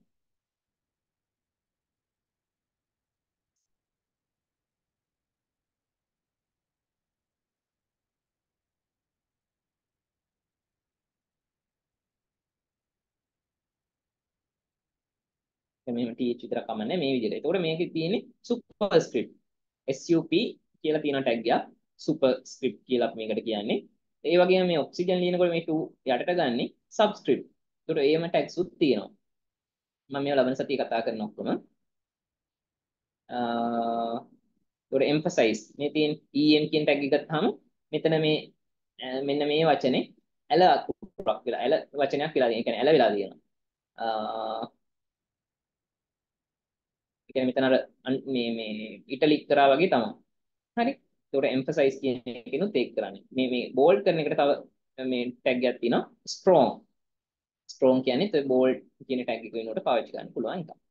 හරි ඊළඟට මම links ඔය වැදගත්ම මේ දේ තමයි ඔය hyperlinks හදන hypertext හදන tool මේ මේ මේ tag එක. ඒකට අපි කියනවා anchor tag කියලා. ඒකට ඇන්කර් ටැග්ස් පාවිච්චි කරන ක්‍රම තියෙනවා. ක්‍රම පහක් විතර මම ඔයගොල්ලන්ට කියලා දෙන්නම්. ඉතින් ඒ වගේ දේවල් ඊළඟ සතියේ පන්තියේදී කතා කරමු. ඊට පස්සේ ඉමේජස් දාන්නේ කොහොමද? ඊට පස්සේ ලිස්ට් හදාගන්නේ, ටේබල්ස් හදාගන්නේ කොහොමද? ඒ දවස් ඒක මට ඊළඟ සතියෙන් කවර් කරපුවාම මේ ටේබල් එක මේ විදිහට එකක් හදාගන්න ඕගොල්ලොන්ට කියලා දුන්නාම ඊට පස්සේ ඔයාලට ඇක්ටිවිටි එකක් දෙනවා. මෙන්න මේ වගේ පොඩි වෙබ්සයිට් එකක් හදන්න. ඊළඟ දවසේ ඉවරනකොට මෙන්න මේක හදාගන්න පුළුවන්. හරි. ඉතින් අදට පන්ති අපි නවත්තමු. ඔයාලට මොන හරි ගැටලු තියෙනවද අද දවසේ මෙතෙක් කතා කරපු දේවල් වල? අද දවසේ නම් මම ටිකක් වැඩිපුර කියෝප එක විතරයි කරේ. ඔයාලට ටයිප් කරන්න දුන්න දේවල් අඩුයි. මොන හරි මෙතෙක් කරපු ඒවල ගැටලු තියෙනවද? ගැටලු නැත්තම් නෑ කියලා මැසේජ් එකක් දාන්න. ගැටලු තියෙනවා නම් මොන වගේ කොටක්ද තිබ්බේ කියලා කියන්න. shape ද okay ද clear ද නැද්ද?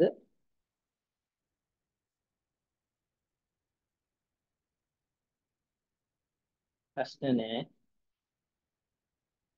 තේරුණාද ඔක්කොටම අවුලක් නැද්ද? හරි. මැසේජ් කරන කීප දෙනාම විතරයි දාන්නේ. අනිත් තුන් දෙනෙක් තව මුකුත් શબ્දයක් නැහැ. හරි. මේ IT ෆීල්ඩ් එකේ සාමාන්‍ය වෙබ් ඩෙවලොප්මන්ට් කියන්නේ ගොඩාක්ම ලේසි එහෙම දෙයක් නෙවෙයි. මොකද මේක යම්කිසි දේවල් ටිකක් තියෙනවා හරියට ඉගෙන ගන්න ඕන දේවල් ටිකක්. ඒ දේවල් ටික හරියට ඔලුවට දාගත්තොත් තමයි මේ මේ ගමන යන්න ලේසි වෙන්නේ. එහෙම නැතුව අපි කොච්චර මේ කටට වැටෙනකම් වගේ බලාගෙන හිටියොත් එහෙමනම් ඔයාලට මේ කිසිම IT වල තියෙන කිසිම දෙයක් එහෙම ලේසි නැහැ. ඉතින් මේ පොඩ්ඩක් මහන්සි වෙන්න වෙනවා. හරි. අපි අදට එහෙනම් පන්තිය නවත්තමු. ඔයාලා සහභාගී වෙච්ච හැමෝටම ගොඩක් ස්තුතියි. ඒ වගේම මේ ඊළඟ සතියේ ජොයින් වෙයි කියලා බලාපොරොත්තු වෙනවා. ඉතින් මොන හරි ඩවුට්ස් තියෙනවා නම් ගැටලු තියෙනවා නම් කතා කරන්න. මහින් සර්ට හරි මට හරි කතා කරන්න මේ තිලින සර්ට හරි. එතකොට හරි අද දවසට අපි නවත්තමු පන්තිය ටයිම් එකත් ලඟ වෙගෙන ආවා. ඊළඟ සතියේ එතකොට ඔය ඉතුරු මම අද අද කරන්න බැරි වෙච්ච කොටස් ටික සහ මම ඊළඟ සතියේ කරන ටිකත් මට කිව්වා. ඒ ටික කරාට පස්සේ අපි ඊළඟ ෆ්ලෝ එක